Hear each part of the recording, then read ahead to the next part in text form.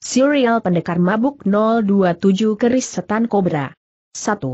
Gemercik air sungai jatuh di bebatuan. Iramanya melenakan, membuat rasa kantuk tiba. Angin semilir berhembus di keteduhan pohon rindang yang tumbuh dekat air terjun itu. Siang yang panas menjadi siang yang sejuk. Tak heran jika Suto Sinting terlena tidur di bawah pohon munggur yang menaunginya.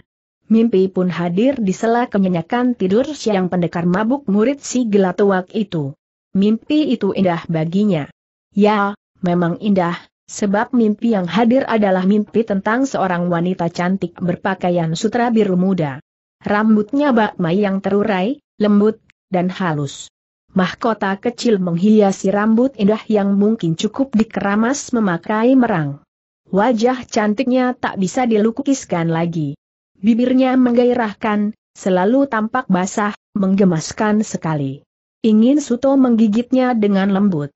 Wanita yang hadir dalam mimpinya itu mengenakan perhiasan lengkap, gelang berhias batuan intan, kalung susun dua berhias berlian, cincin, giwang, pokoknya elok sekali, ia tampak seperti seorang ratu. Atau anak raja. Atau memang dia seorang ratu. Entahlah. Mimpi Suto belum saling bercakap-cakap. Hanya saling pandang saja. Bayangan mimpi itu semakin jelas. Wanita berjubah biru muda tipis membayang bagian dalamnya yang dibungkus kain ketat itu, mulai melangkah mendekati pendekar mabuk, ia menyerahkan setangkai bunga aneh, yaitu mawar pelangi.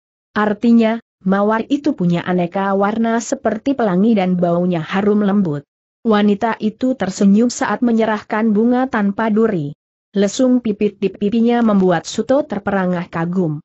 Ini untukmu, wanita dalam mimpi itu berucap lirih, suaranya merdu. Aku, belum kenal siapa dirimu, mengapa harus terima bunga darimu? Ku berikan bunga ini untukmu. Cuma-cuma. Tidak dipungut biaya. Apakah kau tukang kembang? Bukan, Jawab wanita yang diperkirakan baru berusia 25 tahun. Aku seorang ratu. Bukan tukang kembang. Oh, oh, ratu apa? Ratu Ringgit Kencana. Punya negeri. Punya.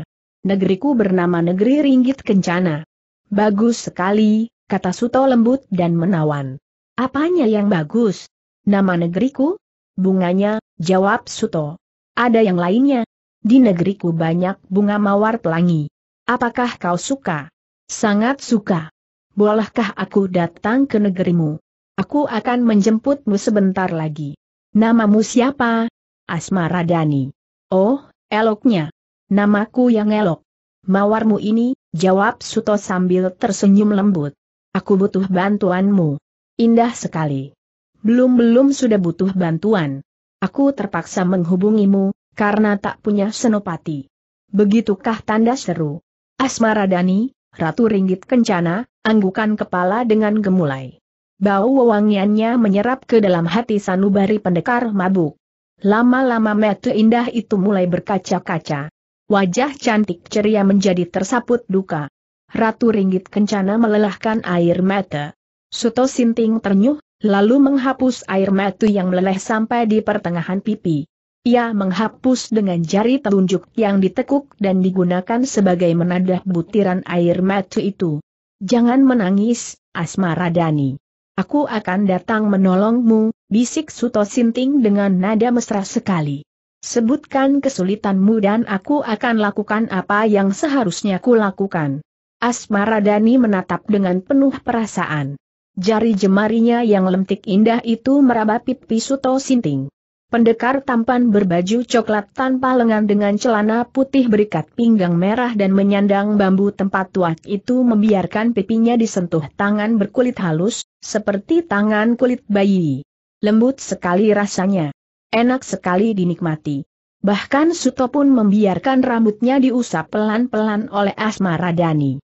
Rambut panjang lewat pundak itu dipermainkan oleh wanita itu. Pelan, pelan, pelan, Seakan setiap gerak dan sentuhan diresapi sampai ke dasar hati. Sayang sekali mimpi itu terputus karena sentakan halus di bagian rambut, seperti tertarik seseorang tanpa sengaja. Suto Sinting buka mata dan terkejut dengan ucapan tak sadar. Jabang bayi. Yang ada di depan wajahnya adalah wajah hitam, bermata besar, berhidung besar, kepala gundul tapi berkuncir rambut merah jagung di bagian tengahnya. Orang yang sedang berjongkok di depannya itu berkulit hitam, tinggi, besar, tanpa baju kecuali hanya mengenakan cawat saja. Dialah anak jin yang bernama Logo.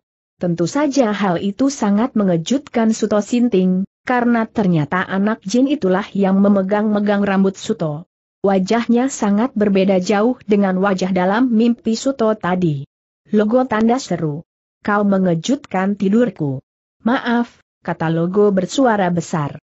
Maklum, anak jin kalau suaranya kecil bisa disangka anak kucing. Maka wajar kalau Logo bersuara besar. Ibu menyuruhku memanggilmu, kata Logo. Kau ditunggu di gua pantai Bukit Sembrani.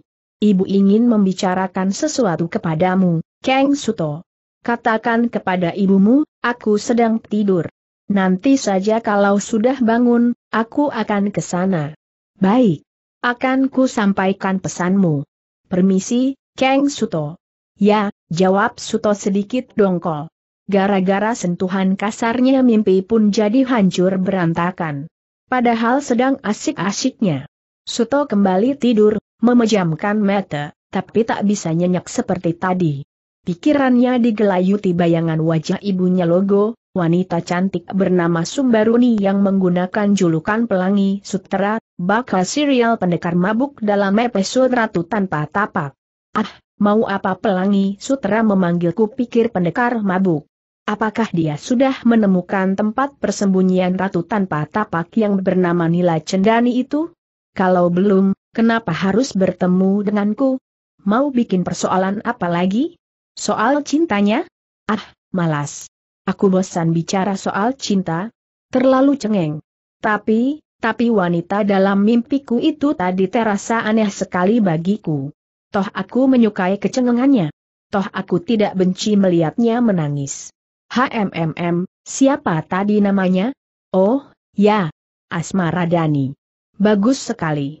Dia memberikan mawar warna pelangi. Apa artinya? Apakah ada hubungannya dengan pelangi sutera? Ah, wajahnya beda jauh. Kurasa tak ada hubungannya. Lalu, apa artinya mimpiku tadi? Apakah mimpi bertemu wanita cantik punya arti akan bertemu dengan anak jin Suto Sinting tertawa sendiri membayangkan wajah logo. Ia menarik napas, masih merebah, masih memejamkan mata. Sadar sepenuhnya. Namun tiba-tiba Suto terkejut karena ia mencium bau bunga mawar. Dahinya berkerut dengan mata masih terpejam penciumannya dipertajam. Bau bunga mawar seperti dalam mimpinya itu semakin jelas. Ketika kepalanya bergerak miring ke kiri pelan-pelan, aroma harum lembut bunga mawar itu kian bertambah nyata. Suto Sinting terpaksa buka matanya. Hah tanda seru pendekar mabuk kian terperangah kaget. Cepat-cepat bangkit terduduk. Karena saat itu matanya memandang setangkai bunga mawar tanpa duri dan berwarna pelangi tergeletak di samping kirinya, seakan ikut tidur mendampinginya. Bunga ini ada di sampingku. Apakah sejak tadi? Siapa yang membawanya? Apakah si anak jin tadi? Ah, aneh sekali. Padahal bunga mawar warna pelangi ini hanya ku temukan dalam mimpiku. Kenapa bisa benar-benar ada di sampingku? Pandangan mata pendekar mabuk segera menyelidik ke sekelilingnya. Tak ada siapa-siapa di sekitar tempat itu. Sungguh pemandangan yang lengang. Semak di kejauhan sana pun dipandang dengan sedikit menyipit, tapi tak terlihat ada sesuatu yang mencurigakan. Pohon-pohon dipandangi juga, tapi tak ada orang bersembunyi di sana. Apakah bunga ini ada sejak tadi sebelum aku terbaring tidur di sini? Ah, tak mungkin. Tadi aku tidak mencium bau bunga ini. Jangan-jangan pohon ini angker.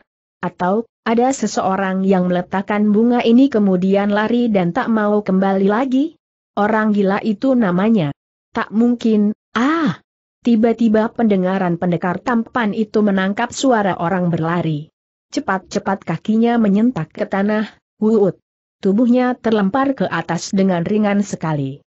Jelek. Ia bagaikan seekor jatayu yang hinggap di atas dahan dengan kokohnya. Di balik semak dedaunan pohon itu Suto Sinting bersembunyi, ingin melihat siapa orang yang berlari ke arahnya itu. Ternyata seorang pemuda berusia sekitar 26 tahun, kurus dan berpakaian coklat muda baik baju maupun celananya. Rambutnya sedikit bergelombang, panjang lewat pundak, tidak diikat. Pemuda itu juga membawa bumbung bambu warna coklat muda, tali penggantungnya diberi lapisan kain hitam. Melihat wajahnya yang pucat tegang dengan bibir berdarah, pemuda itu pasti habis dihajar oleh seseorang, ia malahan bersembunyi di balik pohon besar yang dipakai bersembunyi oleh Suto di atasnya. Pemuda itu tak tahu kalau di atasnya ada orang bersembunyi pula. Mungkin karena panik, takut, ngos-ngosan, sehingga pemuda kurus itu tak sadar bicara sendiri dengan gemetar. Ya ampun, Dosa apa aku ini kok sampai dikejar-kejar orang? Mimpi apa aku semalam kok sampai dihajar orang? Kalau tadi aku tak segera lari, pasti aku dibunuh oleh orang itu. Ihaha, mengerikan. Goloknya tajam sekali. Kalau aku dibacok pakai golok itu, oh, oh, oh ngeri. Ngeri sekali membayangkannya. Di atas pohon pendekar mabuk mendengarkan dengan seksama. Wah, itu dia orangnya ucap pemuda itu dengan tenang. Dia pasti mencariku. Mudah-mudahan dia tidak tahu kalau aku bersembunyi di balik pohon ini. Suto Sinting segera memandang ke arah yang dipandang pemuda tersebut. Memang ada orang datang dalam keadaan wajah tegang, sepertinya sedang mencari seseorang yang akan dibunuhnya. Orang tersebut sedikit gemuk, mengenakan pakaian serba hitam. Kumisnya tebal, matanya lebar. Tak terlalu tinggi, tapi cukup menyeramkan bagi orang awam. Dilihat dari keangkeran wajahnya, jelas orang itu pasti bukan orang baik-baik. Suto Sinting ingin mengetahui apa yang akan diperbuat oleh orang berkumis tebal itu. Ketika orang itu celingak-celinguk mencari buruannya, tiba-tiba muncul seorang lagi dari arah lain, juga celingak-celinguk mencari sesuatu. Orang yang baru saja muncul itu berpakaian merah luruh, kurus, dan berambut kucai. Matanya cekung, dingin, tampang bengisnya terlihat nyata. Kumisnya tipis, tapi panjang. Golok bergagang hitam terselip di depan perutnya, belum dicabut dari sarungnya. Tapi orang berpakaian hitam tadi sudah menggenggam golok putih berkilauan, seakan siap bacok kapan saja bertemu buronannya. Dia menghilang seru si gemuk berkumis tebal. Tak mungkin. Cari sampai ketemu. Pasti ada di sekitar sini balas si baju merah dalam seruannya. Suto Sinting tahu, mereka berteman. Tentunya mereka sama-sama mencari pemuda yang bersembunyi di bawahnya itu. Si pemuda tampak kian menggigil, merapatkan tubuh ke batang pohon dengan napas tersendat-sendat. Kasihan, gumam hati pendekar mabuk. Sendatan napas pemuda di bawahnya ternyata membuatnya tak sadar menjadi terbatuk-batuk. Uhuk, uhuk, uhuk, uhuk walaupun sudah ditutup tangan, tapi suara batuknya masih saja terdengar jelas. Aku mendengar suara orang batuk berojo. Apakah kau yang batuk seru si baju merah? Enak saja. Mungkin kaulah yang kumat bengeknya seru orang yang bernama Brojo. Maka si baju merah berseru lagi, mana mungkin. Biar aku kurus, yang namanya mat paung tak akan terkena penyakit bengek, karena tiap hari makananku empedu ular dan minum darah ular. Rupanya si baju merah itu bernama mat paung. Ia orang yang tak mau direndahkan walau oleh teman sendiri, ia menepuk dadanya saat membanggakan dirinya sebagai orang yang tidak pernah terserang batuk dan bengek. Tapi karena terlalu keras menepuk dada, akhirnya ia justru menjadi batuk sendiri. Berojo memandangi Mat Paung yang berjarak lebih dari sepuluh langkah itu. Berojo merasakan ada keanehan kala mendengar suara batuk Mat Paung. Suara batukmu berbeda dengan yang tadi. Berarti, berarti bocah itu ada di balik pohon besar di sana, Mat Paung. Coba cari ke sana. Rasa gentar, gugup, membuat napas pemuda itu kian tersendat-sendat dan batuk pun tak bisa ditahan pemuda itu akhirnya tertangkap karena batuk berulang kali. Sia-sia saja ia bersembunyi jika suara batuknya tak bisa ikut disembunyikan. Brojo dan Marpaung segera menemukannya. An, ampun, ampun, Kang pemuda itu ketakutan, bahkan sempat menyembah-nyembah kepada kedua lelaki yang usianya sekitar 40 tahun kurang sedikit. Buuh!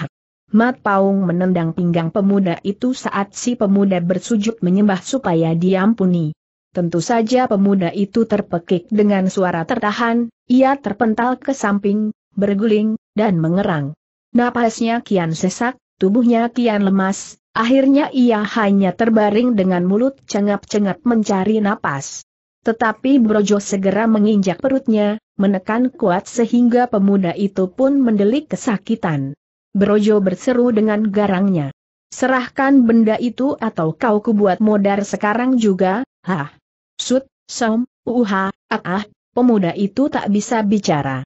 Dari atas pohon peristiwa itu dapat dilihat Suto dengan jelas sekali, ia merasa kasihan kepada pemuda tersebut, sebab menurut penglihatannya si pemuda agaknya tidak berilmu sedikit pun.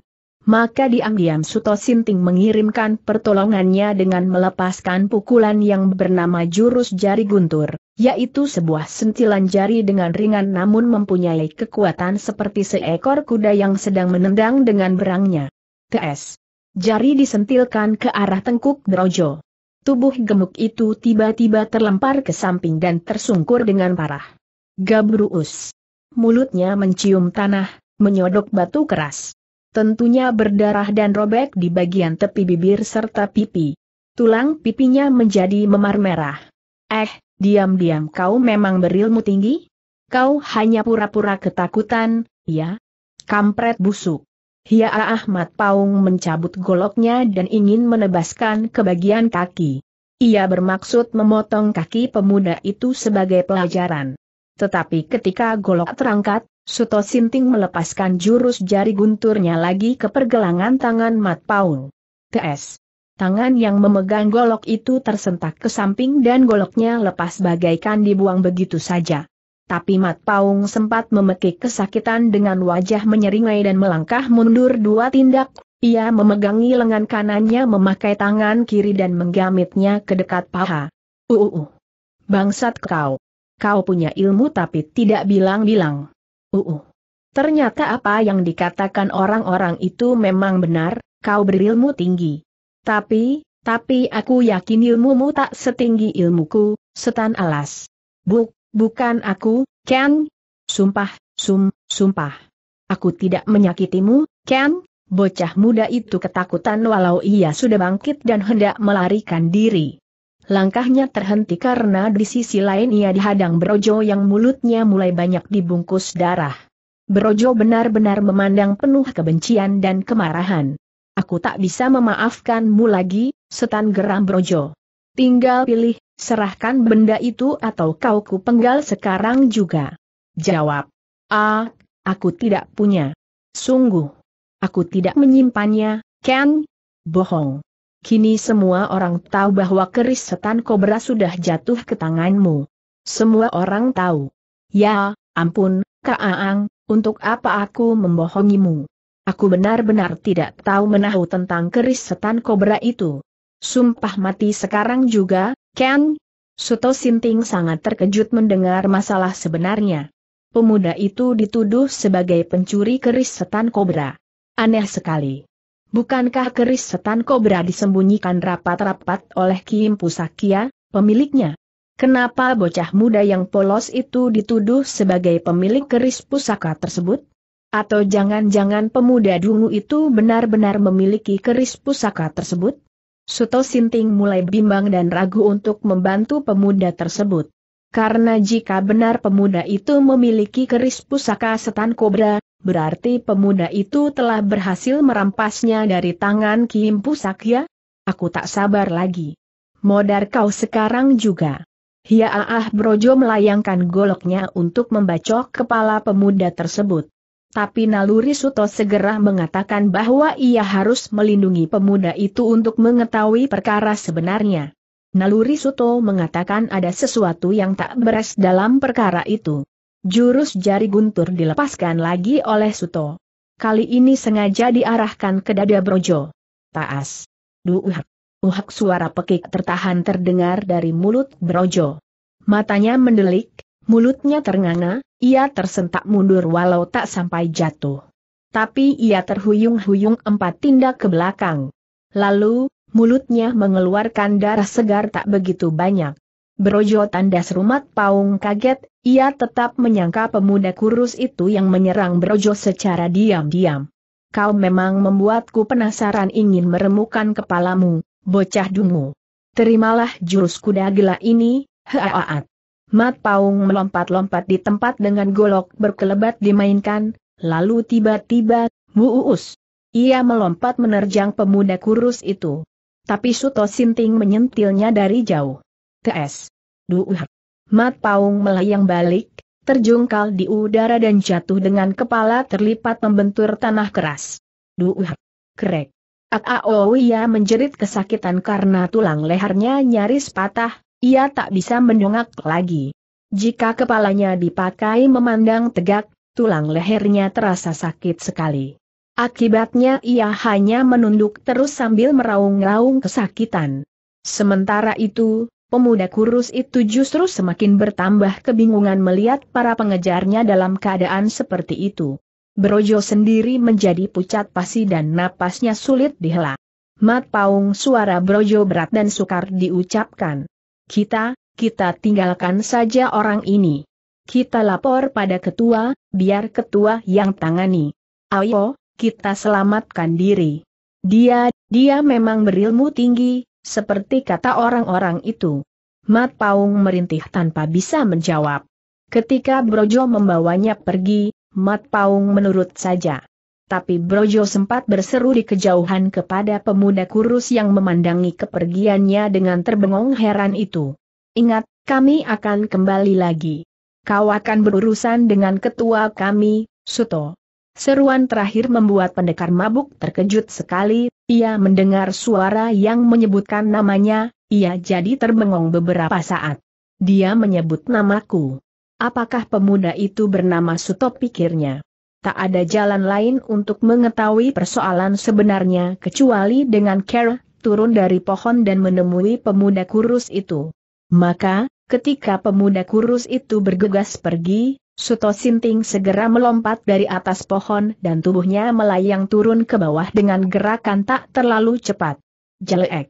Tapi suara kakinya itu sempat terdengar pemuda tersebut, sehingga si pemuda cepat palingkan wajah.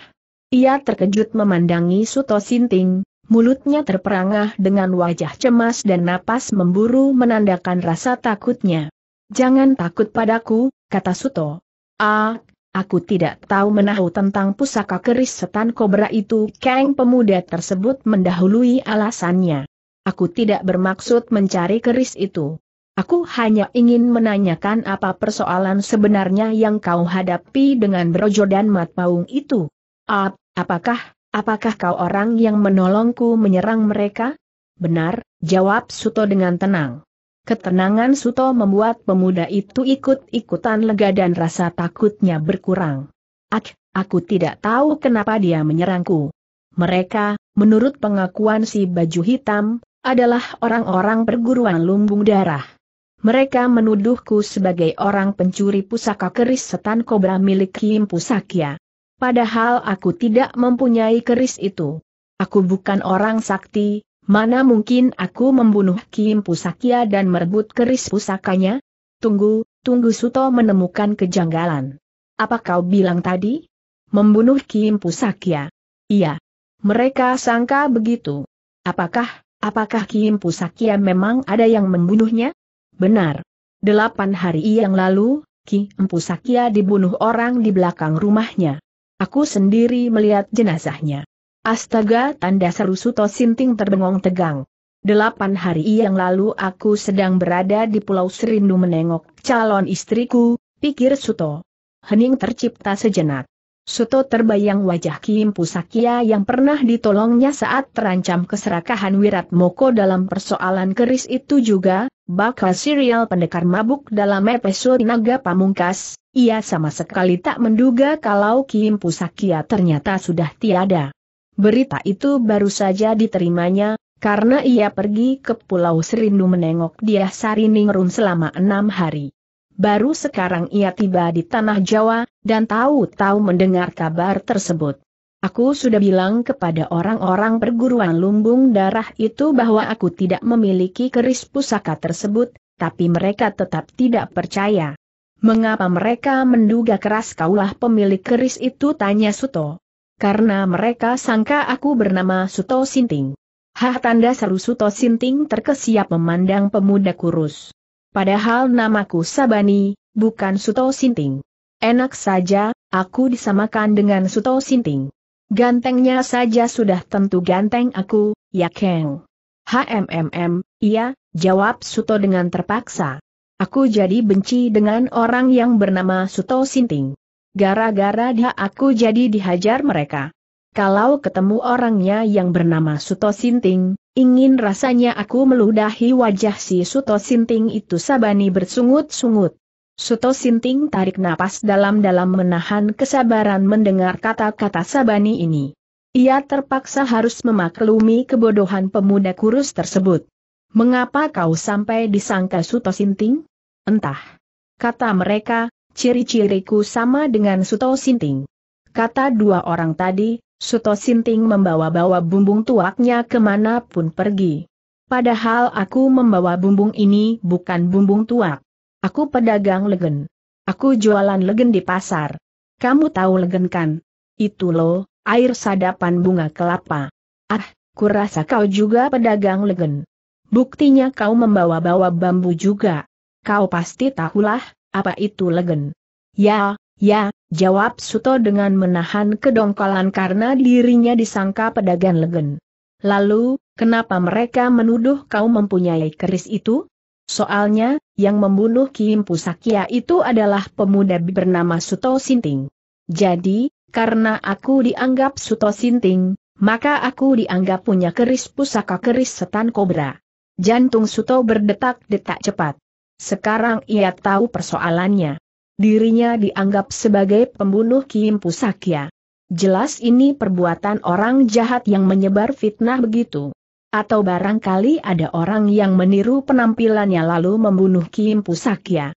Apa samat nasibmu hari ini, pikir Suto dengan sedih. Tapi ia segera berkata kepada Sabani, apakah kau juga yakin kalau yang membunuh Kim Pusakya adalah orang bernama Suto Sinting? Yakin. Kau melihat sendiri Suto membunuhnya? Tidak, jawab Sabani polos. Tapi kenapa kau yakin kalau Suto Sinting yang membunuhnya? Karena menurut kabar orang-orang begitu. Suto Sinting pembunuhnya. Orang-orang pun tahu bahwa keris pusaka itu sekarang ada di tangan Suto Sinting. Wah, itu orang memang benar-benar Sinting kok.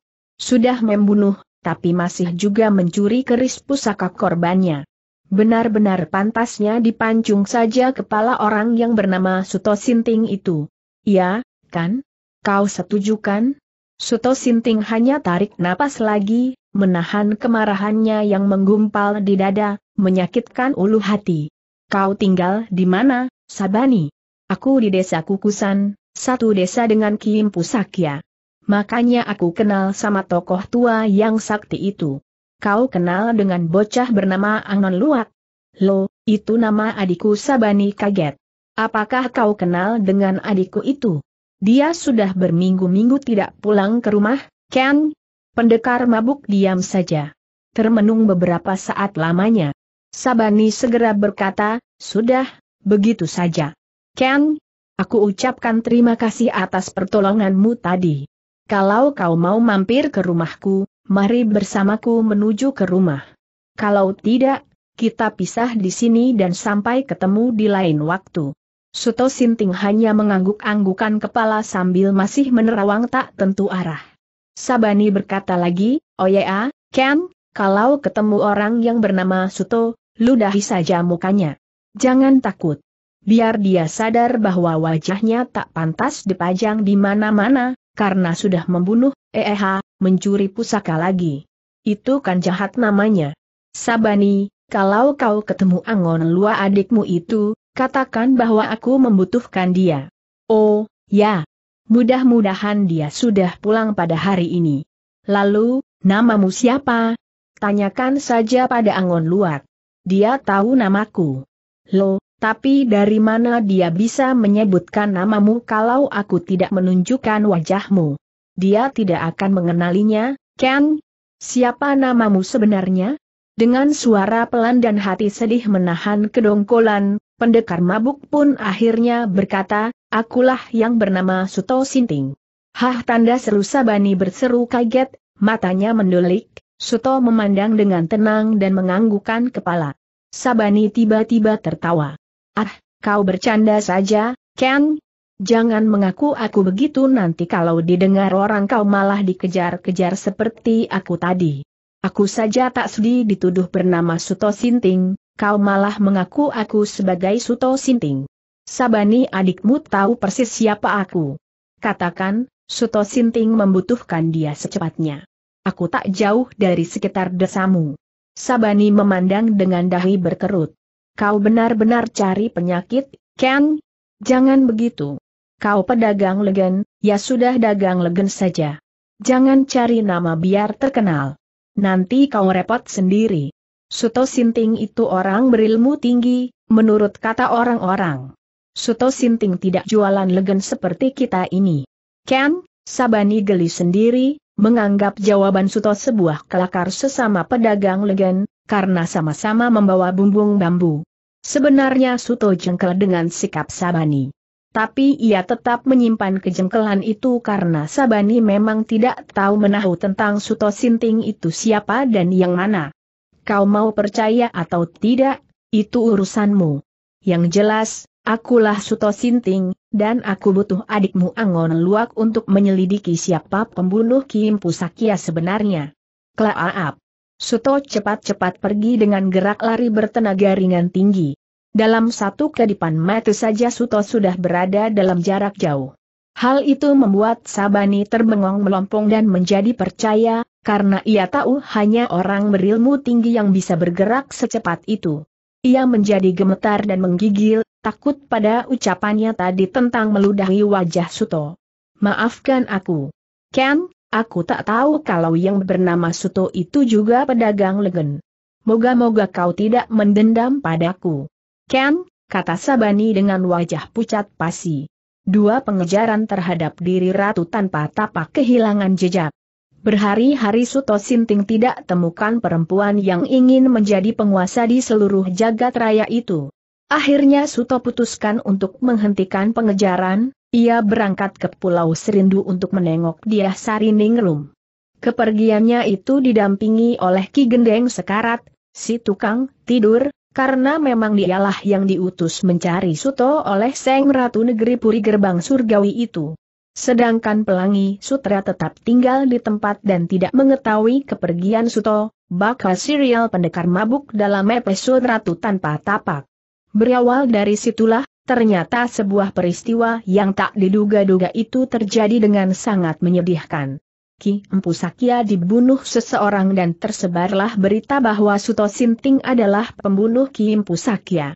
Tersebar pula kabar, bahwa keris pusaka milik Kim Pusakya yang bernama keris setan kobra itu telah dicuri oleh Suto Sinting dengan cara membunuh Kim Pusakya lebih dulu. Siapa yang menyebarkan berita itu pertama kalinya, tak diketahui secara pasti. Yang jelas, kini Suto Sinting si pendekar mabuk menjadi buronan orang banyak, bahkan menjadi bahan ejekan mereka. Tak kusangka pemuda setampan dia, sesakti dia, ternyata tega membunuh orang tak bersalah dan mencuri pusakanya. Sangat memalukan sekali. Aku juga tidak menyangka akan begitu. Padahal gurunya, si Gelatuak, tidak mempunyai perilaku seburuk itu. Dia tidak pantas mendapat gelar pendekar dan menjadi sanjungan para tokoh golongan putih. Tindakannya sudah membuatnya masuk dalam golongan hitam. Begitulah celoteh mereka, hampir rata-rata mengecam Suto Sinting dan menjelekkan gurunya, si Gelatuak. Berita itu sampai di telinga para sahabat Suto Sinting. Mereka menjadi bimbang, walau sebagian ada yang percaya dengan berita tersebut. Tetapi bagi pelangi sutera, berita itu tidak mudah dipercayai begitu saja. Karenanya ia menyuruh logo anaknya yang lahir dari ayah jin itu, untuk mencari pendekar mabuk dan mengajaknya bicara tentang hal itu. Tetapi niatnya itu tak pernah terlaksana, karena Suto Sinting sedang sibuk menyelidiki siapa penyebar fitnah tersebut. Dalam perjalanannya menuju desa Kukusan, pendekar mabuk melihat suatu pertarungan yang tidak seimbang, ia melihatnya dari atas bukit. Seorang gadis berpakaian hijau terang, rambut kepang dua, sedang dikeroyok lima orang lelaki berperawakan kekar dan ganas-ganas. Gadis itu tak lain adalah Mega Dewi, anak lurah Pramadi yang akrab dengan Kim Pusakya dan banyak yang tahu bahwa Mega Dewi pernah dekat dengan Suto Sinting. Suto Sinting tidak berpikir apa persoalannya sehingga lima orang kekar menyerang Mega Dewi secara bersamaan. Suto hanya memikirkan, Mega Dewi perlu bantuan karena kekuatannya tak seimbang menghadapi lima orang ganas itu. Maka Suto Sinting pun segera melesat turun dari bukit untuk membantu Mega Dewi. Pada saat itu, Mega Dewi terkena pukulan orang berompi hitam dengan tato di dada bergambar tengkorak. Orang tersebut sepertinya paling ganas dari keempat temannya. Pukulan berupa sinar hijau melesat dari tangannya dan mengenai lambung Mega Dewi. Pada waktu itu Mega Dewi sedang menghadapi dua penyerang bersenjata tombak berujung pedang lengkung. Akibat pukulan sinar hijau itu, Mega Dewi jatuh tersungkur dan memuntahkan darah segar dari mulutnya. Orang bertato gambar tengkorak itu segera mencabut pedang dari pinggangnya dan melompat untuk menebas leher Mega Dewi. Lebih baik modar daripada tak mau membantu kami. Mega Dewi. Haaat. Wuut. W.S. Terang. Tahu-tahu bambu bumbung tuak sudah menahan gerakan pedang yang nyaris menempel di leher Mega Dewi. Bambu itu bagaikan besi dan membuat pedang lawan rompal separuh bagian. Sisi tajamnya tinggal bagian ujung dan dekat gagang. Begitu pedang rompal, pemiliknya terperanjat kaget. Suto segera sentakan kakinya ke kiri. Wuut. Duuh. Tendangan sampingnya mengenai rusuk lawan yang ganas itu. Kraak. Dua tulang rusuk patah seketika, lawan jatuh terpental dan meraung-raung kesakitan di sana. Keempat orang lainnya segera mengurung Suto Sinting. Seng pendekar tampan dia memandang dengan mata tajam. Salah seorang dari mereka berseru garang. Monyet kencur. Siapa kau dan apa perlumu mencampuri urusan kami dengan gadis itu? Hah? Justru aku yang ingin bertanya siapa kalian, sehingga kalian berani menyerang sahabatku. Yang berkumis pendek berseru, kami orang-orang tambak wesi. Kami harus paksa gadis itu agar menunjukkan di mana Suto Sinting itu berada. Sebab kami pernah dengar bahwa anak gadis mendiang Kilurah Pramadi itu pernah dekat dengan Suto Sinting. Malahan ada yang bilang dia bekas kekasihnya Suto Sinting. Kami membutuhkan orang itu. Untuk apa? merebut keris pusaka setan kobra. Yang bersenjata sabit itu berseru pula, Suto telah membunuh Kim Pusakya, pasti dia telah merebut keris pusakanya juga. Dan perlu kau ketahui, anak muda, kami adalah bekas murid-murid Kim Pusakya. Beliau pernah menjadi sesepuh di perguruan Tambak Wesi. Maka layaklah jika kami menuntut kembali keris pusaka tersebut. Suto memandang dengan menyipitkan mata. Satu persatu wajah diperhatikan, ia tak yakin dengan pengakuan tersebut. Ki Empu Sakya orang bijaksana, kalem, dan sabar. Tak mungkin pernah bergabung dengan manusia-manusia berwajah bengis seperti mereka. Tetapi hal itu disimpannya saja dalam hati. Suto hanya berkata kepada mereka berempat. Kalau kalian mencari Suto Sinting, akulah orangnya. Hah tanda seru mereka saling terkejut dan sama-sama saling pandang dengan tegang. Dua di antaranya tampak cemas. Dua lagi tampak memberanikan diri. Salah satu dari yang memberanikan diri itu berkata keras. Kalau begitu kami harus memaksamu agar mau serahkan keris itu. Aku tidak mempunyai keris setan kobra, dan aku tidak membunuh Kim Pusakya, karena beliau termasuk orang yang kuhormati. Omong kosong kau harus dipaksa rupanya.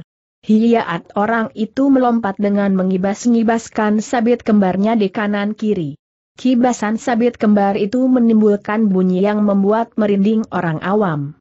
Tetapi Suto Sinting tetap diam dan tenang. Rupanya ia cepat-cepat pergunakan ilmu layang raga sejak mendengar penjelasan mereka.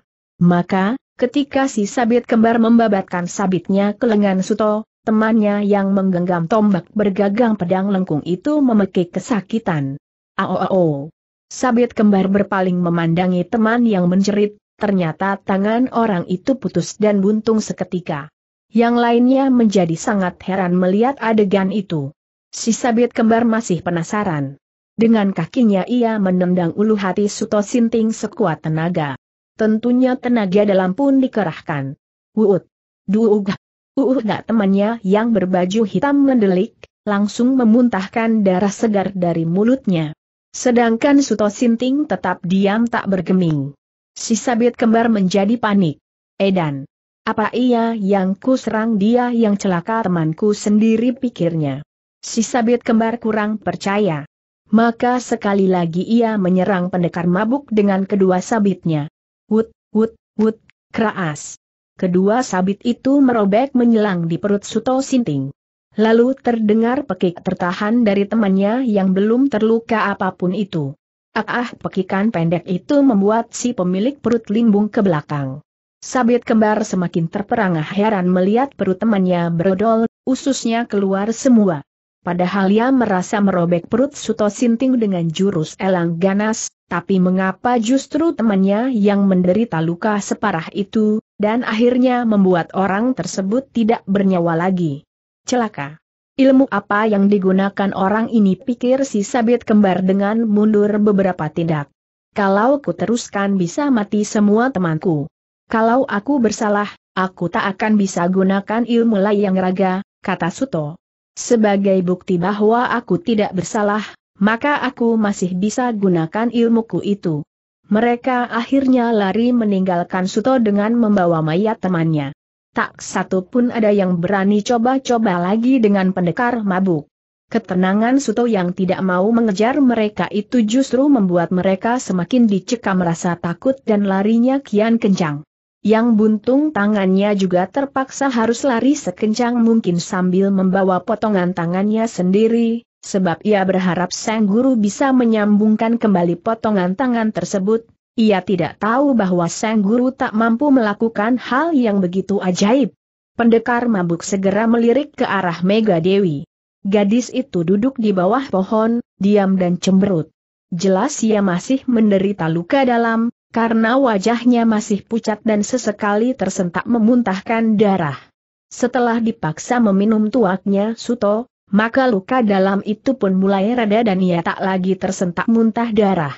Makin lama kesehatannya berangsur-angsur membaik, tetapi ia masih bersikap dingin kepada Suto Sinting. Mengapa sikapmu tidak seramah dulu? Mega Dewi?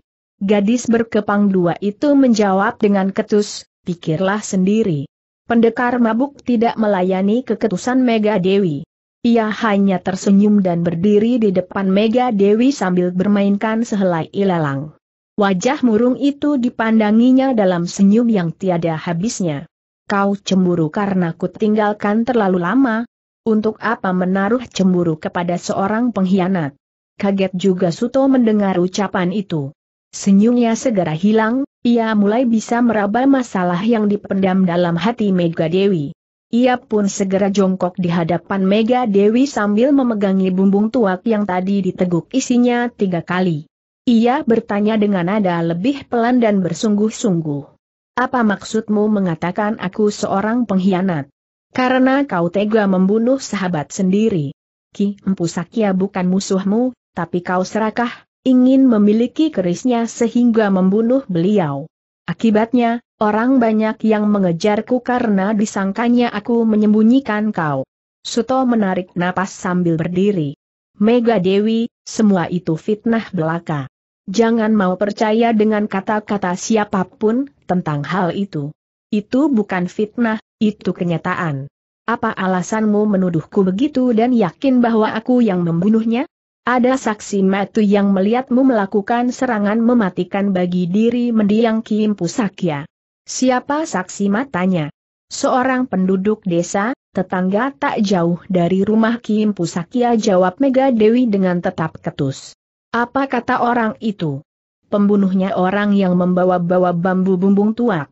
Siapa lagi kalau bukan kau? Pendekar mabuk manggut-manggut. Ia mulai tahu, mengapa ia dituduh sebagai pembunuh Kim Pusakya. Tak heran jika Sabani juga disangka bernama Suto Sinting, karena ia pedagang legen yang ke mana-mana membawa bambu bumbung tuak. Mega Dewi berdiri, menatap sinis kepada Suto Sinting. Mulai sekarang kau tak perlu bersahabat denganku lagi, Suto. Mega Dewi, kau salah sangka. Tidak mungkin bantah Mega Dewi dengan menggeram menahan kemarahan. Aku tahu kau berilmu tinggi, Ki Empu Sakya juga berilmu tinggi. Ki Empu Sakya tak akan mudah diserang atau bahkan dibunuh jika penyerangnya bukan orang yang berilmu tinggi. Tapi itu bukan aku, Mega Dewi. Tidak semua orang yang membawa bambu bumbung adalah pendekar mabuk Suto Sinting. Di pasar banyak orang membawa bambu bumbung sebagai penjual legen kelapa. Seorang penjual legen lebih mustahil lagi jika bisa membunuh Kim Pusakya. Aku tahu seberapa tinggi ilmu Kim Pusakya. Aku bukan anak kecil yang bisa kau bohongi dengan dalih-dalihmu, Suto. Sedih sekali hati pendekar mabuk mendengar kata-kata Mega Dewi. Menurutnya, itu baru satu orang teman yang tidak percaya, bagaimana jika sampai semua temannya tidak mau percaya lagi kepadanya. Padahal memperoleh kepercayaan itu lebih sulit daripada memperoleh kemenangan dalam suatu pertarungan. Pada dasarnya, Suto Sinting mengakui kebenaran kata-kata Mega Dewi. Orang yang bisa membunuh Kim Pusakya pasti orang berilmu tinggi, itu memang benar. Suto juga mengakui bahwa Kim Pusakya orang berilmu tinggi. Jika tidak berilmu tinggi beliau tidak akan mungkin bisa melihat noda merah di kening Suto, yaitu lambang penghargaan yang diberikan oleh Gusti Ratu Kartika Wangi, calon mertuanya yang menjadi penguasa di sebuah negeri alam gaib. Memang mustahil jika pedagang legen seperti Sabani itu mampu membunuh Kim Pusakya. Jika benar pembunuhnya membawa bumbung bambu, maka Suto dapat menduga orang sakti lainnya yang juga punya kegemaran minum tuak dan ke mana-mana membawa bumbung bambu. Tapi sejauh ingatannya, Sepanjang pengelanaannya di rimba persilatan selama ini, Suto belum pernah temui orang yang ke mana-mana membawa bumbung bambu. Bumbung bambu merupakan ciri khas pendekar mabuk. Tak heran jika Mega Dewi sangat percaya dengan berita tersebut, dan menduga keras bahwa memang Sutolah pembunuh Kim Pusakya. Lalu, pembunuhan itu dikaitkan dengan keris pusaka milik Kim Pusakya. Wajar jika semua orang menduga kalau keris itu sekarang ada di tangan Suto Sinting. Sebelum Mega Dewi pergi meninggalkannya karena tak mau bersahabat lagi, Suto Sinting sempat mengajukan satu pertanyaan kepada gadis kepang dua itu. Siapa nama saksi yang melihat Kim Pusakya dibunuh? Mbok Wiji, seorang pengrajin perabot dapur dari bambu. Aku akan temui dia, dan kubuktikan bahwa bukan aku orang yang dilihatnya kala itu. Tak lama lagi kau akan tahu apakah aku bersalah atau tidak. Aku sudah tak mau peduli lagi dengan dirimu. Aku tak mau terlibat persoalan apa-apa bersamamu. Dan kau tak perlu mencariku atau berusaha menemuiku lagi, Suto. Aku sudah tidak suka berteman denganmu. Kata-kata itu menyakitkan bagi Suto Sinting, tapi agaknya kali ini Suto harus menelan kepahitan tersebut. Sebelum ia bisa membuktikan kepada masyarakat dan para tokoh bahwa dirinya tidak bersalah, ia masih harus menelan kenyataan pahit, dan mendengar kata-kata yang menyakitkan seperti itu. Tak ada cara lain untuk membersihkan diri kecuali dengan menggunakan pengakuan perempuan desa yang bernama Mokwiji. Suto akan tampakkan diri di desa kukusan itu, dan memohon kepada Mbok Wiji untuk mengenali wajah pembunuh Kim Pusakya.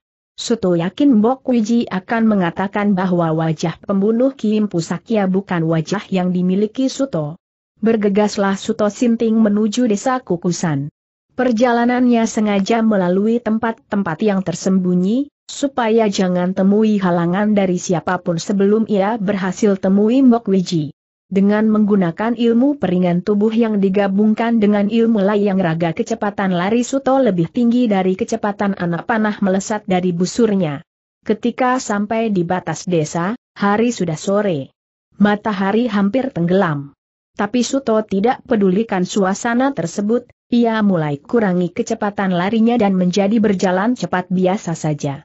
Langkahnya terhenti sejenak ketika melihat kerumunan orang di lereng bukit. Di sana ada tanah pemakaman, dan di tanah pemakaman itu agaknya sedang dilakukan upacara penguburan. Suto menjadi penasaran nalurinya mengatakan ada sesuatu yang perlu ditengok di kuburan itu. Ketika ia tiba di sana, ternyata ia bertemu dengan Sabani, si pedagang legenda bumbung bambu itu. Tapi Sabani kala itu tidak membawa bumbungnya. Keng Sabani gemetar, ingat dosanya ketika bertemu Suto yang pertama kalinya itu. Siapa yang meninggal, Sabani? Mbok Wiji. Hah tanda seru Suto Sinting terperangah kaget. Jenazahnya ditemukan cucunya tadi pagi, di dekat sungai. Sepertinya ia dibunuh oleh seseorang menggunakan senjata tajam. Ken? Lehernya robek. Suto Sinting menjadi tertegun penuh kekecewaan. Satu-satunya saksi mata atas peristiwa kematian Kim Pusakya kini telah tiada. Semakin sulit bagi Suto untuk membuktikan bahwa orang yang membawa bumbung bambu dan membunuh Kim Pusakya itu bukan dirinya. Mbok Wiji tentunya mengenali pembunuh tersebut. Tapi sekarang Mbok Wiji sudah tiada. Bagaimana Suto harus membuktikan bahwa dirinya tak bersalah? Tiga siapa pun jika menghadapi masalah seperti itu tidak akan mudah tidur, kecuali Ki Gendeng sekarat. Suto Sinting pun menjadi susah tidur. Malam hari ia temukan pohon yang bisa digunakan untuk tidur, tetapi yang terbayang di benaknya hanyalah wajah Kim Pusakya dan persoalan dirinya. Di atas pohon itu, Suto hanya berkedip-kedip memikirkan nasib dirinya yang benar-benar sial itu. Suto Sinting pun segera ingat pesan calon istrinya, dia Sariningrum. Pesan itu diucapkan ketika dia Sariningrum mengantar Suto sampai ke pantai.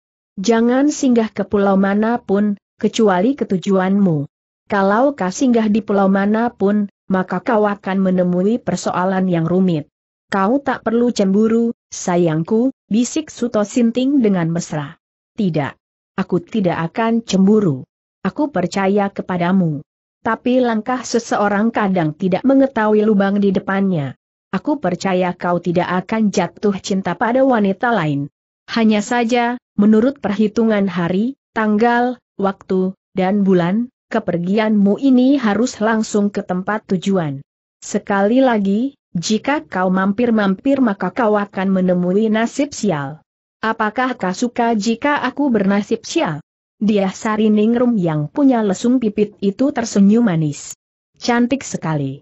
Ia tersenyum sambil gelengkan kepala dan memandang lembut kepada calon suaminya. Aku tidak ingin kau bernasib sial. Karena itu aku beritahukan apa yang harus kau lakukan supaya tidak bernasib sial. Aku harus menurut padamu, karena aku sayang kepadamu, dia tersayang, kata Suto makin membisik dan menyiram kesejukan hati Seng Ratu yang bergelar Ratu Mahkota sejati itu. Tetapi dalam perjalanan pulang dengan tugas memburu siluman tujuh nyawa, Suto Sinting sempat lupa akan pesan calon istrinya itu. Sekalipun Suto orang yang cerdas dan berilmu tinggi, tapi kealpaan tetap saja bisa singgah pada dirinya. Manusia tak akan luput dari kelupaan, karena kelupaan merupakan bagian dari penyakit kodrati bagi manusia itu sendiri di atas perahunya yang berlayar tunggal, dengan ditemani oleh seorang prajurit negeri Puri Gerbang Surgawi, Suto Sinting melihat suatu pertarungan di atas permukaan air laut. Salah satu orang yang mengadakan pertarungan di atas sepotong papan itu adalah Raja Maut, sahabat gurunya Suto, bakal serial pendekar mabuk dalam episode Ratu Tanpa Tapak.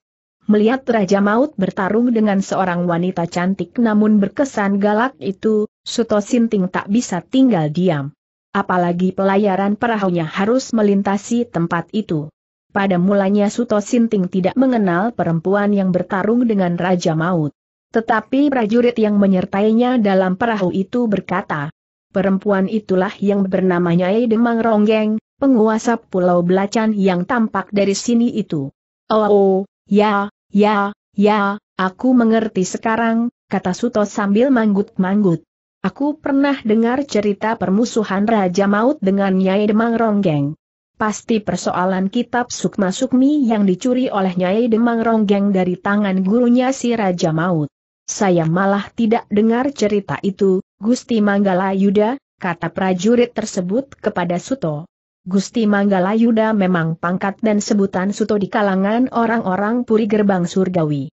Kedudukannya lebih tinggi dari Seng Ratu Mahkota sejati, karena kehormatan Suto itu diberikan oleh penguasa negeri Puri Gerbang Surgawi di alam gaib, yaitu Ratu Kartika Wangi, ibu dari dia Sariningrum atau si Ratu Mahkota sejati itu, bakal serial pendekar mabuk dalam episode Manusia Seribu Wajah. Raja Maut agaknya terdesak oleh kekuatan Nyai Demang Ronggeng.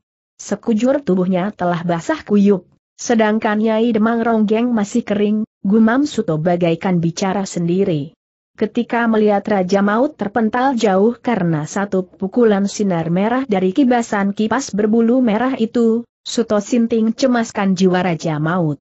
Arahkan perahu kita untuk menolong Raja Maut kata Suto kepada Seng prajurit yang mengendalikan laju perahu itu. Maka Seng prajurit pun menuruti perintah tersebut. Raja Maut benar-benar terluka parah. Tubuhnya mengambang di air dalam keadaan pingsan. Suto Sinting segera menolong, mengangkat tubuh Raja Maut untuk diselamatkan jiwanya. Raja Maut dibaringkan di perahu itu. Mulutnya dipaksa terbuka, lalu tuak dari bumbung dituangkan oleh Suto sedikit demi sedikit. Akhirnya beberapa teguk tuak tertelan oleh Raja Maut, sampai orang tua itu tersedak dan terbatuk-batuk, sadar dari pingsannya. Namun karena tubuhnya masih memar membiru dan lemas, Raja Maut tak bisa bilang apa-apa. Jelek. Rupanya pertolongan Suto kepada Raja Maut tidak disukai oleh Nyai Demang Ronggeng. Perempuan itu berusaha mencapai perahu dan tiba-tiba ia sudah berhasil menginjakan kakinya di buritan perahu. Suto Sinting sempat terperanjat, namun kembali tenang dengan berkata sopan kepada Nyai Demang Ronggeng. Maaf, aku tidak bermaksud campuri urusanmu, melainkan sekadar menolong orang yang ku kenal ini. Lancang betul kau sentak Nyai Demang Ronggeng. Aku ingin membunuhnya, tapi kau ingin menyelamatkannya. Itu sama saja kau telah menantangku untuk lanjutkan pertarungan ini. Tidak. Aku tidak menantangmu. Ini sekadar tugasku sebagai manusia, menolong yang lemah, membantu yang susah. HMMM Nyai Demang Ronggeng mencibir melihat Suto merendahkan hati di depannya. Matanya menatap terus tak berkedip, lama-lama hatinya berkata, ganteng juga dia tapi sikapnya tetap dipaksakan angkuh dan sinis. Kalau kau tak menantangku, kata Nyai Demang Ronggeng, bunuh si setan tua itu. Jangan obati dia. Ceburkan ke laut sekarang juga. Dengan senyum kalem pendekar mabuk berkata, maaf, aku tidak bisa berbuat sekejam itu, Nyai guruku tidak pernah ajarkan agar aku berbuat sejahat itu kepada orang tak berdaya. Siapa gurumu? Gila tuak. Metunyai Demang Ronggeng terkesiap, ia terkejut, namun disembunyikan dalam hati. Hanya wajahnya yang tampak semakin sinis dengan kata-katanya yang ketus, kadang bernada dingin. Kebetulan sekali. Si Gelatuak punya hutang padaku. Hutang jurus. Oh, Aku tidak tahu hal itu, Nyai. Aku tidak bermaksud apa-apa padamu. Gila tuak pernah menyerangku saat aku bertarung melawan setan busuk itu ia menuding Raja Maut aku dibuatnya lari terbirit-birit. Sekarang giliranku membalas sakit hati itu melalui muridnya. Nyai Demang Ronggeng, terlalu buruk jika kita turuti nafsu membunuh dan membalas dendam. Sebaiknya, lupakan saja niatmu itu agar di antara kita tidak ada yang celaka, Nyai. Akan kulupakan setelah aku berhasil mengirim penggalan kepala murid si Gelatuak. Hiaat Nyai Demang Ronggeng nekat menyerang Suto Sinting dengan lompatan cepat bagaikan hembusan angin. Wuut. Tetapi Suto Sinting enggan melayani, sehingga ia hanya menghindar pada saat jaraknya dengan lawan sudah sangat dekat, ia menjatuhkan diri dalam posisi duduk, lalu meraih bumbung tuak yang tergeletak di samping raga si Raja Maut. Serangan yang dihindari dengan seenaknya itu membuat tubuh Nyai Demang Ronggeng tak mampu berhenti seketika. Ia melaju dengan lompatan cepatnya dan akhirnya melewati batas perahu dan, biur. Ia jatuh ke lautan. Untuk sesaat ia menyelam diri, tapi kejap berikut ia muncul dengan satu sentakan kuat. Beruus. Ia melayang tinggi bagaikan seekor lumba-lumba muncul dari kedalaman air. Gerakan saltonya membuat ia mampu hinggap di atas barak perahu yang beratap papan itu. Drak. Tubuhnya yang basah kuyup meneteskan air ke atap barak. Tapi kipas bulu merahnya itu bagaikan anti basah. Tak sedikit pun air menempel di kipas tersebut. Nyai Demang Ronggeng, kata Suto, jangan memaksaku bertindak kasar kepadamu. Aku tahu siapa kau, dan aku kenal dengan dengan Ki Gendeng Sekarat, saudara seperguruanmu, karena itu aku masih menghormatimu, Nyai. Aku tidak butuh hormatmu. Aku benci pada Gendeng Sekarat. Hiaat kali ini Nyai Demang Ronggeng melompat sambil kibaskan kipasnya. Dari kipas itu keluar tenaga dalam yang besar dan menyerang Suto Sinting yang masih enggan melayaninya. Suto bermaksud menghindar, namun terlambat, sehingga tubuhnya yang baru saja hendak melompat itu terhempas pukulan tenaga dalam dari kipas merah. Wuut! Beraak! Suto Sinting jatuh di haluan kapal. Prajurit ingin membantu tapi Suto segera melarangnya. Pendekar mabuk cepat berdiri karena Nyai Demang Ronggeng telah lepaskan lagi serangan berikutnya, berupa cahaya merah dari kipas tersebut. Slaap! Dengan cepat Suto meraih bumbung tuaknya dan disilangkan di depan dada.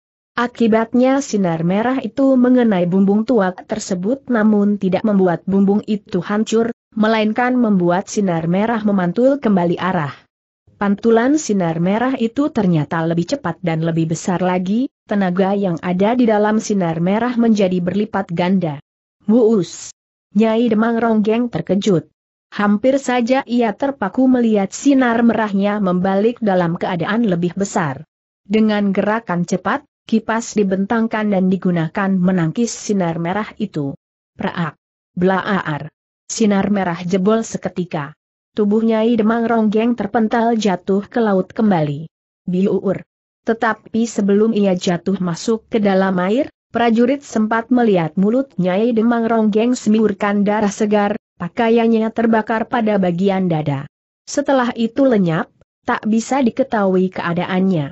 Raja Maut mulai sehat walau tidak sepenuhnya, ia mulai sadar bahwa dirinya berada di atas perahu, ia juga kaget melihat Suto ada di perahu itu juga. Apa yang terjadi, Suto? Nyai Demang Ronggeng terkena pukulannya sendiri dan masuk ke perairan. Sampai sekarang belum muncul-muncul, Suto menjawab dengan mata memandangi perairan di sekelilingnya. Apa warna pukulannya tadi? Merah. Keluar dari kipasnya. Habislah riwayatnya. Setidaknya bagian dalamnya rusak berat ke gumam Raja Maut sambil memandangi perairan juga. Apakah ini persoalan kitab Sukma Sukmi? Benar.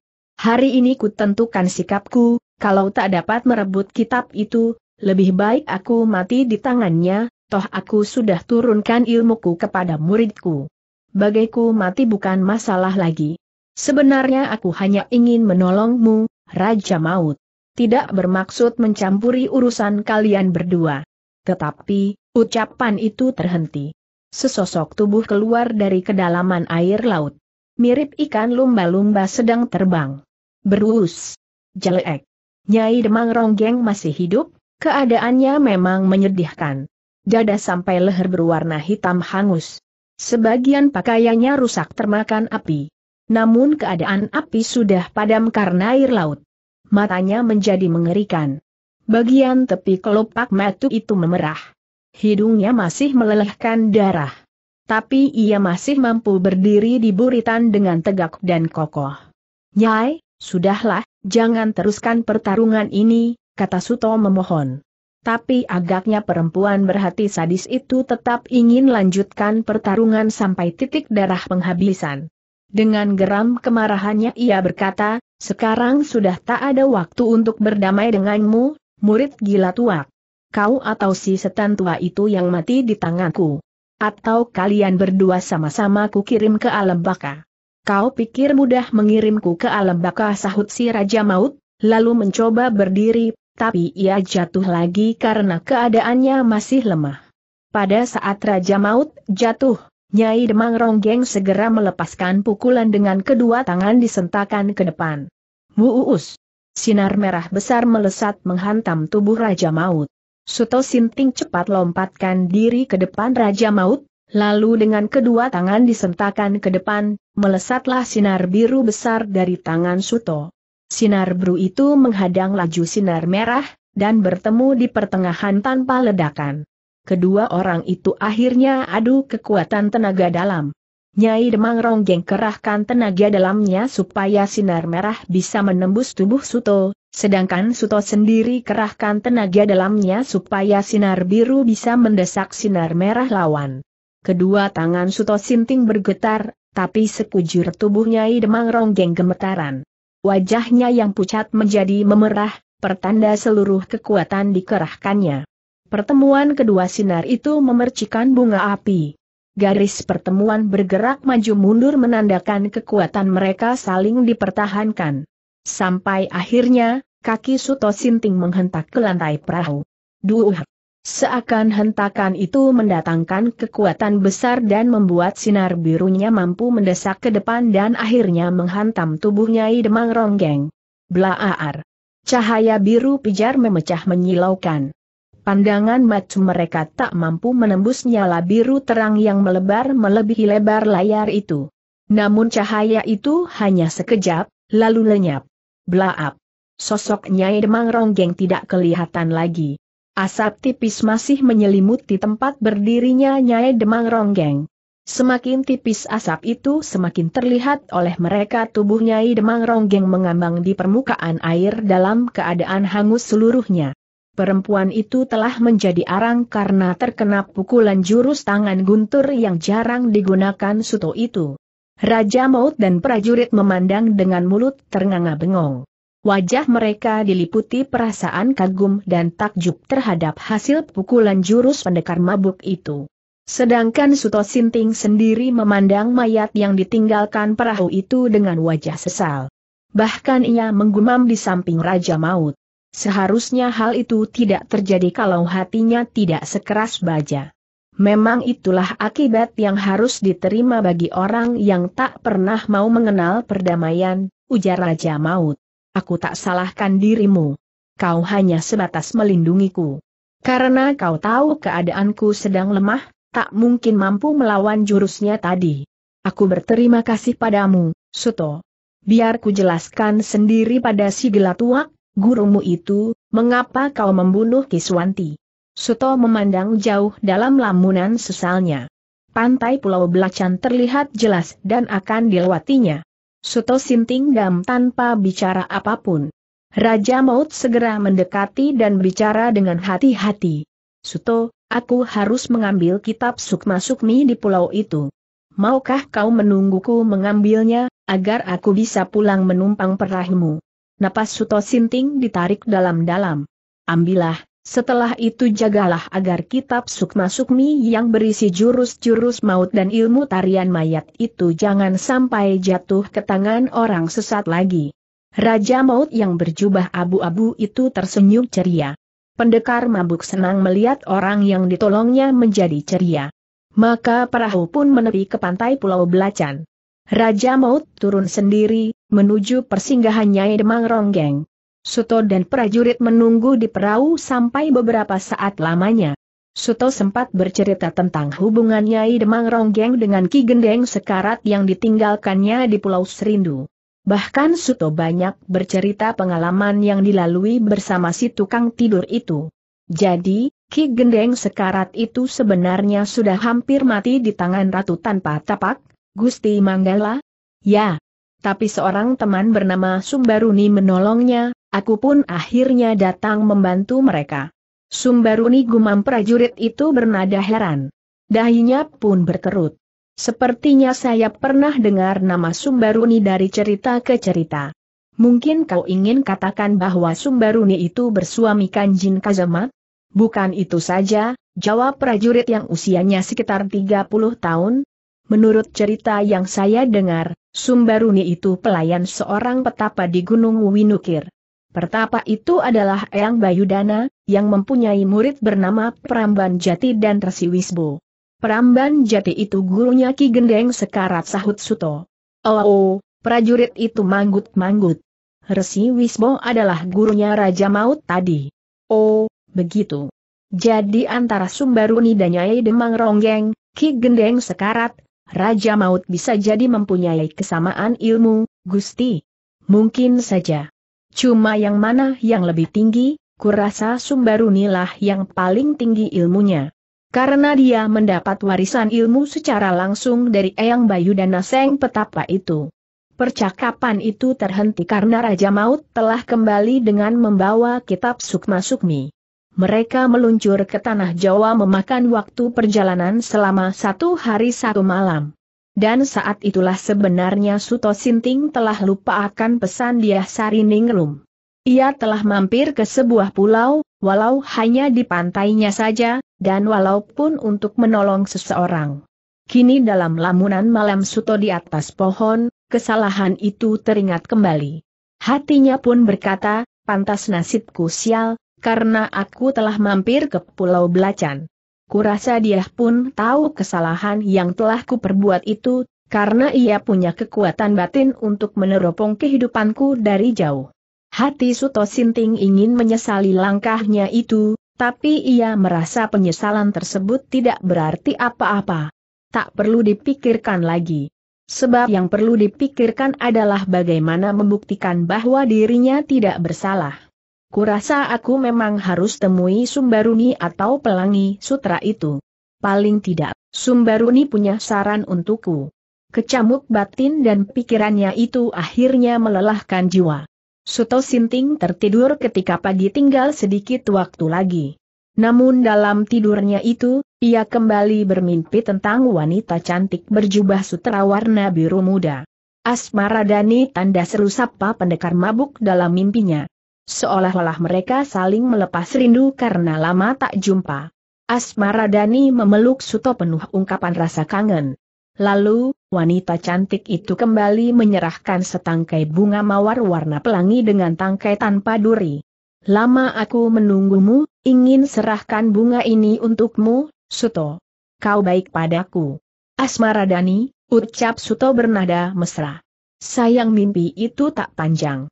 Suto terbangun ketika mendengar suara kokok ayam dan lesung penumbuk padi di kejauhan sana.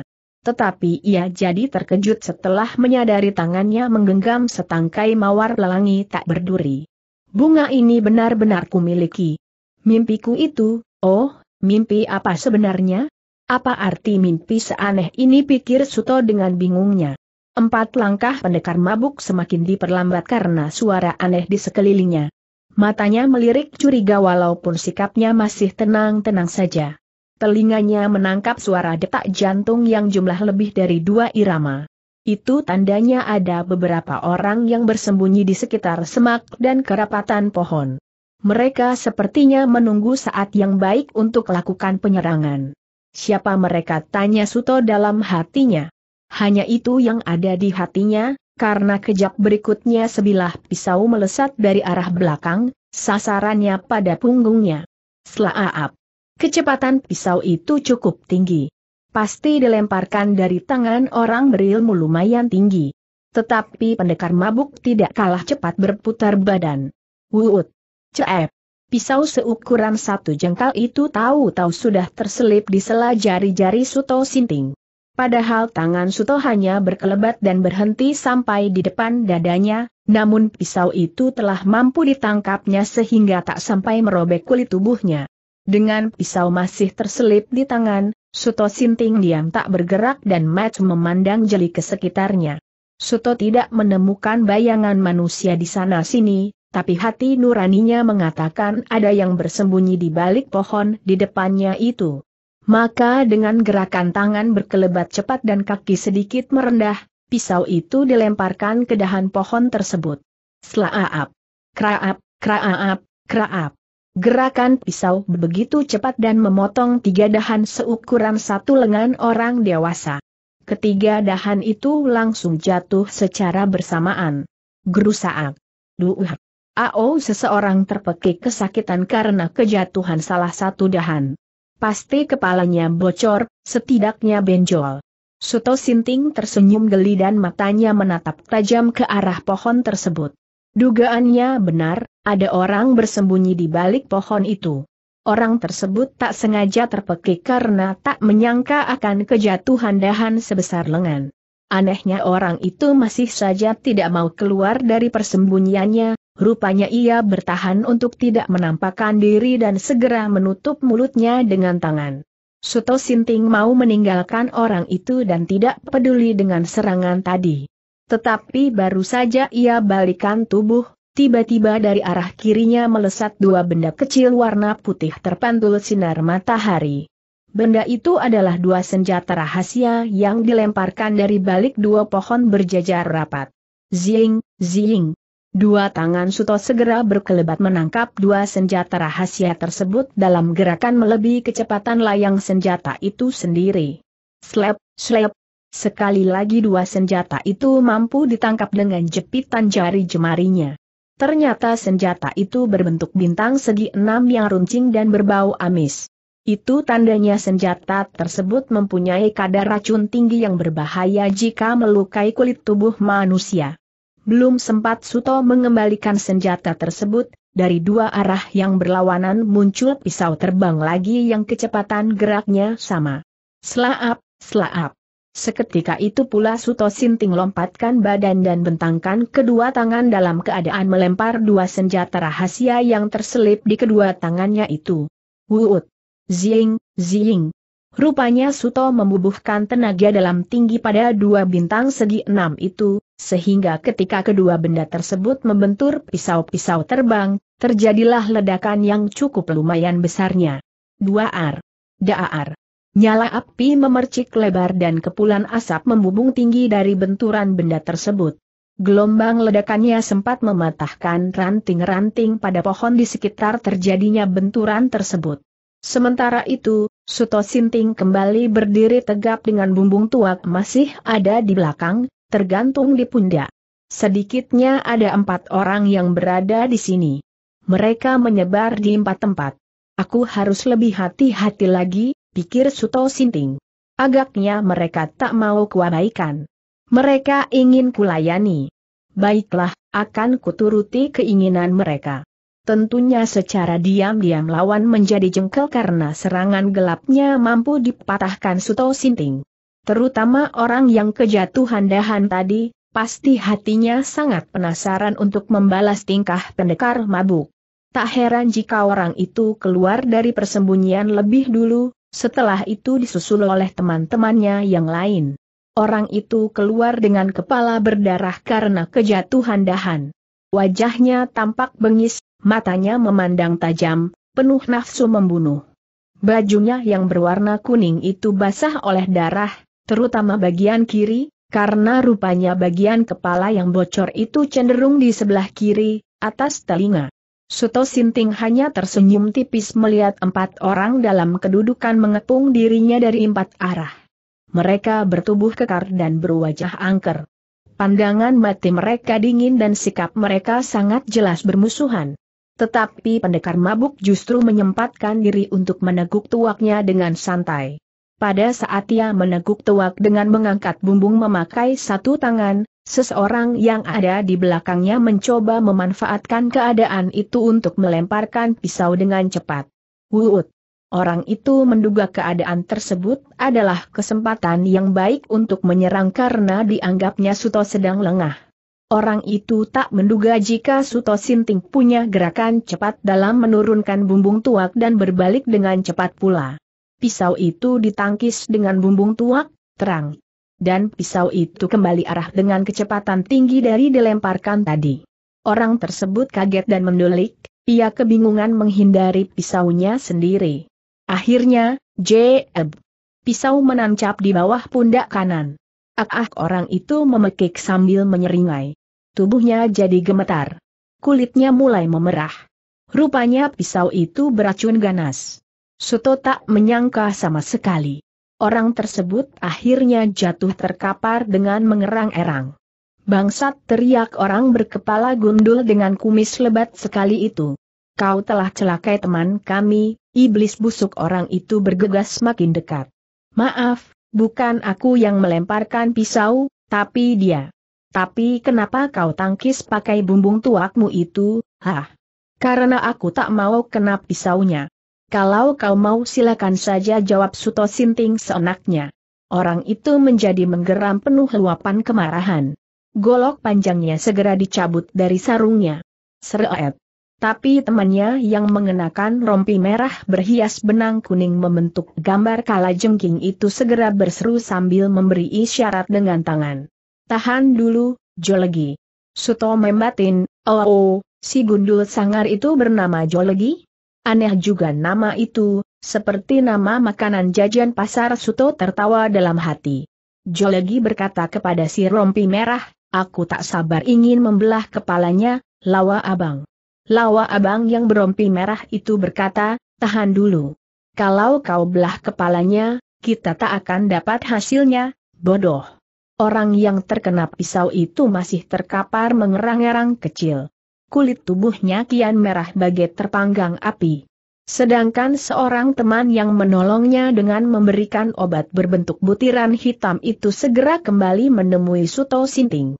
Orang itu bertubuh kurus, tapi wajah lonjongnya menampakkan kesan bengis terhadap lawan. Kumisnya tipis, turun ke bawah sampai dagu. Suto segera mengambil tempat, sehingga semua lawannya ada di depannya. Suto sinting sapa orang wajah runcing itu. Kami pasti tak salah duga, kau bernama Suto Sinting, si pendekar mabuk itu, bukan? Ya. Kalian siapa? Semua diam, seakan saling berserah diri untuk menjelaskan. Lawa abang segera berseru kepada si muka runcing, jelaskan sekalian, musang hitam. Maka orang berwajah runcing dan berkulit hitam itu pun berkata tegas. Kami adalah orang-orang yang tergabung dalam partai bayaran. Kami dibayar untuk dapatkan pusaka keris setan kobra yang kau rampas dari Kim Pusakya itu, Suto Sinting. Kalian salah duga, kata Suto Sinting dengan masih kalem. Bukan aku yang membunuh Kim Pusakya, dan aku tidak mempunyai keris pusaka itu. Hi, hi, hi, hi musang hitam terkekeh sinis. Kepada orang lain kau boleh mengaku begitu, anak muda. Tapi kepada kami kau tak bisa berkata begitu. Karena kami tak pernah punya rasa segan untuk mencacah dan merajang-rajang tubuh orang yang bermaksud menipu kami, Suto Sinting. Dengan mata menatap musang hitam yang berusia sekitar 40 tahun itu, Suto Sinting berkata tegas pula. Kalian salah sasaran. Karilah pembunuhnya.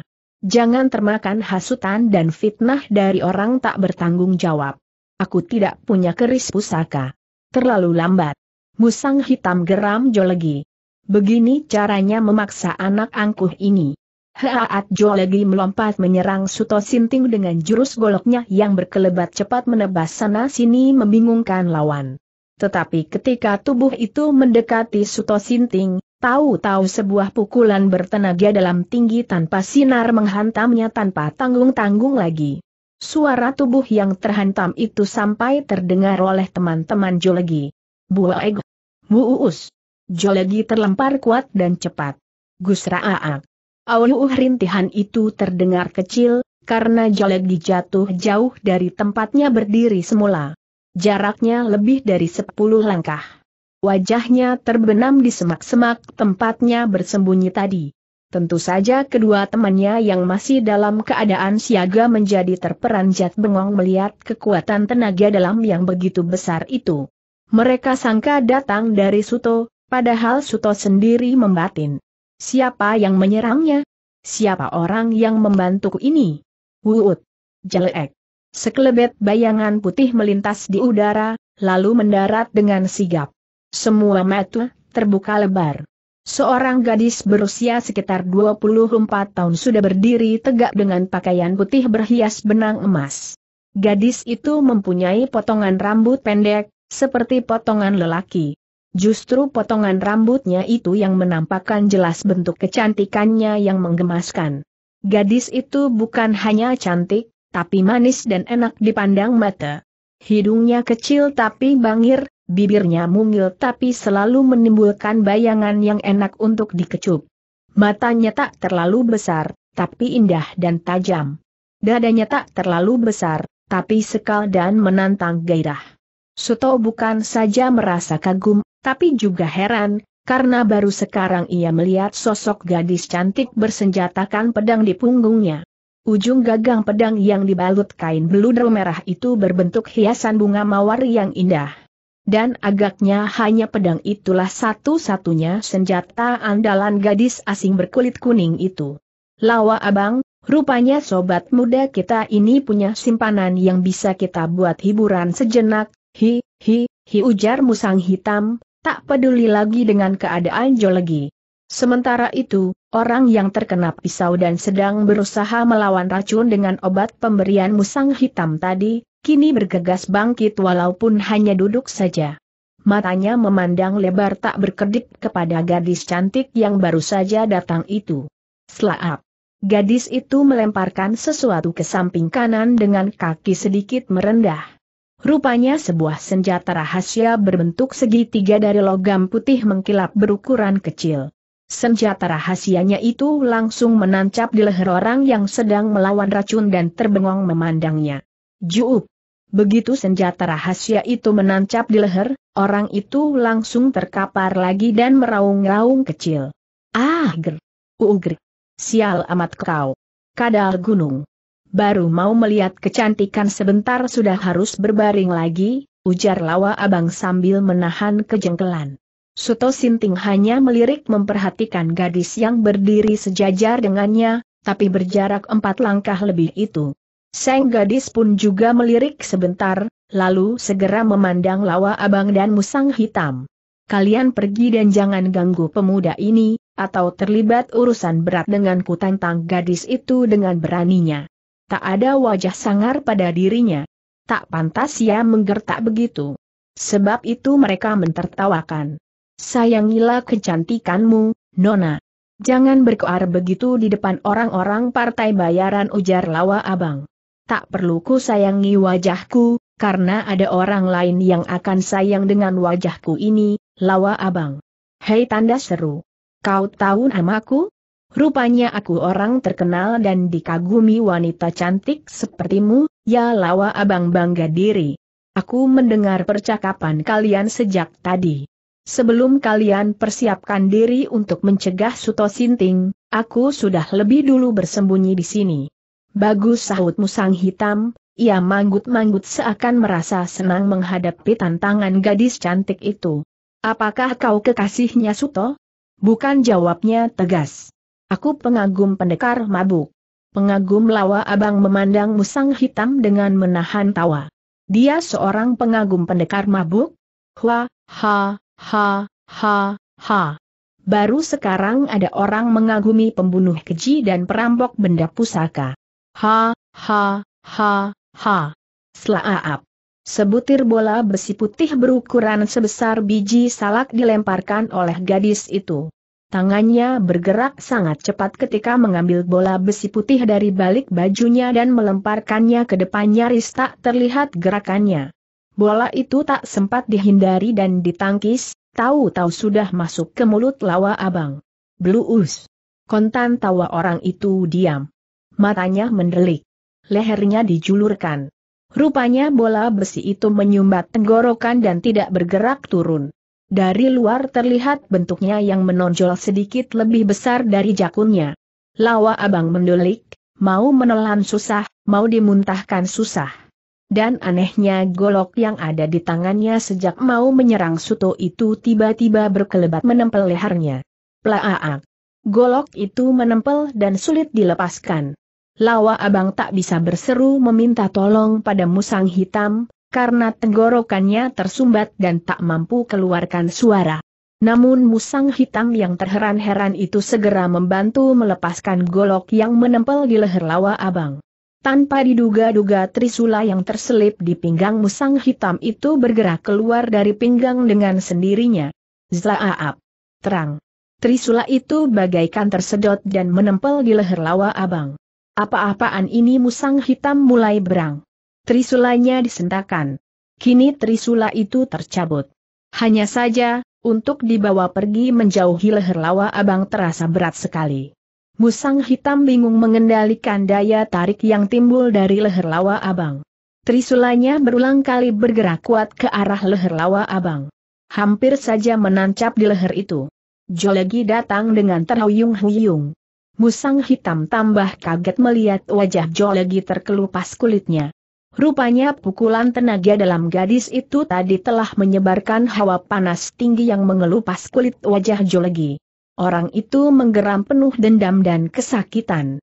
Goloknya yang masih tergenggam di tangan itu tiba-tiba bergerak sendiri ke arah leher lawa abang. Wuut! Teraang!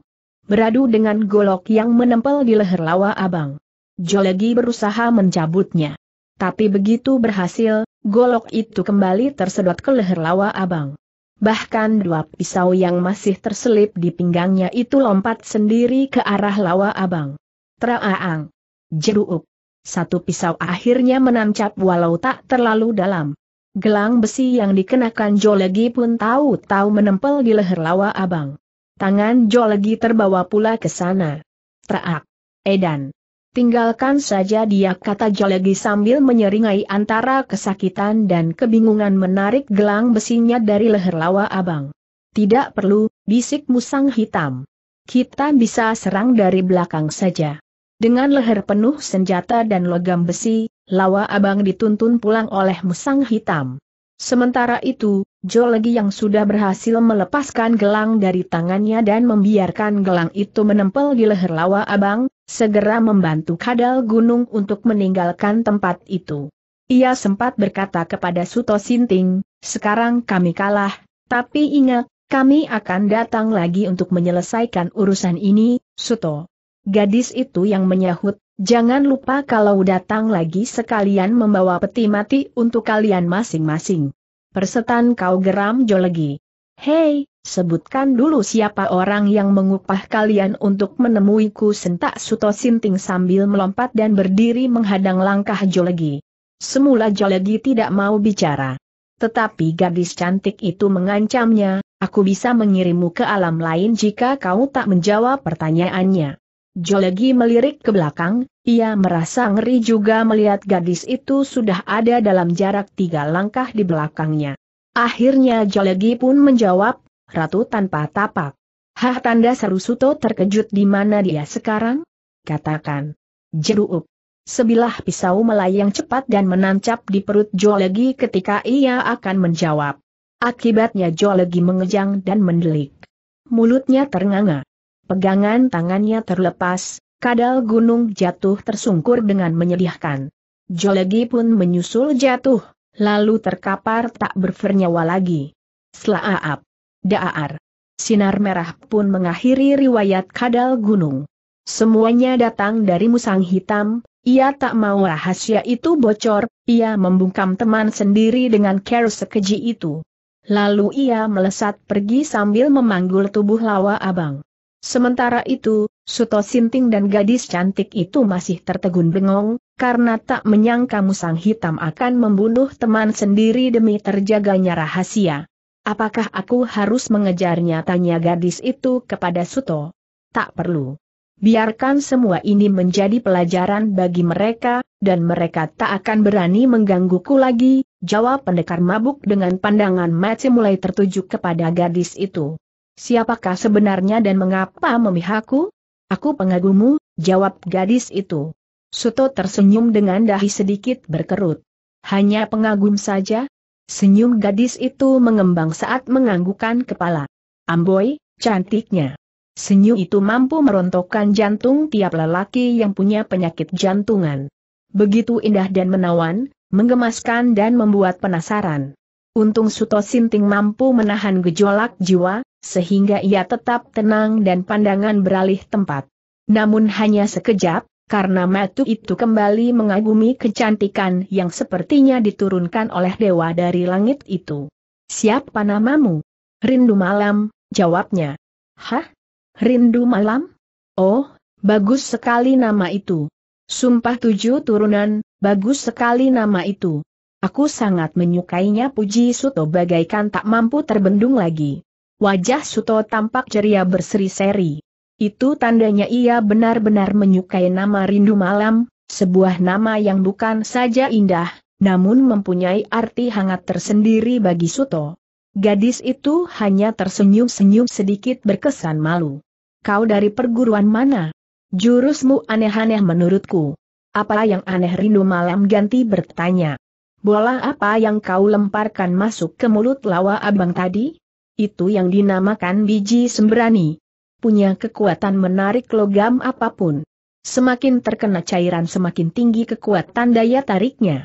Lucu sekali senjatamu itu, ujar Suto sambil tertawa kecil. Rupanya bola itu mempunyai kekuatan magnet yang mampu menyedot logam bukan saja besi, namun juga emas dan yang lainnya. Bola itu jelas akan membuat lawan kebingungan, salah-salah mati dihunjam senjata yang terbang dengan sendirinya. Biji semberani gumam Suto sambil berkerut dahi, merasakan ada sesuatu yang aneh. Apakah kau murid Raja Maut yang tinggal di Bukit Semberani? Bukan jawab perindu malam. Tapi aku memang tinggal di dasar Bukit Sembrani. Jauh di kedalamannya sana. Percakapan terhenti karena gangguan sinar kuning yang melesat menghantam Suto Sinting dari belakang. Klaap. Tapi rindu malam segera berkelebat ke samping dan sentakan tangannya. Telapak tangan keluarkan sinar merah yang segera menghantam sinar kuning itu. Klaap. Blaar. Ledakan begitu kuat, Gelombang ledaknya membuat Suto dan Rindu Malam sama-sama terpental. Tapi keduanya bisa kuasai keseimbangan, sehingga dalam sekejap mereka mampu berdiri tegak lagi. Hanya saja, pengirim pukulan bersinar kuning itu tahu-tahu terlempar dari atas pohon karena gelombang ledakan tadi. Ia jatuh menerabas ranting dan dahan hingga patah. Beruuk. Oh, Ternyata seorang gadis berpakaian hijau bergaris-garis kuning. Siapa gadis itu? Suto tidak mengenalnya, Rindu Malam pun tidak mengenalnya. Lima tiga teguk tuak ditanggak. Suto Sinting sengaja biarkan gadis berwajah mungil manis berkulit hitam bersih itu memandanginya dengan tajam. Pendekar mabuk memang tidak terpancing kemarahannya, tapi rindu malam sebagai pengagum pendekar mabuk merasa tidak suka dengan sikap sinis gadis itu. Rindu malam mengambil tempat di depan Suto Sinting, seakan siap menjadi pelindung jika gadis berambut panjang itu menyerang sewaktu-waktu. Apa maumu menyerang kami, hah gertak rindu malam? Aku benci dengan seorang pendekar yang mengkhianati sahabat sendiri. Apa maksudmu? Pemuda Sinting itu membunuh sahabatnya sendiri yang tidak pernah menyakiti hati siapa pun. Ia mencuri keris pusaka sahabatnya dengan licik. Sekalipun rindu malam merasa kurang enak mendengar ucapan itu, tapi ia tak berani cepat-cepat lanjutkan kata. Ia diam sebentar, dan Suto Sinting segera perdengarkan suara. Siapakah sebenarnya? Nona Manis? Aku Sri Murti, Murid Raja Maut, jawabnya dengan ketus sekali. Oh, oh Suto Sinting manggut-manggut. Baru sekarang kita jumpa. Tapi aku sudah pernah dengar namamu sebelumnya. Aku pun dengar namamu sudah lama, tapi tak sangka kalau ternyata kau pendekar yang licik, keji, dan rakus. Hati-hati bicaramu sentak rindu malam, ia tampak mulai semakin berang. Aku tak kenal siapa kau, kata Sri Murti kepada Rindu Malam. Kuharap kau menyingkir dari depanku, karena aku punya urusan sendiri dengan pendekar licik itu. Aku tak punya urusan denganmu, Sri Murti, kata Suto Sinting. Kau punya urusan denganku, Suto Sergah Sri Murti. Ki Empu Sakya sudah kuanggap orang tuaku sendiri, karena beliau sangat dekat dan akrab denganku dan dengan guruku. Kematian Kim Pusakya membuatku punya perhitungan sendiri denganmu, karena aku tak ingin pusaka keris setan kobra itu jatuh ke tangan orang sesat sepertimu. Sebaiknya serahkan saja padaku secara baik-baik biar dirawat dan disimpan oleh guruku, Raja Maut. Kau keliru jawab Suto tenang sambil maju melewati rindu malam. Jaraknya tinggal tiga langkah dari Sri Murti.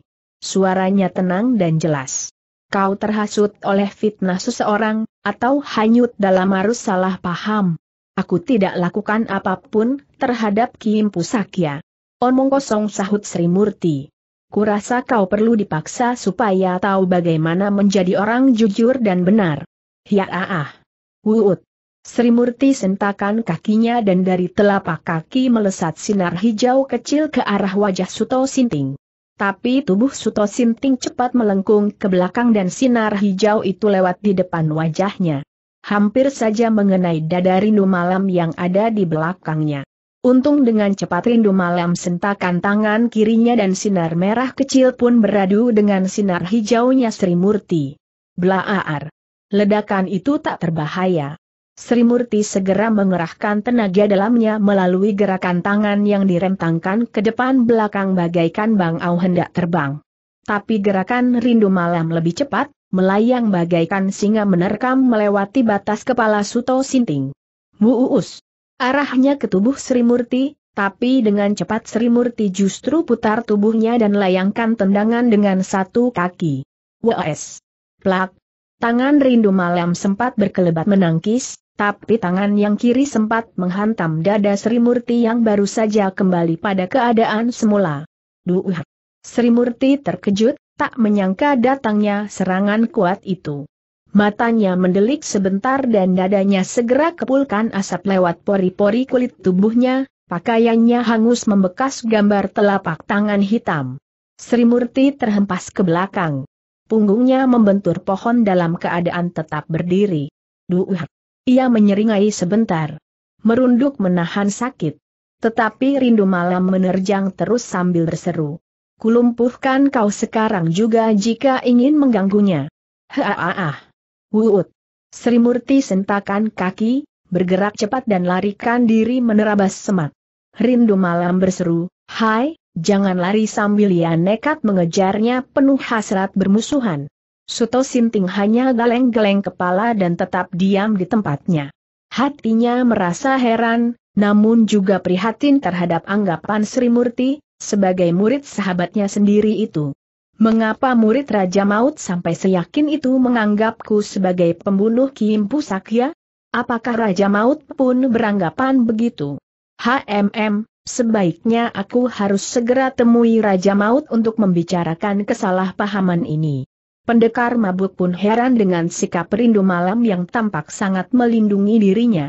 Benarkah sikap itu hanya sebatas sikap seorang pengagum, atau punya maksud-maksud lain yang tak berani dikatakan secara terus terang? Suto Sinting sempat memikirkan kemunculan rindu malam yang tak pernah diduga-duga itu. Namun pikiran tersebut segera buyar karena sebelum mencapai pondok Raja Maut di puncak Bukit Semberani, ternyata tokoh tua itu sudah berada di bawah sebuah pohon, seakan sengaja berdiri di situ menunggu kedatangan Suto. Dilihat dari sikap dan wajahnya. Raja Maut sepertinya tidak terpengaruh oleh adanya berita tentang siapa pembunuh Kim Pusakya. Ia kalem dan berkesan bersahabat. Senyumnya tipis sekali, sepertinya sinis, tapi sebenarnya tidak. Memang begitulah senyum kalem si Raja Maut itu. Muridmu baru saja menyerangku, Raja Maut ujar Suto setelah menenggak tuaknya sebentar. Dia menyangka akulah pembunuh Kim Pusakya dan merebut pusaka keris setan kobra. Senyum Raja Maut kian melebar. Kita duduk di depan gubuku sana saja ajak Raja Maut. Suto Sinting tak menolak. Mereka bergegas menuju pelataran pondok beratap sirap. Di sana ada pohon rindang tapi rendah, seperti payung peneduh di waktu siang, di bawahnya ada tiga batu berpermukaan datar. Di atas batu itu mereka duduk dan bicara. Aku ikut prihatin dengan kabar yang mencemarkan nama baikmu, Suto, Raja Maut bicara dengan mata memandang sekeliling, seperti memasang kewaspadaan tinggi, seakan begitulah sikapnya jika berada di tempat yang ingin digunakan untuk bicara hal-hal bersifat rahasia. Aku sendiri tak menduga kalau kau akan dikecam oleh para tokoh dunia persilatan dengan tuduhan membunuh sahabatku, yang juga sahabat gurumu itu. Tapi aku tidak melakukannya, Raja Maut. Kau tahu sendiri, belakangan ini aku sedang bepergian dan bahkan pulangnya sempat bertemu denganmu di Pulau Belacan. ku tinggalkan pulau ini selama sembilan hari, kata Raja Maut. Aku menemui seorang sahabat di Pulau Lengkur selama empat hari, sisanya ku gunakan untuk menuju ke Pulau Belacan dengan singgah di Selat Merah. Ketika aku kembali kemari dengan membawa kitab Sukma Sukmi, tahu-tahu ku dengar kabar kematian Kim Pusakya. Aku sangat terkejut. Lebih terkejut lagi mendengar kabar, pelakunya adalah Suto Sinting. Hampir-hampir aku tak percaya dengan pendengaranku sendiri. Dalam hatimu, apakah kau percaya bahwa aku pelakunya? Hati kecilku mengatakan, bukan kau. Aku tahu sifat kegurumu, dan aku tahu sifat itu menurun pula pada dirimu. Tak ada sifat sejahat itu pada gurumu dan dirimu. Tapi mengapa berita semakin hari semakin santer mengatakan kaulah pembunuhnya? Repotnya lagi, banyak tokoh yang beranggapan pusaka keris setan kobra ada di tanganmu Raja Maut bicara dengan wajah menampakkan keprihatinan cukup dalam, sehingga Suto Sinting merasa tidak semata-mata dituduh, melainkan juga diperhatikan kesulitannya. Aku terpojok, Raja Maut, lalu Suto pun menceritakan perihal kematian Mbok Wiji, sikap Sri Murti, Mega Dewi, dan yang lainnya. Bisakah kau membantuku dalam persoalan ini? Aku tak menjanjikan hasilnya, tapi setidaknya aku punya saran untukmu. Apa saranmu? Menghilang untuk sementara waktu. Jangan muncul dulu di rimba persilatan sampai persoalan ini menjadi gamblang, siapa pelaku sebenarnya dan siapa pemegang keris pusaka itu. Menghilang tanda seru gumam Suto Sinting sambil termenung. Kemunculanmu hanya akan menimbulkan pertumpahan darah dari pihak yang tidak bersalah. Aku percaya, ada pihak lain yang sengaja ingin mencelakakan dirimu, dan mencemarkan namamu serta nama gurumu. Terbukti setiap mulut yang bicara kudengar selalu menyebut-nyebut nama gila tuak. Suto tarik napas panjang-panjang. Pandangan matanya terlempar jauh. Raja Maut memperhatikan sesaat, lalu ikut memandang jauh sambil berkata pelan. Pusat perhatian mereka bukan kepada Empu Sakya, tapi yang terpenting adalah keris pusaka itu. Sebenarnya aku sendiri tidak banyak tahu tentang kehebatan keris itu. Keris pusaka setan kobra adalah keris pelenyap raga dan jiwa. Keris itu juga mampu membunuh lawan dengan cara membayangkan wajah lawan dan menusukkan keris itu ke batang pohon. Lawan di tempat sejauh mana pun tidak akan bisa menghindari maut tersebut, ia akan mati bersama terhunjamnya keris ke batang pohon. Keris itu juga bisa digunakan membunuh lawan melalui bekas tapak kaki lawan tersebut. Tergores sedikit saja, lawan mati seketika. Tapi jika keris itu dihunjamkan langsung ke tubuh lawan, maka tubuh itu akan lenyap tak berbekas dan tak akan muncul lagi di permukaan bumi. Hebat sekali gumam Suto Sinting. Mengapa Kim Pusakya saat berhadapan dengan Wirat Moko, si iblis naga pamungkas itu, tak mau gunakan kerisnya itu. Empu Sakya tidak mau lakukan pertempuran lagi. Sudah 20 tahun ia tak mau terlibat dalam kancah persilatan. Membunuh dan melukai siapa pun tak mau dia lakukan, ia punya keinginan untuk menjadi seorang petapa yang mampu mencapai kesempurnaan jiwa, sehingga kelak matinya akan moksa, hilang tak berbekas dan langsung ke alam kelanggengan yang penuh keindahan, tapi harapan itu ternyata gagal karena ia masih simpan keris pusaka itu. Suto Sinting manggut-manggut. Hatinya mengakui kewajaran setiap hasrat manusia sesat yang ingin memiliki keris tersebut, seperti ratu tanpa tapak. Rupanya ratu yang bernama asli Nila Cendani itu ingin memiliki keris tersebut untuk kalahkan Suto dengan cara membunuh Suto dari jarak jauh. Pantas jika Nila Cendani mengupah beberapa orang untuk rebut keris itu yang menurut sangkaannya ada di tangan Suto Sinting. Setelah diam sesaat lamanya, Suto Sinting segera ajukan tanya, menurutmu siapa sebenarnya orang yang membunuh Kim Pusakya?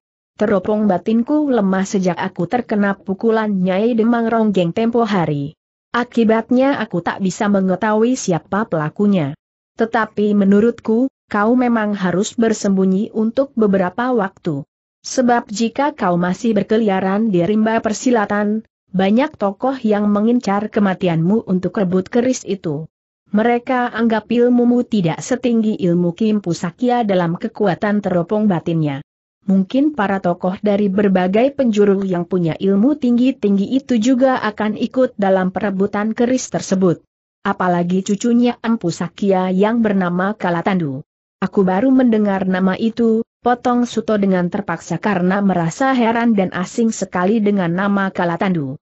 Maka Raja Maut pun jelaskan maksud kata-katanya. Kala Tandu adalah cucu Empu Sakya. Termasuk muridnya juga. Tapi karena Kala Tandu sebenarnya anak dari mendiang Nini Tandu, kakak perempuan Empu Sakya yang baru separuh bagian turunkan kesaktiannya kepada Kala Tandu, maka Kala Tandu sendiri bertekad mengembara mencari pembunuh ibunya setelah mendapatkan hampir seluruh ilmu dari Empu Sakya.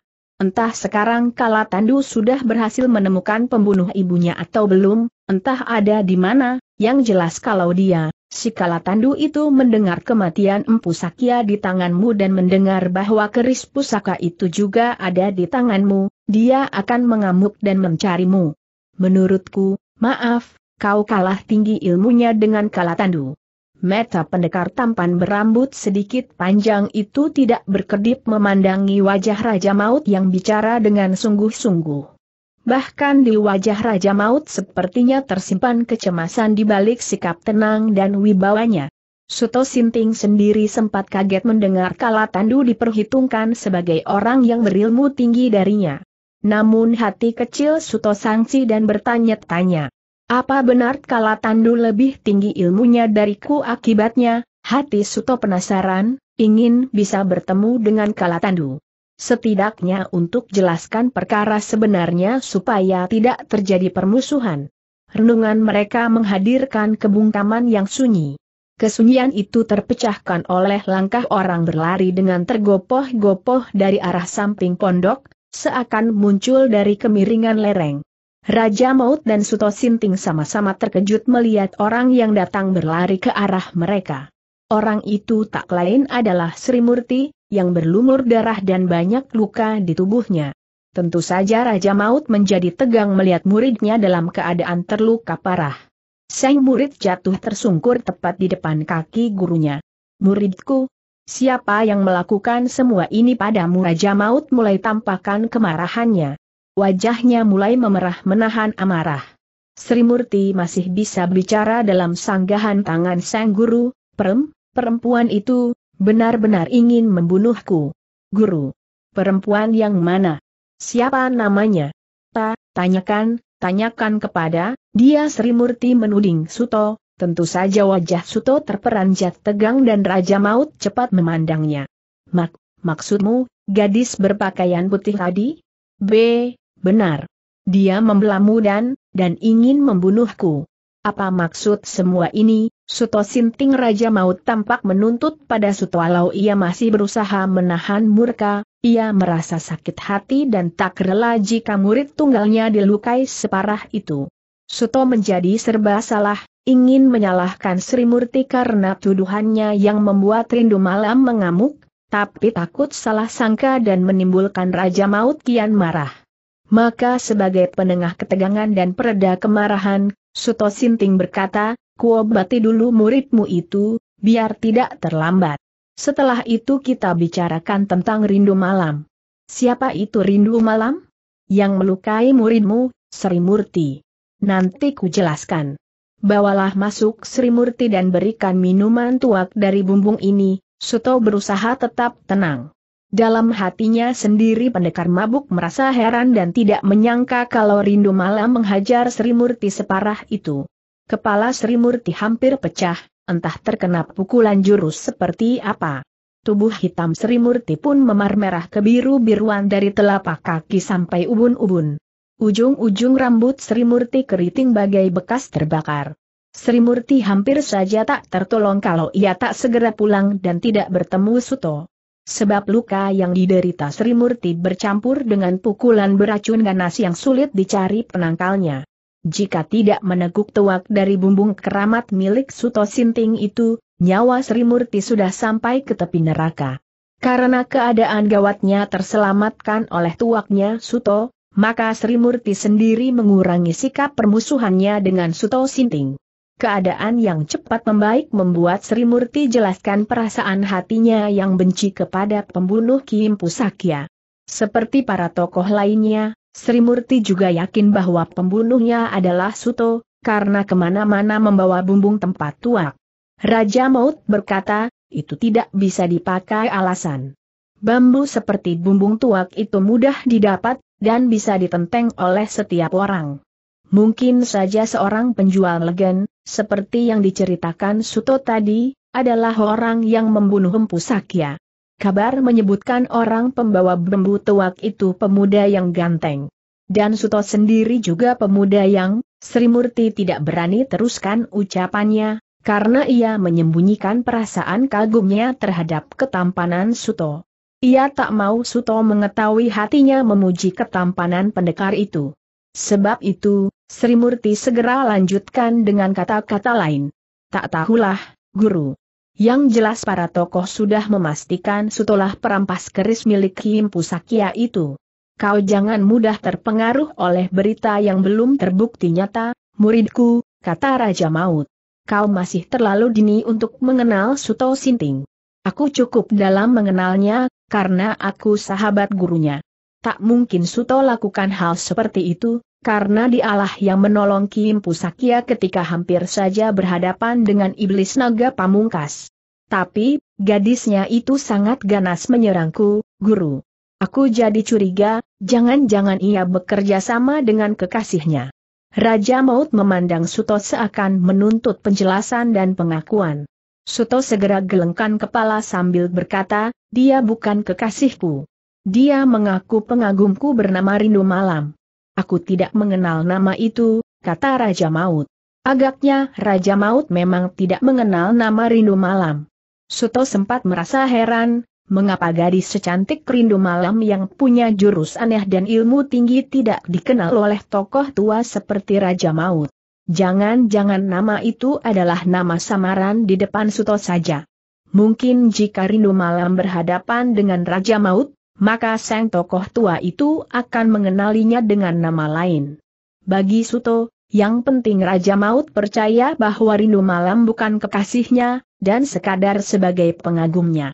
Pembelaan Rindu Malam dinilai wajar karena tak rela jika orang yang dikagumi cedera atau luka oleh siapa pun. Suto Sinting pun segera melupakan rindu malam dengan kemisteriusannya, karena ia segera punya gagasan untuk temui pelangi sutra di gua pantai Sembrani. Suto harus bertemu wanita bekas istri Jin itu, karena agaknya tempo hari ketika Logoseng anak Jin itu mengatakan bahwa Suto dipanggil ibunya, permasalahan matinya Empu Sakya itulah yang akan dibicarakan oleh pelangi sutra. Sama-sama dalam wilayah Bukit Semberani, tapi jarak antara pondok Raja Maut dengan gua yang sekarang dipakai tempat tinggal pelangi sutra itu cukup jauh. Puncak dengan dasar. Namun Suto dapat menempuhnya dalam waktu cepat karena mampu bergerak melebihi anak panah. Sayangnya ia harus berhenti ketika mau injakan kakinya di dataran pasir pantai. Suto cepat rapatkan badannya pada sebuah pohon matanya mengintai dari sana. Bocah berusia 10 tahun sedang berlari-lari dengan wajah tegang. Angon luak tanda seru gumam Suto dengan heran. Mengapa ia berlari ketakutan begitu? Oh, ternyata ia dikejar dua ekor kuda. Angon luak memang dikejar dua ekor kuda. Penunggangnya dua lelaki yang sama sekali tak imbang jika harus bertarung melawan bocah sekecil Angon luak. Satu dari penunggang kuda itu telah dikenal oleh Suto Sinting. Lelaki muda berpakaian mewah itu tak lain adalah Raden Udaya, putra Adipati yang pernah menghadang perjalanan Suto Sinting karena menganggap Mega Dewi kekasihnya direbut oleh Suto Sinting, bakal serial pendekar mabuk dalam episode Naga Pamungkas. Tetapi lelaki yang satunya, yang berusia sekitar 35 tahun itu, sama sekali masih asing bagi Suto Sinting. Sekalipun begitu, Suto Sinting segera lompat ke arah pantai dan mendarat di depan Angon Luak. Bocah itu terperangah girang.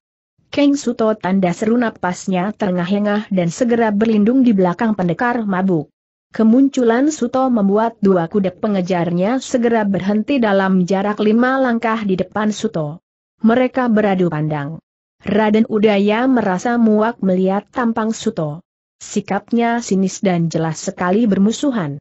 Sedangkan lelaki yang berpakaian hitam celana merah berwajah dingin dan berambut lurus itu hanya diam di tempat, matanya menatap bagaikan ingin membekukan darah pendekar mabuk. Selamat bertemu lagi, Raden Udaya, Sapa Suto sengaja tersenyum mengejek. Persetan dengan dirimu, Suto geram Raden Udaya dengan suara pelan. Tak kusangka ternyata kau tega bermusuhan dengan anak sekecil Langon Luak. Dia membuat kudaku ketakutan. Anak itu harus dihajar, biar lain kali tidak membuat kudaku ketakutan. Suto Sinting sunggingkan senyum. Sinis dan masih mengejek sifatnya. Tak kuizinkan kau menghajar bocah yang bukan tandinganmu, Raden Udaya. Keparat geram si baju hitam berwajah dingin itu. Ia segera bergegas untuk lakukan satu lompatan penyerangan dari atas punggung kuda. Tapi tiba-tiba Raden Udaya rentangkan satu tangannya, menahan gerakan orang itu dengan isyarat, sedangkan mata tetap memandang ke arah Suto penuh benci. Jangan kotori tanganmu untuk menghadapi tikus lumbung itu, malaikat beku, kata Raden Udaya kepada si baju hitam celana merah yang berjuluk malaikat beku itu. Lanjutnya lagi, ada urusan lain yang perlu kita selesaikan. Yang ini nanti-nanti saja, karena terlalu mudah untuk diselesaikan bagi kita. Setelah berkata begitu, Raden Udaya dan Malaikat Beku segera pergi tinggalkan Suto dan Angon Luak. Agaknya Raden Udanya sungkan berhadapan dengan Suto Sinting karena ingat kecemburuannya dulu. Suto merasa kebetulan karena ia tidak buang-buang waktu terlalu banyak. Mereka benar-benar ingin membunuhku, Ken? Makanya lain kali kau jangan dekati mereka. Orang kaya seperti Raden Udaya itu akan lebih menghargai nyawa kuda daripada nyawa bocah desa sepertimu. Tapi, ucapan Angon Luak terhenti karena ia sempat kaget melihat kemunculan logo, si anak jin. Manusia hitam bercawat dan bertubuh tinggi besar itu melangkah dari arah gua yang dituju Suto Sinting. Wajah sangarnya tersenyum, maksudnya ingin bersikap ramah, tapi justru senyum itu menakutkan bagi Angon Luak, sehingga Angon Luak semakin bersembunyi di belakang Suto Sinting. Angon Luak, dia tidak jahat seperti dugaanmu. Bermainlah dengan logo, aku akan temui ibunya. Tak usah takut. Aku bukan takut. Ken, aku cuma merasa jijik melihat kulitnya yang hitam mengkilap dan bau keringatnya seperti timbunan sampah, kata Angon Luak. Suto tertawa pendek. Tahan bau tak sedap itu, lama-lama kau akan terbiasa. Nanti akan kukatakan kepada ibunya agar logo perlu dimandikan dengan air kembang seribu rupa seribu aroma. Kemudian Suto bicara kepada logo, ibumu ada, logo? Ibu pergi, jawab logo yang bersuara besar. Suto mendesah kecewa. Pergi ke mana? Ke jurang lindu temui gurumu, gila tuak. Hah tanda seru. Untuk apa dia temui guruku? Logo galeng-galeng kepala. Aku tidak tahu, Suto tapi sepertinya untuk urusan yang amat penting. Karena ibu pergi dengan terburu-buru. Hati Suto Sinting jadi tak enak. Kalau begitu aku harus bergegas menyusul ke jurang lindu. Jangan-jangan dia bicara tentang cintanya dan ingin bertanding kesaktian dengan dia Sariningrum, calon istriku itu. Gawat pikir Suto mulai tampak tegang. Enam bocah yang sudah tidak mau menjadi penggembala kambing lagi itu, sekarang seakan menjadi pengamat dunia persilatan. Sebab ia selalu mengikuti para tokoh sakti beraliran putih, terutama Suto Sinting. Tempo hari ia ingin ikut Ki Gendeng sekarat ke Pulau Serindu, tetapi Ki Gendeng sekarat keberatan. Ki Gendeng sekarat hanya berjanji suatu saat akan datang lagi menemui Angon Luak dan memberikan ilmu mainannya. Maka bocah itu pun menggelandang menyusuri jejak kepergian Suto Sinting terutama setelah ia sekian hari lamanya kebingungan mencari Suto tidak ada, kini ia sudah temukan pendekar kebanggaannya itu, maka diikutinya terus ke mana pun perginya pendekar mabuk tersebut. Walaupun pada awal keberangkatan Suto ke Jurang Lindu sudah berpesan agar Angon Luak bermain dengan logo dan tetap tinggal bersama logo untuk suatu saat akan dihubungi lagi, tapi bocah itu nekat mengikuti arah kepergian Suto secara diam-diam. Sebenarnya pendekar mabuk mengetahui gerak-gerik bocah yang mengikutinya itu, tapi Suto sengaja berpura-pura tidak mengetahui dan membiarkannya karena ia mengakui bahwa di dalam jiwa Angon Luak telah bangkit semangat kependekaran yang sebenarnya perlu dibina sejak sekarang. Sayangnya Suto tidak punya waktu, sehingga ia hanya bisa membiarkan jiwa kependekaran itu berkembang dalam diri Angon Luak dengan cara mengikuti segala gerak dan langkahnya. Tentu saja Angon Luak ikut berhenti ketika langkah Suto Sinting pun tak dilanjutkan. Langkah Suto terhenti karena dari empat pohon muncul empat sosok yang saling berloncaran dengan gerak-gerak liar dan beringasnya. Angon Luak cepat sembunyikan diri dan mengintai kejadian yang akan terjadi antara pendekar mabuk dengan keempat sosok berwajah angker itu. Rupanya dari keempat sosok berwajah angker itu masih punya satu orang lagi yang bersembunyi dari balik pohon, kira-kira 20 langkah di depan Suto Sinting. Orang tersebut kini muncul dengan kalem, membawa tongkat berkepala bola besi berduri. Orang itu berusia sekitar 50 tahun, berambut panjang warna abu-abu dengan jubahnya yang berwarna biru tua. Suto picingkan mata untuk melihat jelas raut wajah orang berjenggot abu-abu itu. Agaknya ia tokoh yang dihormati oleh keempat orang yang tadi melompat dari pohon mirip bajing loncat itu. Wajahnya kurus, tapi jika ia melangkah tanah di sekitarnya terasa bergetar halus. Rumput-rumput yang tidak terpijak bergetaran, rumput yang terpijak menjadi layu seketika. Warna hijaunya berubah menjadi kekuning-kuningan, sedikit coklat. Jika bukan berilmu tinggi tak mungkin bekas tapak kakinya membuat rumput menjadi kuning layu. Bocah kecil itu terbengong heran dan kagum melihat bekas tapak kaki orang berjubah biru itu. Tapi Suto Sinting tetap tenang dan tidak merasa heran dengan hal itu. Ia bahkan sedikit tersenyum berkesan menganggap wajar hal-hal seperti itu. Keempat orang yang masing-masing bersenjata golok lebar itu mengurung Suto lebih rapat lagi, tapi mereka memberi tempat bagi hadirnya si jubah biru. Dan kehadiran si jubah biru hanya dipandangi Suto dengan kalem, tak ada rasa gentar atau takut sedikit pun. Bahkan ia sempat menenggak tuak dan meneguknya beberapa kali. Pada waktu ia menenggak tuak, seseorang ingin menyerangnya, memanfaatkan kesempatan itu sebagai peluang emas untuk merobohkan pendekar mabuk. Tetapi si jubah biru memberi isyarat dengan tangan, melarang anak buahnya menyerang Suto dalam keadaan sedang menenggak tuak. Gayamu mirip seperti apa yang diceritakan oleh mereka di kedai-kedai, Suto Sinting kata si jubah biru dengan suara serak. Maaf, boleh ku tahu siapa kalian? Mengapa mengurungku begini? Tanpa senyum sedikit pun, si jubah biru menjawab, buka matamu dan ingat baik-baik. Orang yang sedang berbicara denganmu inilah yang berjuluk si jejak iblis, ketua perguruan pasir tahu. Senang sekali aku mengenal nama julukan dan nama perguruan yang baru sekarang ku dengar. Jejak iblis sipitkan mata dalam memandang. Kupikir yang bernama pendekar mabuk, murid si gelatuak itu adalah orang pandai dan punya wawasan luas. Ternyata pendapatku keliru. Pendekar mabuk adalah orang yang pandangannya sempit dan pengetahuannya cekak. Sampai-sampai perguruan pasir tahu dan nama jejak iblis saja baru didengarnya sekarang. Kasihan sekali kau, nak. Ejekan yang disertai geleng-geleng kepala itu sebenarnya membuat Suto Sinting tersinggung. Tetapi Suto mampu atasi dirinya agar tidak terpancing oleh kemarahannya sendiri. Sebab jika ia terpancing oleh kemarahannya, maka ia tidak akan dapat memusatkan kekuatannya pada seluruh indera yang ada. Sedangkan dalam keadaan terkepung begitu, seluruh indera harus bekerja dengan baik, sampai pada indera keenam pun harus digerakkan dengan baik-baik. Jika tidak, maka bahaya yang datang sewaktu-waktu bisa jadi merenggut nyawanya dalam waktu satu gebrakan saja. Apa maksudmu menemuiku dengan care seperti ini? Jejak iblis. Tentu saja aku tak ingin kau lolos dari tanganku, jawabnya kalem. Suto kerutkan dahi, terkesiap sesaat, lalu bertanya, mengapa kau tak ingin aku lolos dari tanganmu? Apakah aku punya salah pada perguruanmu? Tidak, jawab jejak iblis pelan tapi berkesan tegas.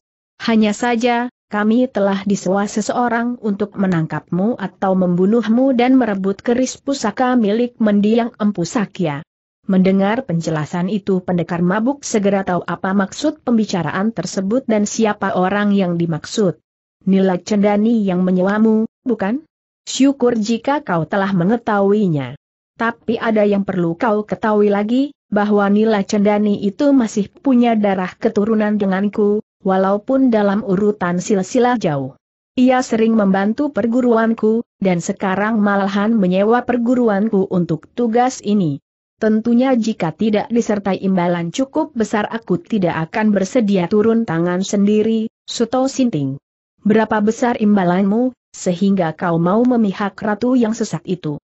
Separuh harta karun yang dipendamnya di Teluk Sumbing akan menjadi milikku. Harta karun gumam Suto heran. Apakah Nila Cendani punya harta karun? Tak perlu banyak tanya, kata jejak iblis.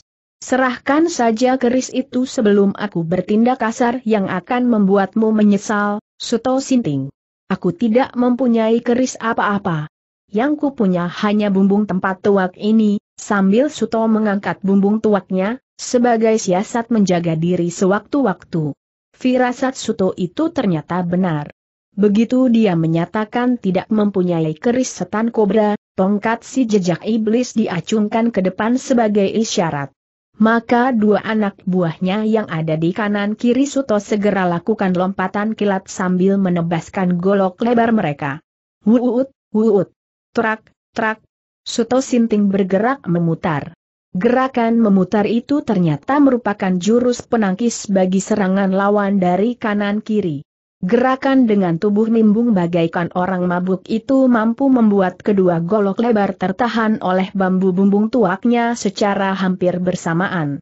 Hantaman golok ke bumbung tuak mempunyai kekuatan balik yang cukup besar, membuat kedua tangan si penyerang tersentak ke belakang dan mereka terbawa sentakan itu hingga terjungkal ke belakang tak tentu arah. Hap! Suto Sinting kembali berdiri dengan satu kaki berjingkat, kaki yang satunya menempel di atas telakan kaki yang berjingkat. Tubuhnya melengkung ke depan dan oleng sedikit bagaikan orang dilanda hawa mabuk. Tapi sebenarnya Suto masih dalam keadaan sadar, tak mengalami mabuk sedikit pun. Gerakan itu membuat metu jejak iblis menyipit, bagai mencari kelemahan dan mempelajari kelengahan pendekar mabuk. Dua orang yang terjungkal cepat berdiri. Kini orang yang ada di belakang Suto bergegas menyerang dengan lompatan yang bersamaan. Mereka lakukan semua itu tanpa suara pekik dan teriak apa pun. Jurus mereka punya gerakan kembar. Arahnya sama-sama ke punggung Suto. Tetapi jurus itu segera dipatahkan oleh kilatan cahaya putih yang melesat kedua arah. Kilatan cahaya putih itu adalah pantulan sinar matahari pada sebuah benda yang melayang dan tahu-tahu menancap ke punggung kedua penyerang itu. Ziying, ziying, jelup, jelup, beruuk. Keduanya jatuh bersama. Mereka terkapar mengejang di tanah berumput. Matanya terbeliak-beliak bagaikan mempertahankan nyawanya agar jangan pergi dari raga. Tentu saja hal itu mengejutkan dua anak buah jejak iblis yang tadi dijungkir balikan Suto. Sedangkan jejak iblis sendiri hanya picingkan mat menahan muka yang siap dilepaskan sewaktu-waktu. Rumput yang diinjaknya berasap tipis, pertanda terbakar oleh kekuatan tinggi yang tersalur ke kaki berkata menahan murka. Suto Sinting memandangi dua orang yang masih berkelojotan itu. Ia tak melihat bentuk senjata rahasia yang menancap di tubuh kedua korban itu. Matanya segera menyapu sekeliling, mencari orang yang merobohkan anak buah jejak iblis. Tapi ia tidak melihat gerakan dan tempat yang mencurigakan. Jejak iblis berseru kepada kedua anak buahnya yang tadi dijungkir balikan pendekar mabuk, agaknya suasana kurang tepat untuk kalian. Bawa kedua temanmu itu, pulang biar ku hadapi sendiri anak muda dan konco bancinya itu. Maka kedua anak buah jejak iblis segera menyambar tubuh kedua orang yang membiru tubuhnya itu. Mereka memanggulnya dan segera melesat berlari membawa pergi orang yang terluka itu. Kini tinggal jejak iblis sendirian menghadapi Suto Sinting, ia maju beberapa langkah tanpa gentar dan tetap tenang. Suto Sinting pun juga tetap tenang dengan bumbung tuak ada di tangan kanan. Rupanya kau punya pengawal yang berjiwa pengecut, Suto. Aku tidak punya pengawal siapa-siapa. Kalau toh ada orang yang menyerang pihakmu, Mungkin karena kau punya urusan sendiri dengan orang itu kata Suto Sinting dengan tetap berdiri tegak, gagah, dan tampak jantan. Kita bertarung secara jantan. Jika kau kalah kau harus serahkan keris pusaka itu.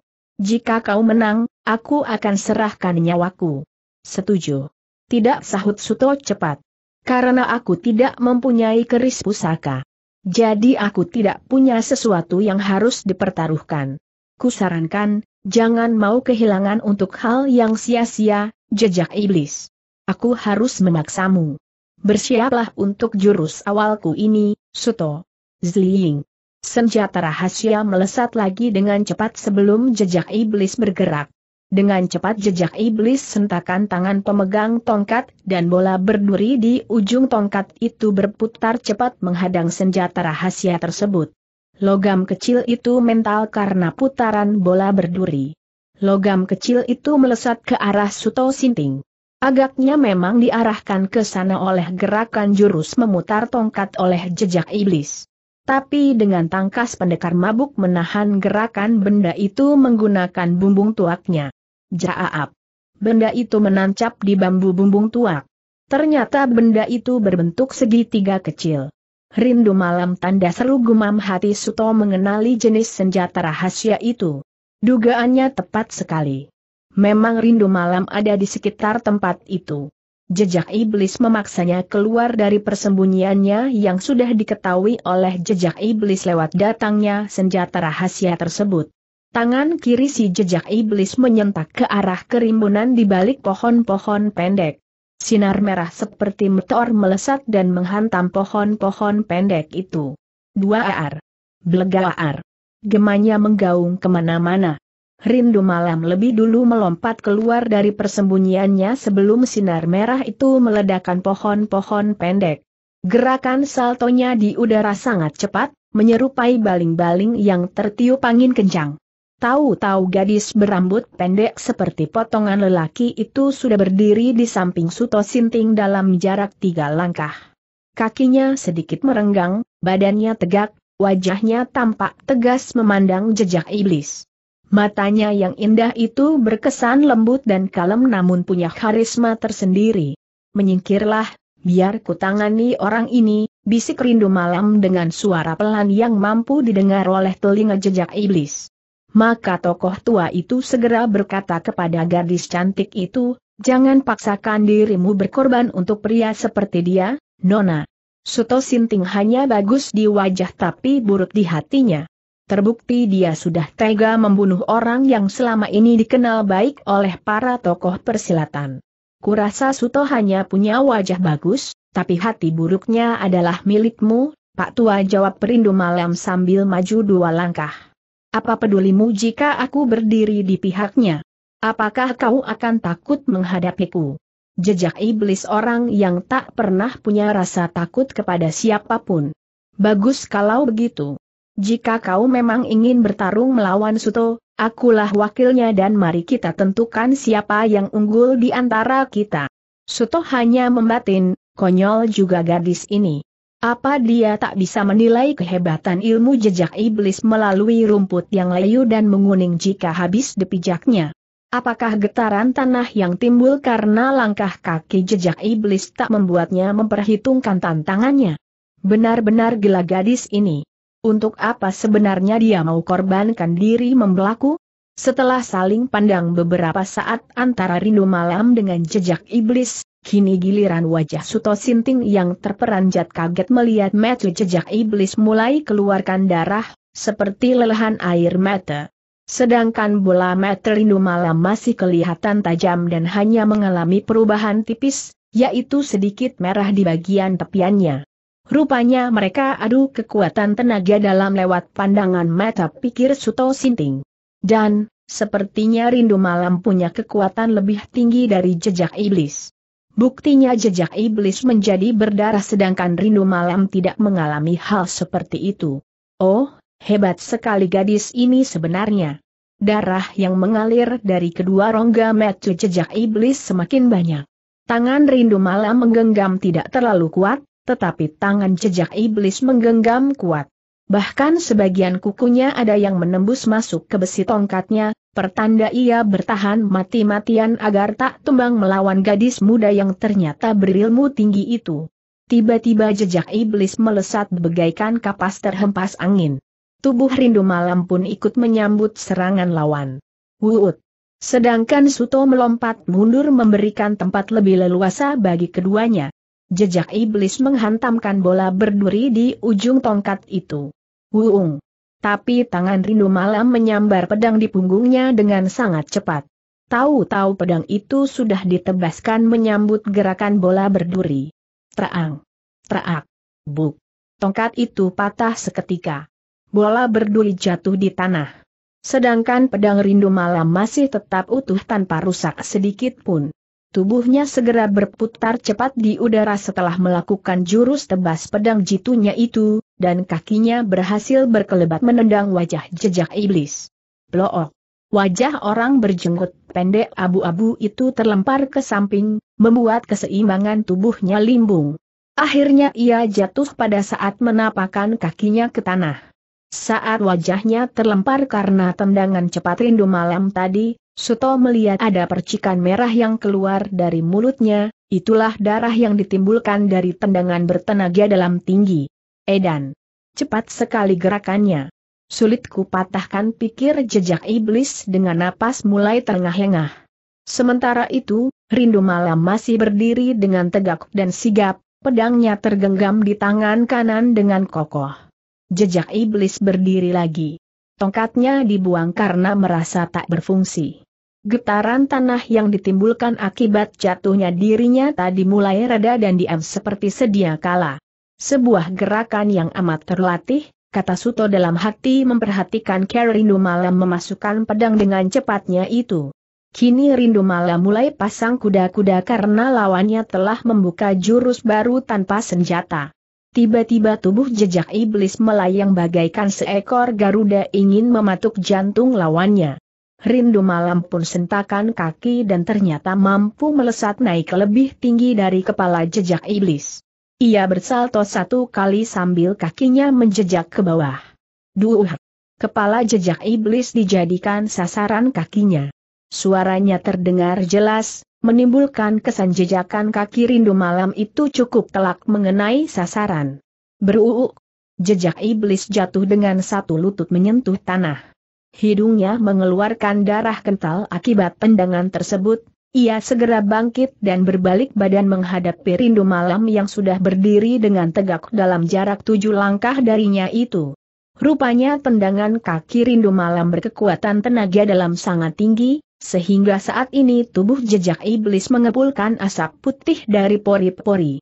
Warna kulit membiru tampak ada di bagian dahi, lalu warna memar itu berjalan turun sampai ke dagu, leher, dada, dan akhirnya sampai ke bagian bawah lainnya dalam keadaan memar membiru semua. Jejak iblis mulai gemetaran. Titik urat sarafku dilumpuhkan. Siapa perempuan muda itu yang mampu menyerang titik urat sarafku? Kalau tak segera kuobati, pasti jantungku akan berhenti dalam waktu dekat ini setelah berpikir begitu. Jejak iblis pun akhirnya berkata, kau hebat, Nona. Tapi suatu saat aku akan datang untuk membalas kekalahan ini, selesai bicara begitu, tubuh jejak iblis melesat kembali bagaikan sebatang panah dilepaskan dari busurnya. Sebenarnya Suto ingin mengejar, tapi rindu malam berseru, biar aku saja yang mengejarnya Klaap. Tubuh rindu malam pun berkelebat pergi dengan sangat cepat. Kejap berikutnya terdengar suara angon luak berseru. Auyuh! Tolooong! Keng Suto, tolooong! Angon luak seru Suto dengan cepat, lalu ia berkelebat pergi ke arah tempat datangnya suara angon luak. Samar-samar terdengar suara derap kaki kuda yang menjauh. Tapi suara angon luak pun semakin menjauh. Kaang. Keng Sutoo. Tolong, Kaang. Tanpa disengaja seorang penunggang kuda berpakaian hitam-hitam menggamit kedua tangan angon luak, sehingga bocah itu tidak bisa menggenggam apa-apa. Sementara itu, Suto yang mengejarnya melalui pohon ke pohon mengetahui Raden Udaya dan malaikat beku berlari menunggang kuda di depan orang berpakaian hitam tersebut. Suto Sinting segera lompat turun dan menerjang penunggang kuda berpakaian hitam. Buus! Beruus! Tahu-tahu tubuh Angon Luak sudah di atas pundak pendekar mabuk. Sedangkan orang berpakaian hitam itu tumbang, jatuh dari atas kuda dan memekik keras. Aaaa, hhgg. Rupanya ia jatuh tepat di atas tonggak kayu runcing. Pinggangnya terhunjam tonggak kayu runcing itu. Jrek ep. Ia mengerang kesakitan, sementara Suto membawa Angon Luak lari lebih cepat dan lebih jauh lagi. Raden Udaya dan Malaikat Beku memandang peristiwa itu dari kejauhan dengan jengkel sekali. Biar ku kejar dia kata Malaikat Beku tak sabar menahan kemarahannya. Tujuh orang berjubah kuning dengan pakaian hijau bagian dalamnya itu berdiri dengan tegak dan gagah, padahal usianya sudah mencapai 90 tahun lebih. Rambutnya putih meriap-riap dipermainkan angin yang berhembus ke tanah jurang lindu itu. Orang itu tak lain adalah Kisah Bawana, yang lebih dikenal dengan nama si Gelatuak, guru dari pendekar mabuk, Suto Sinting. Sementara itu, perempuan cantik yang tampak masih muda padahal sudah berusia 70 tahun lewat itu, berdiri di samping si Gelatuak dengan kaki sedikit renggang dan kedua tangan ke belakang. Rambut perempuan cantik itu terurai, warnanya hitam mengkilap halus. Pakaiannya merah, jubahnya ungu muda. Ia berdada montok, bentuk tubuhnya masih saja menggiurkan setiap lelaki hidung belang. Perempuan cantik itu tak lain adalah bidadari Jalang, juga gurunya Suto Sinting yang oleh Suto disebutnya bibi guru. Mereka berdua berhadapan dengan beberapa orang, antara lain seorang lelaki berjubah biru dengan pakaian dalam abu-abu, rambut putihnya panjang lewat punggung, tubuhnya kurus dan jangkung. Salah satu matanya buta sebelah kiri. Ia adalah tokoh tua berusia 80 tahun, namanya Ki Dharma Paksi, bakal serial pendekar mabuk dalam episode titisan ilmu setan. Di samping Dharma Paksi adalah lelaki berpakaian abu-abu juga dengan jenggot panjangnya yang putih berusia 70 tahun lebih, berkumis pendek dan badannya juga kurus, ia adalah Ki Argapura yang dikenal dengan julukan si penggal jagat, bakal serial pendekar mabuk dalam episode ladang pertarungan. Di belakang Ki Argapura berdiri tegak seorang lelaki berpakaian serba putih, kurus, bungkuk, rambut putih tipis, mata sipit, jenggot panjang, kumis putih melengkung ke bawah, menggenggam pipa tembakau. Dia dikenal di rimba persilatan dengan nama Tabit Awan Putih, yang berusia 80 tahun, Sedangkan di sampingnya berdiri pula lelaki berusia sekitar 65 tahun, bercelana biru dan jubah abu-abu, rambut botak tengah warna putih, berbadan gemuk, ia lelaki yang sejak tadi mengunyah makanan dari kantung kulit di pinggangnya, ia adalah Ki Madang Wengi, bakal serial pendekar mabuk dalam episode Mustika Serat Iblis. Di samping kanan Ki Madang Wengi, di bawah pohon berdaun lebat, Berdiri pula seorang lelaki, tokoh tua berusia sekitar 70 tahun. Bajunya juga serba putih model biksu, rambutnya putih digelung tengah, jenggotnya panjang, badannya kurus. Dia adalah Ki Jangkar Langit, pemilik pusaka tombak maut, bakal serial pendekar mabuk dalam episode pusaka tombak maut. Sedangkan orang yang sejak tadi duduk di atas batu dengan metu cekungnya menatap bidadari jalang, bertubuh kurus dan berkulit hitam dengan rambutnya berwarna putih itu tak lain adalah Kisono Keling, yang bisa merubah wujudnya menjadi seekor macan, bakal serial pendekar mabuk dalam episode Malaikat Jubah Keramat. Tak jauh dari Kisono Keling berdiri seorang wanita cantik berpakaian ungu ketat dilapis jubah ungu yang warnanya lebih tua lagi. Perempuan berusia tua sekali tapi masih kelihatan seperti gadis berusia 25 tahun itu tak lain adalah Pelangi Sutra atau Sumberuni, ibu dari anak Jin Logo. Wanita inilah yang sebenarnya sedang disusul oleh Suto Sinting. Wanita inilah yang dikhawatirkan hendak menantang adu kekuatan ilmu dengan dia Sariningrum karena ia mencintai Suto Sinting, bakal serial pendekar mabuk dalam episode Ratu Tanpa Tapak. Ia juga bersebelahan dengan Kilumakaono yang berjuluk Pawang Gempa dan Ki Parandito yang berjuluk Juru Bungkam. Jurang Lindu itu juga dihadiri oleh seorang tokoh kawakan yang masih tampak cantik dan muda, rambutnya disanggul, sesuai wajahnya yang bulat telur. Wanita ini mempunyai nama asli yang tidak boleh disebutkan, karena dapat mendatangkan badai besar jika nama aslinya itu disebutkan siapa saja. Ia adalah Mahaguru di kubil elang putih berjuluk Embun Salju, bakal serial pendekar mabuk dalam episode Rahasia Pedang Emas. Masih banyak lagi tokoh tua beraliran putih yang hadir di antara mereka, sehingga hari itu jurang lindu penuh dengan tokoh tua aliran putih yang masing-masing punya pemikiran yang sama, yaitu menuntut gila tuak dan bidadari jalang. Kedua tokoh itu dituntut atas tindakan murid mereka, Suto Sinting, yang dikabarkan membunuh Kim Pusakya, seorang tokoh tua yang tak pernah mau menyakiti siapa pun sejak ia menjadi seorang empu. Perbuatan baik semasa hidup Seng Empu membuat mereka merasa tidak rela atas perlakuan yang menyebabkan kematian Seng Empu. Aku berani bertaruh nyawa, bahwa Suto tidak mungkin melakukan tindakan seperti itu tegas bidadari Jalang, bekas tokoh hitam yang sekarang sudah berubah aliran menjadi tokoh putih dan mengasingkan diri di lembah badai. Saksi Metu mengatakan Sutolah pelakunya, kata Ki Madang Wangi. Aku menjadi kecewa sekali mendengar muridmu bertindak sekejam itu kepada orang seperti Empu Sakya itu, gila tuak. Saksi Meco hanya menyebutkan ciri-ciri orang yang membunuh Empu Sakya. Di dunia ini ada banyak orang yang punya ciri-ciri sama, apalagi ciri-ciri penampilan. Wajah yang hampir serupa pun banyak dijumpai di permukaan bumi ini, padahal mereka bukan saudara sedarah kandung, sanggah gila tuak. Kalau sekiranya kalian berdua sudah tak mampu mengajar murid kalian, serahkan saja padaku untuk menanganinya. Suto Sinting harus kalian jatuhi hukuman supaya tidak melakukan tindakan seperti itu lagi kata Jangkar Langit dengan tegasnya. Jangkar Langit benar, sahut si penggal jagat, Ki Argapura. Aku menyesal mengajarkan ilmu pedangku kepada Suto Sinting jika ternyata jiwanya tak sebersih ilmu-ilmu yang dimilikinya. Kusarankan untuk melepaskan gelar pendekarnya sebagai hukuman atas tindakan itu, gila tuak. Ya, ya, ya, celoteh mereka seperti gaung lebah. Kemudian tabib awan putih pun berkata, mencabut kependekarannya adalah tindakan yang lebih bijaksana. Aku setuju.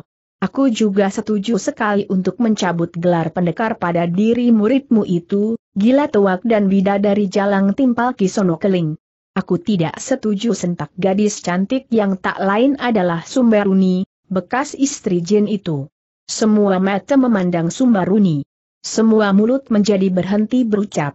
Sumbaruni atau Pelangi Sutra melangkah pelan mendekati Gelatuak, tetapi pandangan matanya tertuju kepada mereka, ia tampak tegas dan berwibawa di depan para tokoh tua itu, sebab mereka tahu Sumbaruni punya ilmu dari tokoh sakti yang lebih tua dari mereka, yaitu Eyang Bayudana.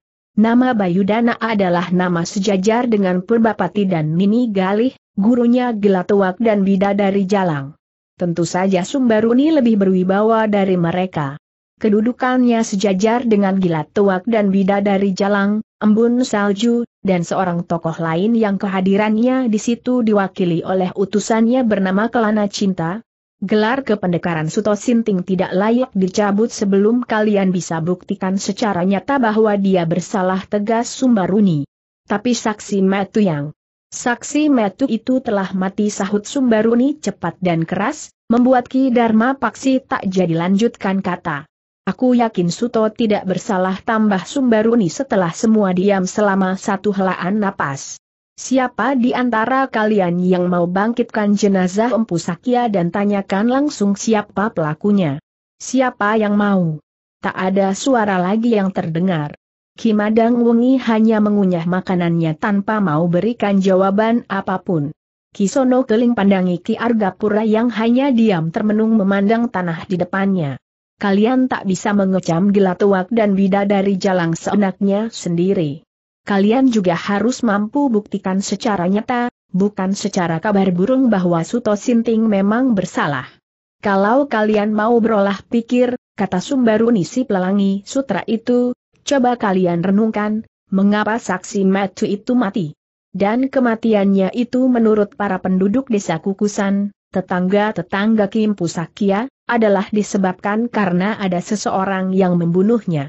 Mbok Wiji dilenyapkan, itu pertanda seseorang tak mau rahasianya terbongkar jika Mbok Wiji terlalu banyak bicara tentang kesaksiannya.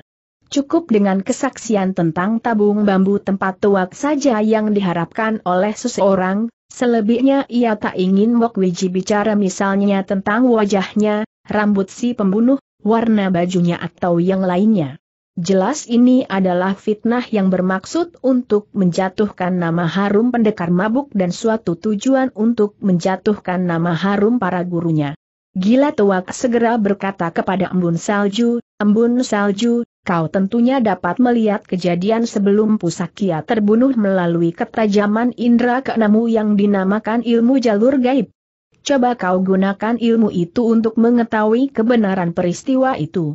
Embun salju tarik napas dengan tetap bersikap tenang, ilmu jalur gaib sepertinya ada yang menutup, sehingga sudah ku coba berulang kali untuk melihat kejadian sebelum Pusakia terbunuh, tapi selalu gagal. Itu berarti orang yang membunuh Empu Sakya punya ilmu perisai sukma sahut Sumbaruni dengan cepat dan keras.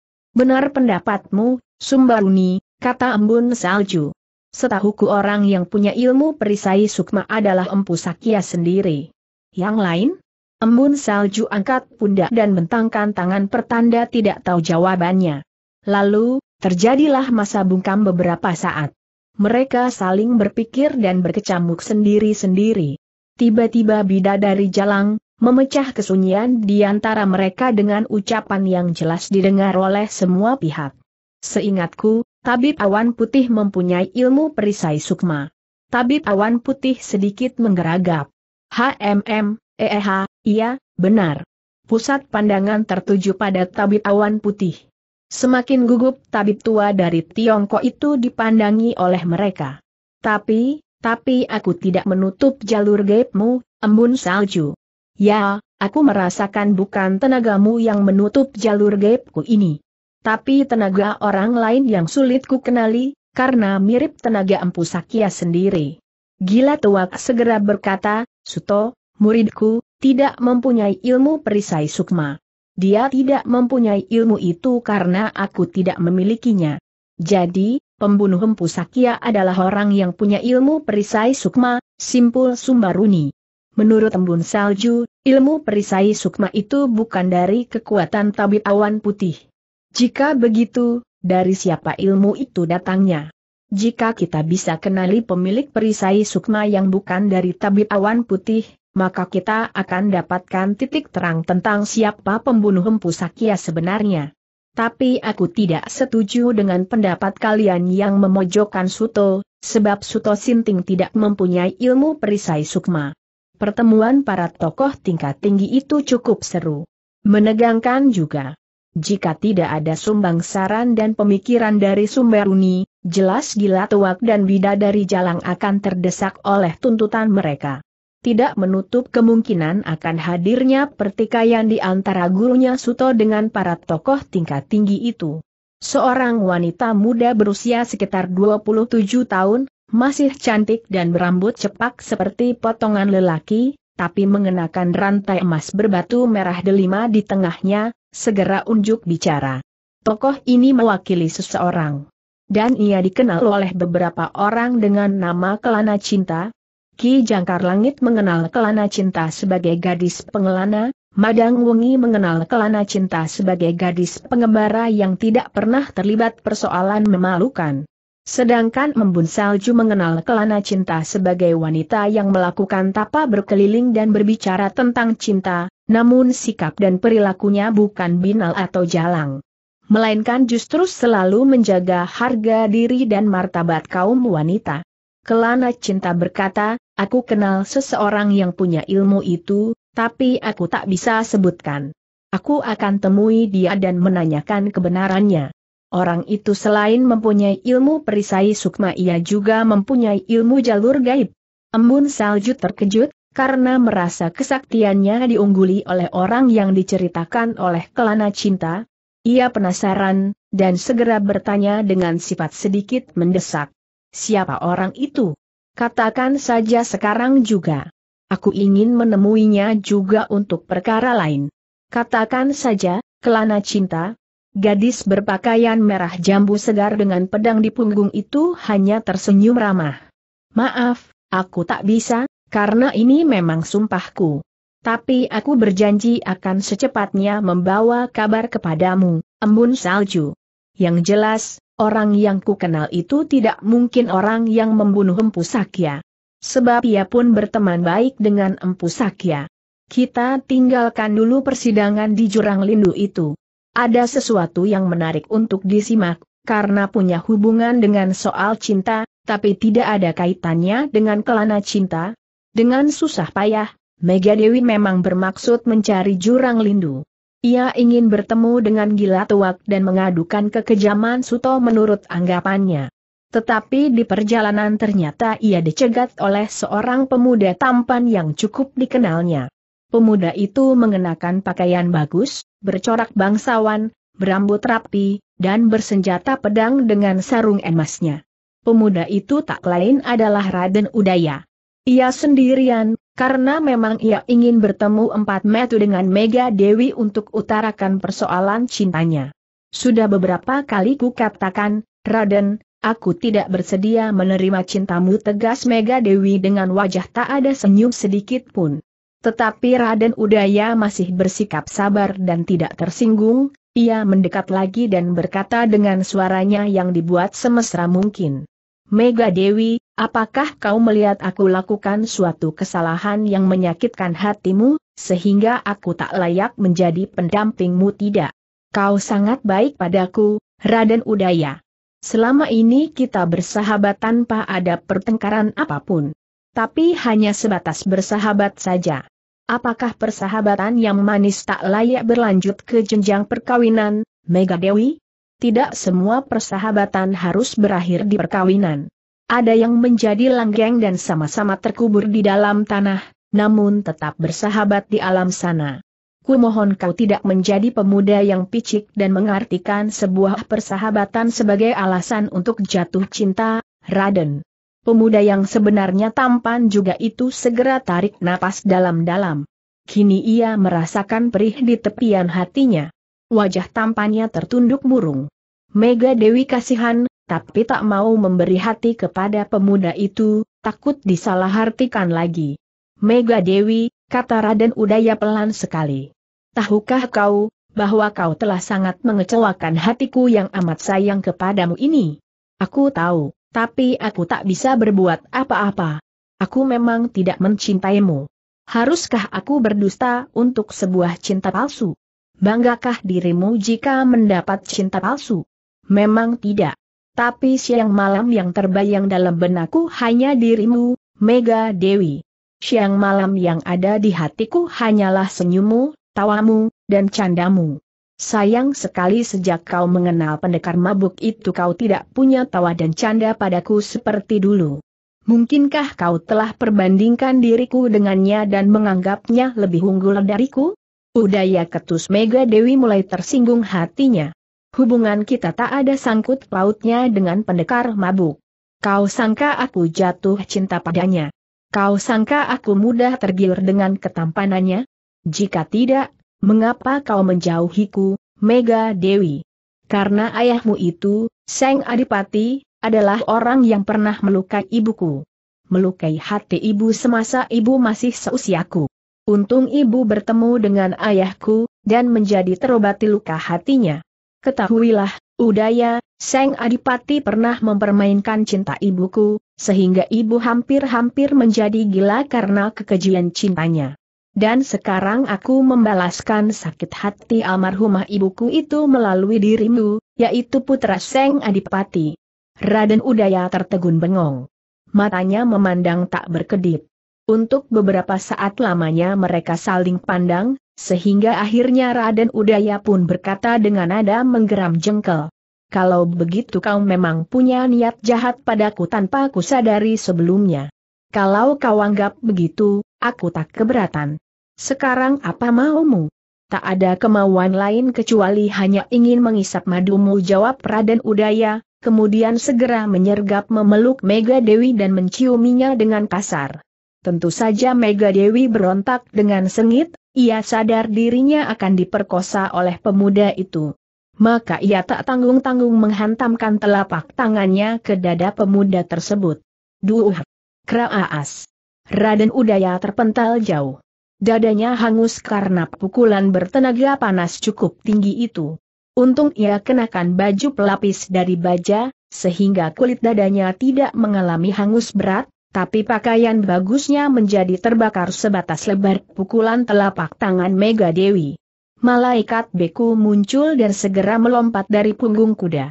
Cambuknya disambar dan hendak dilecutkan ke tubuh Mega Dewi. Tetapi Mega Dewi segera larikan diri, tak mau layani persoalan itu.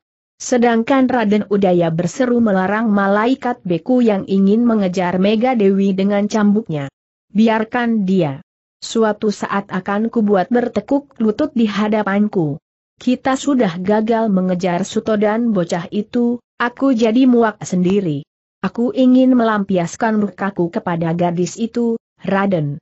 Jangan dia masih bisa berguna bagi hidupku kelak kata Raden Udaya, dan sebagai orang fuaannya, malaikat beku tak berani membantah larangan itu.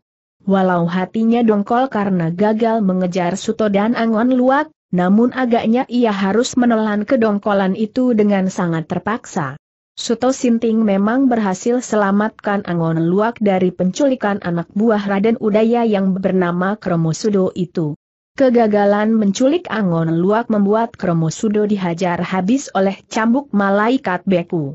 Bahkan sekarang disuruh Raden Udaya untuk pulang ke Kadipaten dan mengurus kuda-kuda piaraan yang ada di istal Kadipaten. Padahal semula Kromosudo adalah prajurit pengawal kepercayaan Raden Udaya.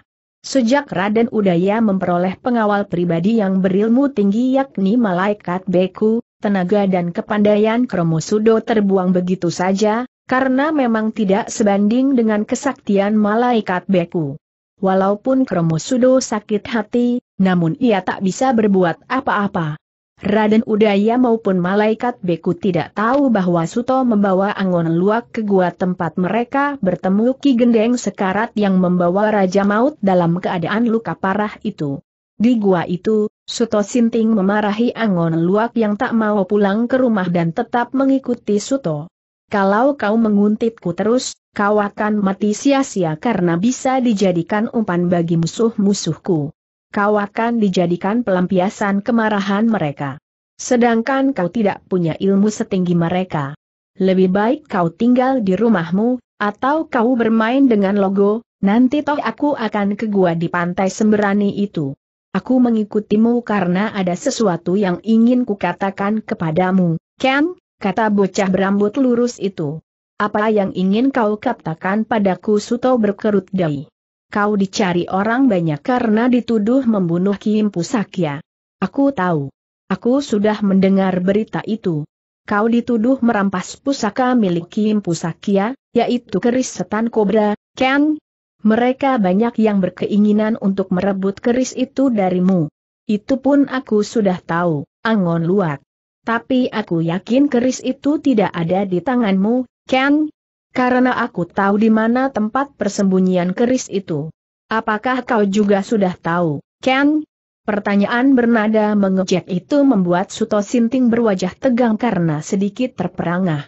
Pendekar mabuk bahkan sempat cemas, lalu memandang ke sana-sini, takut percakapan itu didengar orang. Apa benar kau tahu tempat penyimpanan keris itu? Angon luak yang lugu itu mengangguk. Ketika ku dengar kabar orang mencarimu dan menganggap keris itu ada di tanganmu, aku menengok tempat penyimpanan keris itu. Ternyata masih ada di tempat. Lalu kubiarkan di tempatnya dan aku ingin mencari care untuk meyakinkan mereka, bahwa kau tidak mempunyai keris itu. Tapi aku sudah lebih dulu dikejar-kejar oleh dua orang kadipaten. Suto sedikit bimbang. Jangan-jangan kau membohongiku? Tidak, Ken. Bagaimana kau bisa mengetahui tempat penyimpanan keris itu suara Suto semakin lirih. Ki Empu Sakya pernah bercerita padaku tentang pohon yang punya kesaktian besar. Namanya pohon kenari raja. Pohonnya besar, daunnya rindang, batangnya ditumbuhi duri runcing-runcing. Menurut cerita Ki Empu Sakya, pohon itu menyimpan kekuatan sakti yang sampai sekarang tak diketahui orang. Letak kekuatan sakti ada di dalam batang pohon itu. Suatu saat ku temukan pohon itu tak berapa jauh dari hutan di belakang rumahnya. Aku heran dan ingin tahu kekuatan apa yang ada di dalam pohon itu.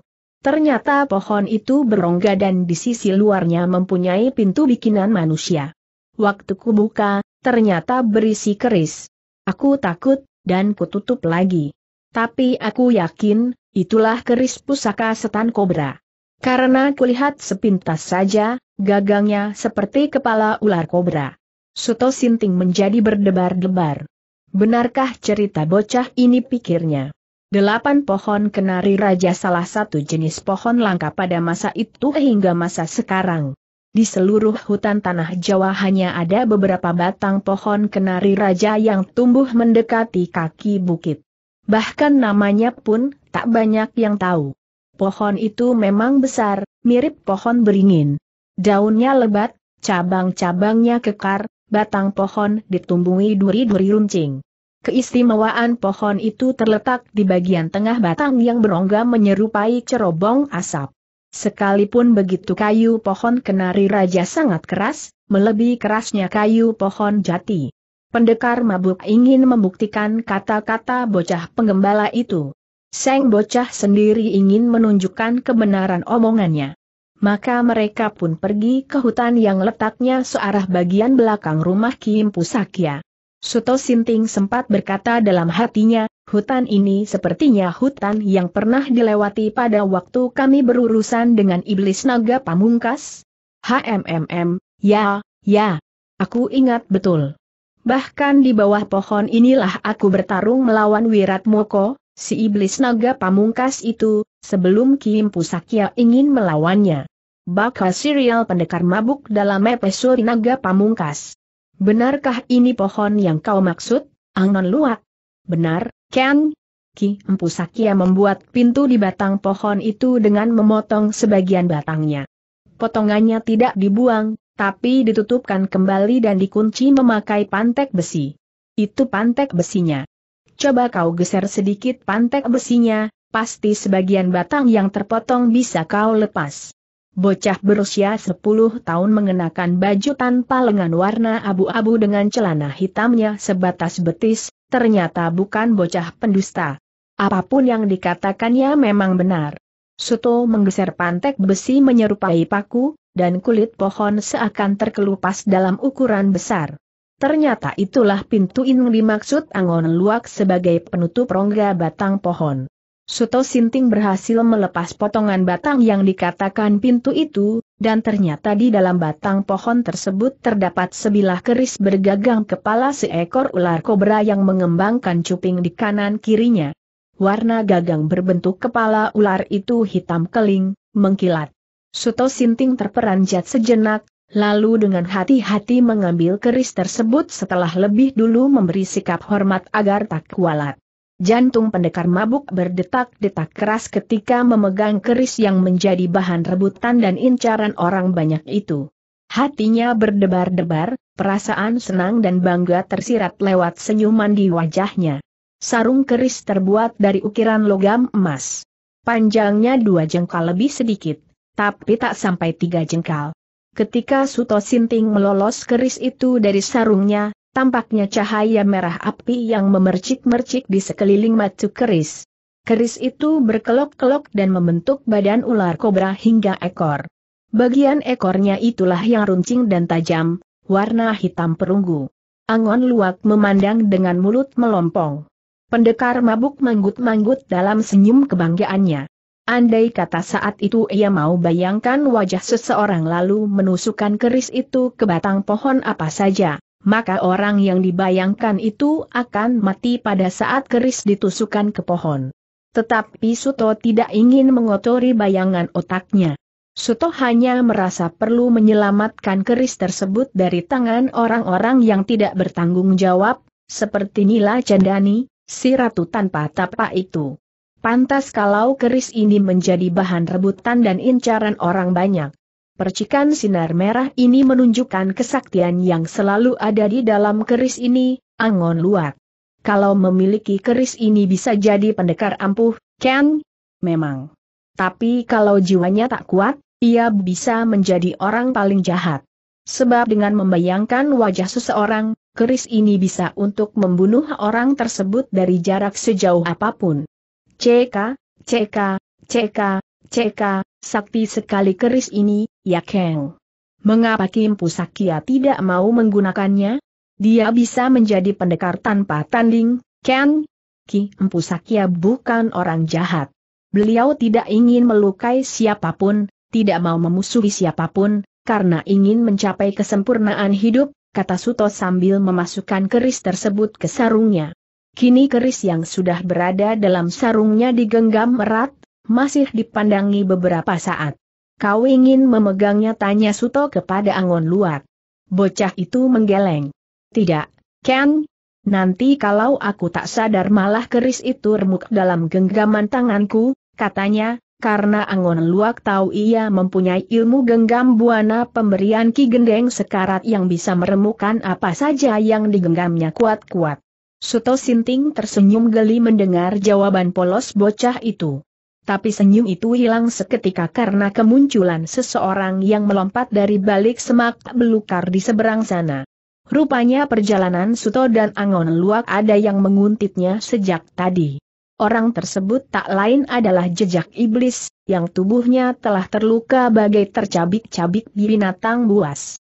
Pakaiannya rusak mirip gelandangan. Separuh wajahnya memar membiru lantaran dihajar habis-habisan oleh rindu malam yang ketika itu mengejar pelariannya. Rupanya jejak iblis masih belum jera dan tetap mengincar keris pusaka tersebut. Wah, Ken, dia datang lagi, Ken, kata Angon Luak dengan cemas. Tenanglah. Cari tempat yang aman buat persembunyianmu. Aku akan menghadapi orang itu, Angon Luak, bisik Suto Sinting dengan mata tetap memandang jejak iblis yang kehadirannya tadi membuat tanah bergetar. Kini ia melangkah mendekati Suto. Langkahnya itu membuat tanah bergetar dan daun berguncang. Akhirnya ku pergoki juga kebusukanmu, Suto Sinting. Kau benar-benar memiliki keris itu, kata jejak iblis dengan nada datar dan dingin. Aku baru sekarang memegang keris ini dan menemukannya di sini, kata Suto. Bagus. Jika begitu, serahkanlah padaku sebelum kesabaranku hilang.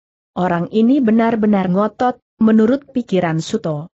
Sudah babak belur masih saja mengejar dan menginginkan keris tersebut Suto sangat prihatin dengan watak jejak iblis yang tak pernah bisa menghargai nyawanya itu. Keris ini tidak akan kuserahkan ke tangan orang-orang sepertimu, jejak iblis. Apa pun yang akan kau perbuat terhadapku, aku akan melayanimu. Jejak iblis mulai menggeram. Kedua tangannya menggenggam kuat-kuat.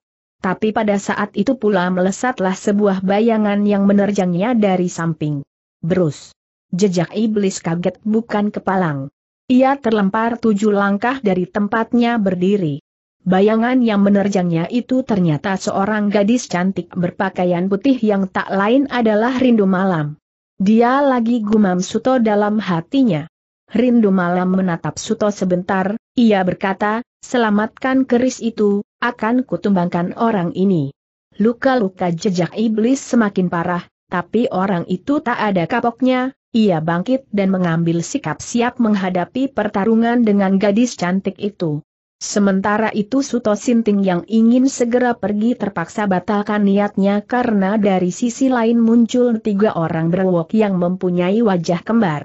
Semuanya berambut botak bagian depan, tapi berwoknya lebat. Wajahnya angker dan matanya garang. Badan mereka besar, kekar, senjata mereka sama-sama tombak bermata pedang. Di bawah ujung tombak itu terdapat ronce-ronce benang merah.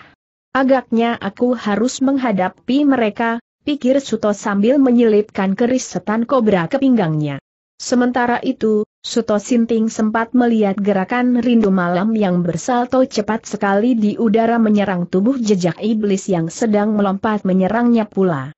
Dalam sekejap Suto melihat rindu malam dan jejak iblis beradu telapak tangan di udara. Plak, blaar. Ledakan dahsyat terdengar mengguncangkan tempat itu. Cahaya api merah berpendar bersamaan bunyi ledakan tadi. Jelek. Rindu malam mendaratkan kakinya ke tanah dengan sigap, tanpa luka apa pun. Sementara itu, jejak iblis kehilangan dua tangannya. Terpotong tepat di pergelangan tangan. Wajahnya yang tadi tampak biru separuh bagian, kini menjadi hitam hangus, tinggal kelopak matanya yang tampak merah. Rambutnya pun mengepulkan asap dan akhirnya rontok semua. Lelaki itu masih berdiri dengan sedikit limbung dan gemetaran. Jurus apa yang digunakan rindu malam itu? Dahsyat sekali pikir Suto. Agaknya kali ini jejak iblis mengakui kekalahannya. Ia sudah kehilangan tenaga cukup banyak, ia sudah merasakan dirinya amat lemah dan parah. Suto yakin kali ini jejak iblis tak sanggup lagi melawan rindu malam karena sudah kehilangan kedua tangannya. Keyakinan Suto itu menemui kebenarannya. Karena kejap berikutnya jejak iblis segera larikan diri dalam keadaan tak mampu melompat secepat dulu. Ia berlari terhuyung-huyung sambil meninggalkan ancaman bagi rindu alam. Aku akan menuntut balas kekalahan ini. Ingat, rindu malam tidak mengejarnya, hanya menghempaskan napas lega. Tapi ia segera berbalik arah, karena ia tahu ada tiga orang berwok yang sedang berhadapan dengan Suto Sinting. Gadis itu melenting ke atas dan bersalto dua kali, lalu mendarat tepat di samping Suto Sinting. Jelek. Tegap dan kokoh sekali berdirinya. Matanya yang indah menatap tajam pada tiga orang berwok itu. Ilmumu cukup hebat, nona cantik, ujar berwok berbaju merah. Tapi ilmu itu hanya bisa untuk mengalahkan si jejak iblis. Jangan harap kau bisa mengalahkan tiga jagal dari utara. Rindu malam tersenyum sinia. Apa maksud kalian datang kemari? Berwok berbaju hitam menjawab, untuk apa lagi kami datang kalau bukan untuk keris pusaka itu?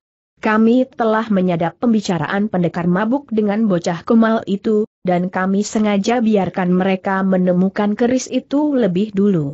Buat kami lebih mudah merebut keris itu daripada menemukan tempat penyimpanannya. Hei a, ha, ha, ha, ha. Brewok baju hijau juga tertawa dan berkata, jangan kalian khawatirkan kami. Kami tidak akan seganas dugaan kalian jika berhasil merebut keris itu. Kami sudah cukup sakti tanpa keris itu. Kami hanya ingin menjualnya kepada seseorang, dan menukarnya dengan separuh harta karun yang dipendam di daerah Teluk Sumbing itu. Hi, hi, hi, hi. Nilai cendani yang kau maksud seru Suto. Benar, pendekar tampan. Rupanya kau telah mengetahui si cantik bertangan besi itu, jawab Brewok berbaju hitam. Rindu malam berbisik, mundurlah, biar ku hadapi mereka. Mereka agaknya berilmu tinggi dan ganas-ganas. Biar aku saja yang menghadapinya. Jangan buang-buang tenagamu, kata Rindu Malam kepada Suto. Aku mampu kalahkan mereka dalam satu gebrakan. Jangan sombong, Rindu Malam. Aku bicara karena aku punya bukti. Mundurlah dulu ke bawah pohon. Jadilah penonton yang baik, Suto.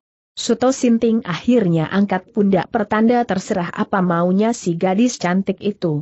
Pendekar mabuk menepi ke bawah pohon kenari raja. Di sana ia meneguk tuaknya.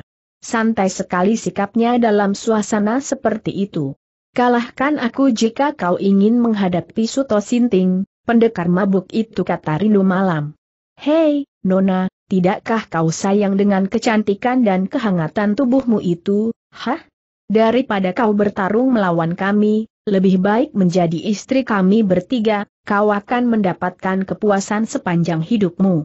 Iya, benar. Hi, hi, hi berwok berbaju hijau menimpali dengan tawanya yang memuakan rindu malam. Seret. Rindu malam cabut pedangnya dari punggung. Tiga jagal dari utara segera persiapkan diri menghadapi lawannya dengan berjajar masing-masing sejarak dua langkah. Mereka mulai memainkan jurus kembar tiga. Mengibaskan tombak pedangnya ke beberapa arah, lalu sama-sama berhenti bergerak dalam keadaan tombak diarahkan ke depan dengan kaki merendah. Serang teriak berwok berbaju merah. Lalu ketiganya menyatukan ujung tombak. Traak. Metu, tombak terbentuk pedang putih itu saling menempel. Dari perpaduan pedang itu melesat sinar biru sebesar gagang tombak itu. Slaap. Rindu malam merendahkan kaki, Pedangnya berdiri di depan dengan ujungnya ditahan memakai telapak tangan kiri. Selarik sinar biru besar itu menghantam pertengahan pedang rindu malam. Terang. Seperti tombak menancap pada dinding cadas, sinar biru itu ditahan oleh rindu malam. Pedangnya menjadi menyala biru terang.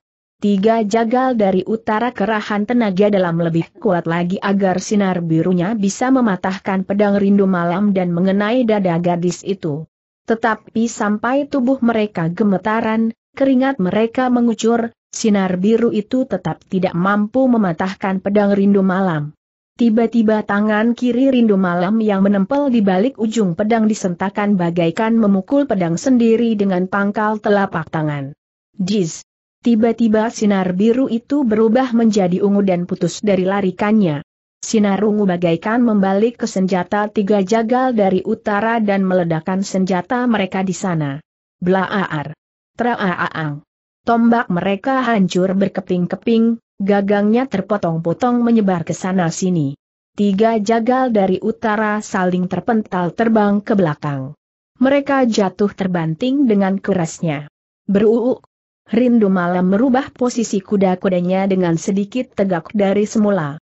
Pedangnya dimainkan ke kanan, kiri, depan, dan belakang. Lalu gerakan pedang yang menimbulkan suara dengung segera berhenti dalam keadaan terangkat di atas kepala bagian samping kanan. Tangan kiri rindu malam terjulur ke depan sedikit ditekuk dalam keadaan menggenggam kuat-kuat.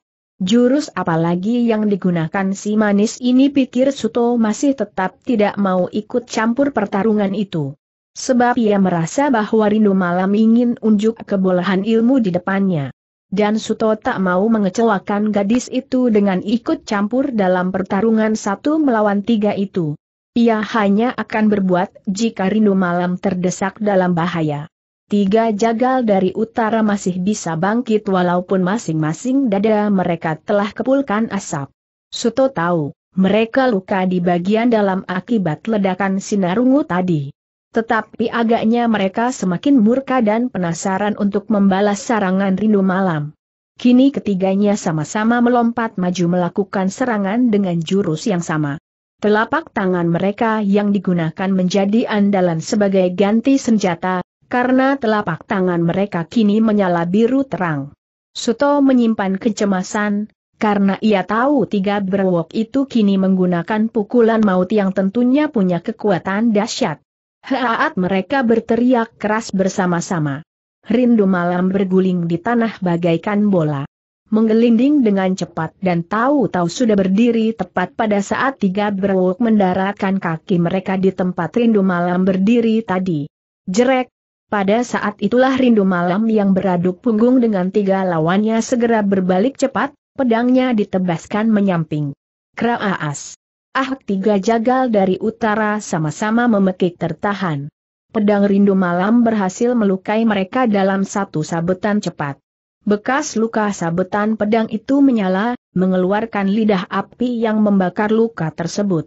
Tak heran jika tiga jagal dari utara saling berkelojotan meraung-raung di tanah, berguling-guling di rajang rasa sakit yang luar biasa. Api yang menyala akibat tebasan pedang itu sukar dipadamkan walaupun sudah dipakai berguling-guling. Bahkan api itu semakin lama semakin berkobar membakar separuh tubuh mereka bagian bawah. Teriakan histeris memilukan hati. Suto Sinting tak tega. Ia segera meneguk tuak, menyimpannya di mulut, lalu melakukan satu lompatan panjang sambil menyemburkan tuak dari mulutnya. Wurs!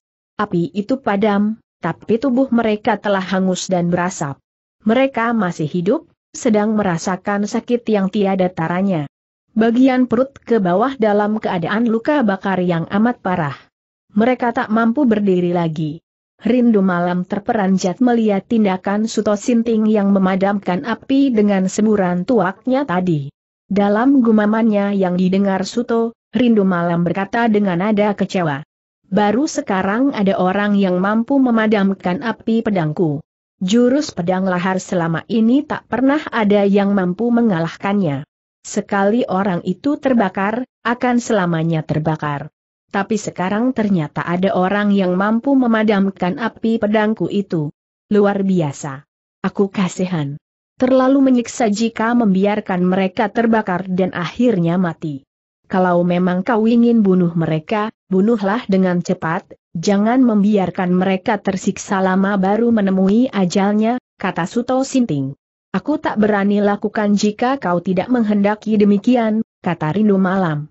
Sebenarnya aku bisa memulihkan luka bakar itu, tapi biarlah luka itu sebagai pelajaran bagi mereka agar tidak berpihak kepada yang jahat dan tidak rakus dengan harta harapannya.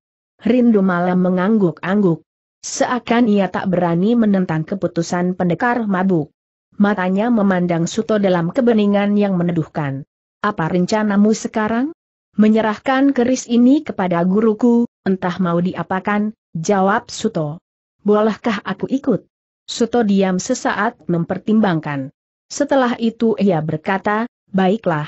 Baru sampai di situ kata-kata Suto, tiba-tiba ia mendengar suara pekikan angon luak di persembunyiannya. Suto cepat palingkan wajah memandang ke arah suara pekikan angon luak yang sepintas itu. Firasatnya mengatakan, bahwa anak itu dalam bahaya. Ternyata sekelebat bayangan terlihat membawa lari angon luak. Rindu malam dan Suto sama-sama tercengang. Pendekar mabuk bergegas mengejar bayangan yang membawa lari angon luak. Tapi tangan rindu malam menahan. Biar ku kejar dia dan ku bebaskan anak itu kau pergilah ke tempat gurumu, kita akan bertemu di pantat semberani.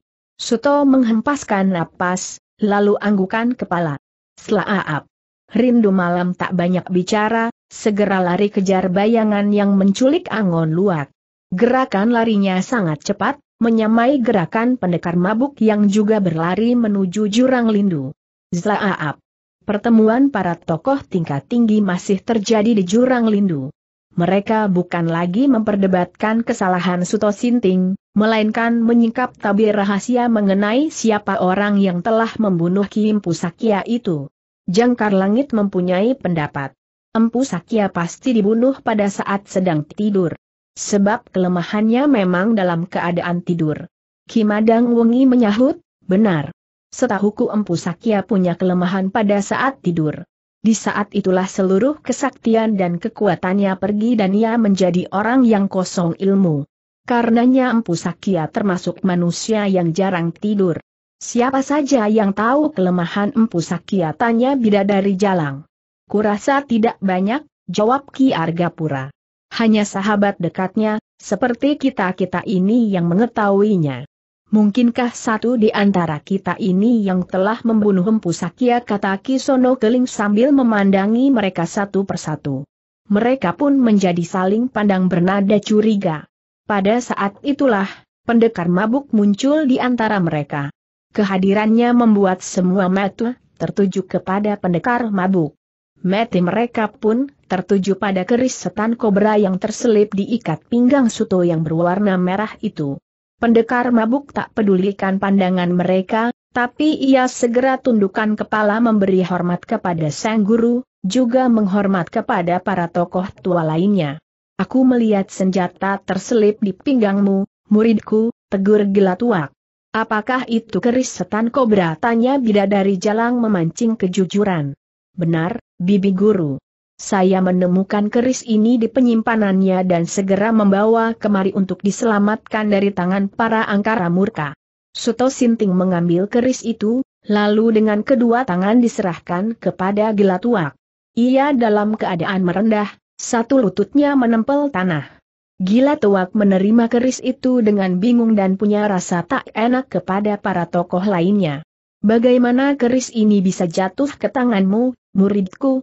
Maka, Suto Sinting pun menceritakan perjalanan menemukan keris bersama bocah desa yang menjadi tetangga Kim Pusakya itu. Semua yang hadir di situ mendengar cerita Suto tanpa ada yang memotong dengan pertanyaan apa pun. Banyak orang yang menghadang saya, memaksa saya menyerahkan keris itu sebelum saya mendapatkannya. Pada umumnya mereka adalah orang-orang yang disuwa oleh Nila Cendani, si ratu tanpa tapak yang sangat bernafsu untuk mendapatkan keris itu guna membalas kekalahannya dalam pertarungan dengan saya. Ki Parandito segera menyahut, ya, aku dengar sendiri saat ia lari meninggalkan ancaman dan menyebut-nyebut niatnya untuk membalasmu setelah mendapatkan keris setan kobra. Tapi apakah mungkin Nila Cendani yang membunuh Empu Sakya? Mungkin saja jawab Ki Dharma Paksi. Embun Salju segera berkata, tapi Nila Cendani tidak mempunyai ilmu perisai sukma. Dari mana ia menutup ilmu jalur gaibku selama ini? Semua saling bungkam dan saling pandang. Gila tuak segera membuka kebungkaman dengan mengajukan tanya, mau kita apakan keris ini? Kimadang Wengi menjawab, lenyapkan saja supaya tidak jadi bahan rebutan. Salah-salah bisa jatuh ke tangan orang-orang seperti Nila Cendani dan kehidupan di bumi bisa dirusaknya dengan keris setan kobra itu. Aku setuju. Lenyapkan saja keris itu, kata Ki Argapura. Baiklah, ujar Gelatuak. Ia meletakkan keris itu di atas sebuah batu. Suto, lenyapkan dengan tuakmu perintah Gelatuak. Maka, Suto pun segera melaksanakan perintah tersebut, ia menenggak tuak, tapi tidak ditelan semuanya.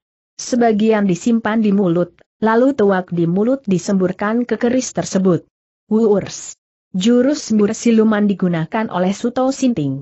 Keris itu lenyap, seperti halnya benda lain jika disembur tuak dengan jurus mur siluman akan hilang seketika itu juga.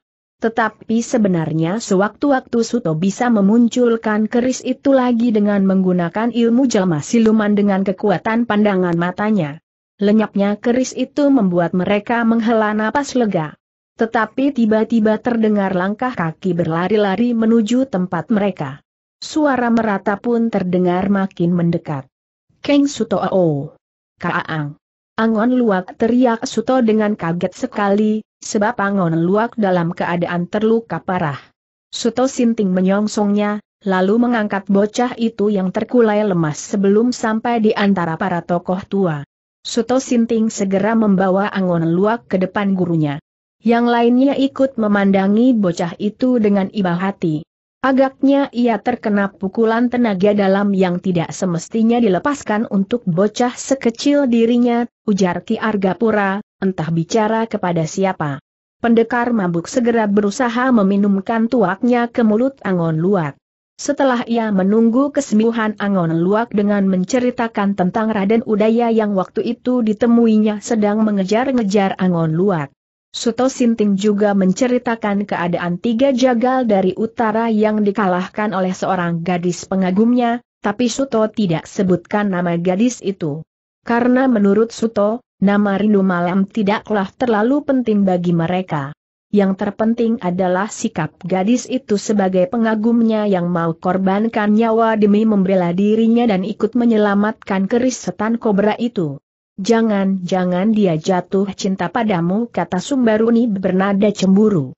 Embun salju tersenyum tipis, bidadari jalang juga tersenyum, Nyai Punding Sunyi pun tersenyum. Malahan Ki Madang Wangi pun berkata, Ingat, Sumbaruni, usiamu sudah di atasku. Jangan main cemburu begitu. Sumbaruni tersinggung dan bicara dengan lantang, apa pedulimu kalau aku jatuh cinta pada pemuda seperti Suto, Madang Wangi toh keadaan diriku masih tetap muda dan membutuhkan pasangan yang seimbang. Beberapa tokoh tua terkekeh geli. Tapi mereka tidak lanjutkan kata-kata, sebab Angon Luak mulai sadar dan bocah itu agaknya sudah mulai bisa diajak bicara. Luka-lukanya memang belum sembuh keseluruhan, tapi sudah lebih baik daripada semula. Apa yang terjadi padamu, Angon Luak tanya Suto di depan mereka. Orang kadipaten itu, mau membunuhku, kan? Jawab Angon Luak. Tapi rindu malam datang selamatkan aku, dan menyuruhku lari mencarimu ke arah timur, lalu, kulihat dirimu ada di sini.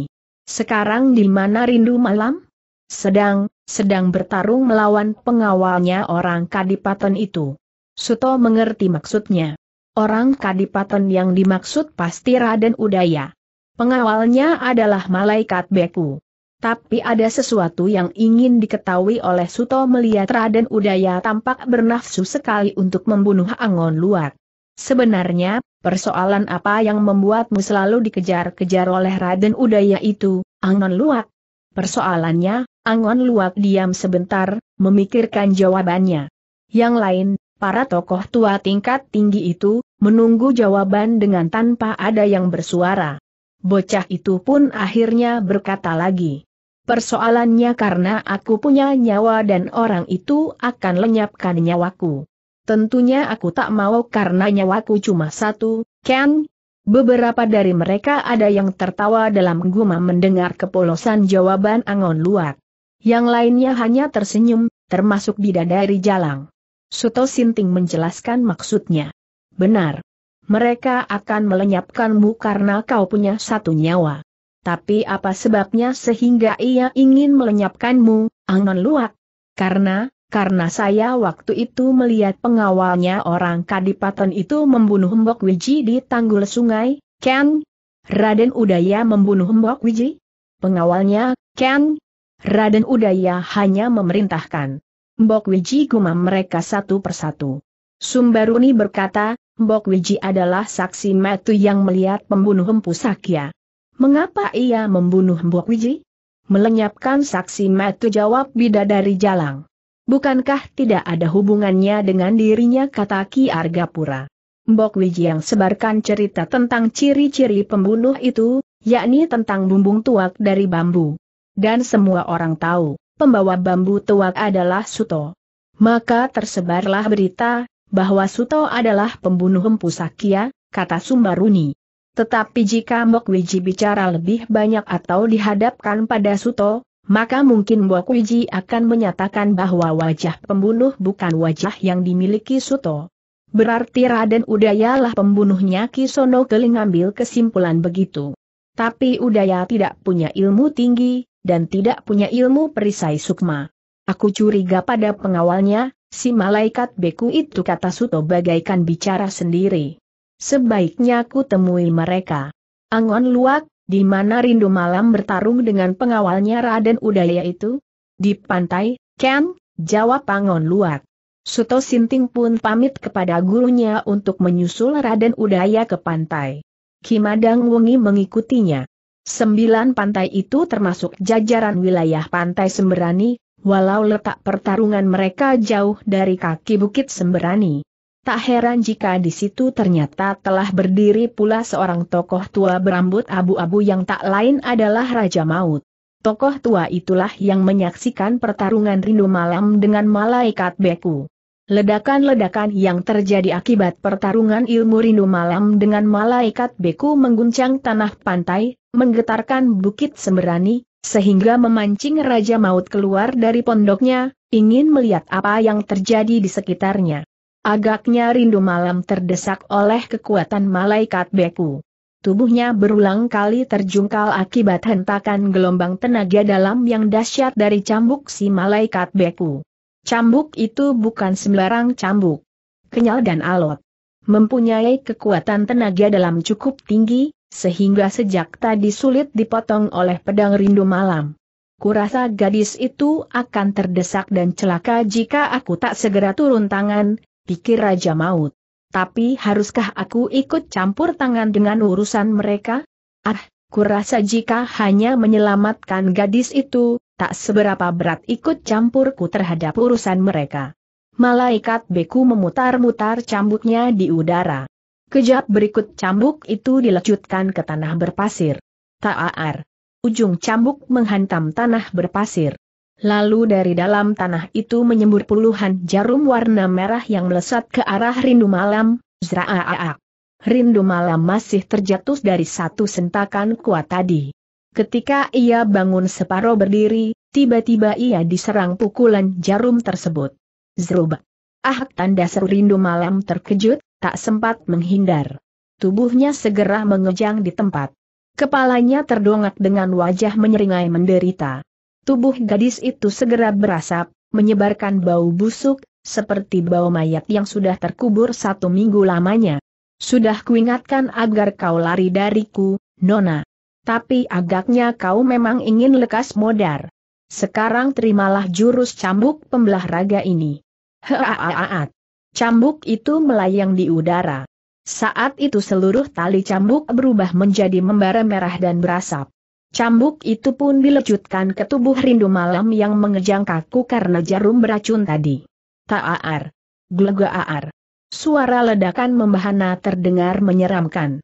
Gelombang air laut naik setinggi atap rumah, bergulung-gulung menuju ke tengah samudera. Mestinya tubuh rindu malam akan hancur terpotong-potong menjadi beberapa puluh bagian. Tetapi pada saat cambuk sedang dilecutkan, Raja Maut bergerak lebih dulu dan lebih cepat, ia menyambar tubuh rindu malam. Wuut! Tahu-tahu sudah ada di balik gugusan batu karang jauhnya lebih dari 15 langkah dari tempat malaikat beku berdiri. Sedangkan Raden Udaya hanya terperangah bengong, masih duduk di atas kudanya di belakang malaikat beku, berjarak lewat dari 20 langkah. Sejak tadi ia menyaksikan pertarungan hebat itu, dengan senyum kebanggaan, karena malaikat beku yang dijagokan ternyata mampu menunjukkan kehebatan ilmu dan jurus-jurusnya. Bukan hanya Raden Udaya yang kecewa melihat rindu malam terselamatkan oleh gerakan cepat Raja Maut, tetapi malaikat Beku pun sangat kecewa dan murkanya kian bertambah. Keparat kau, tua bangka teriaknya penuh luapan amarah. Kuhancurkan sekalian tubuhmu dengan cabuk urat setanku ini. Haaah.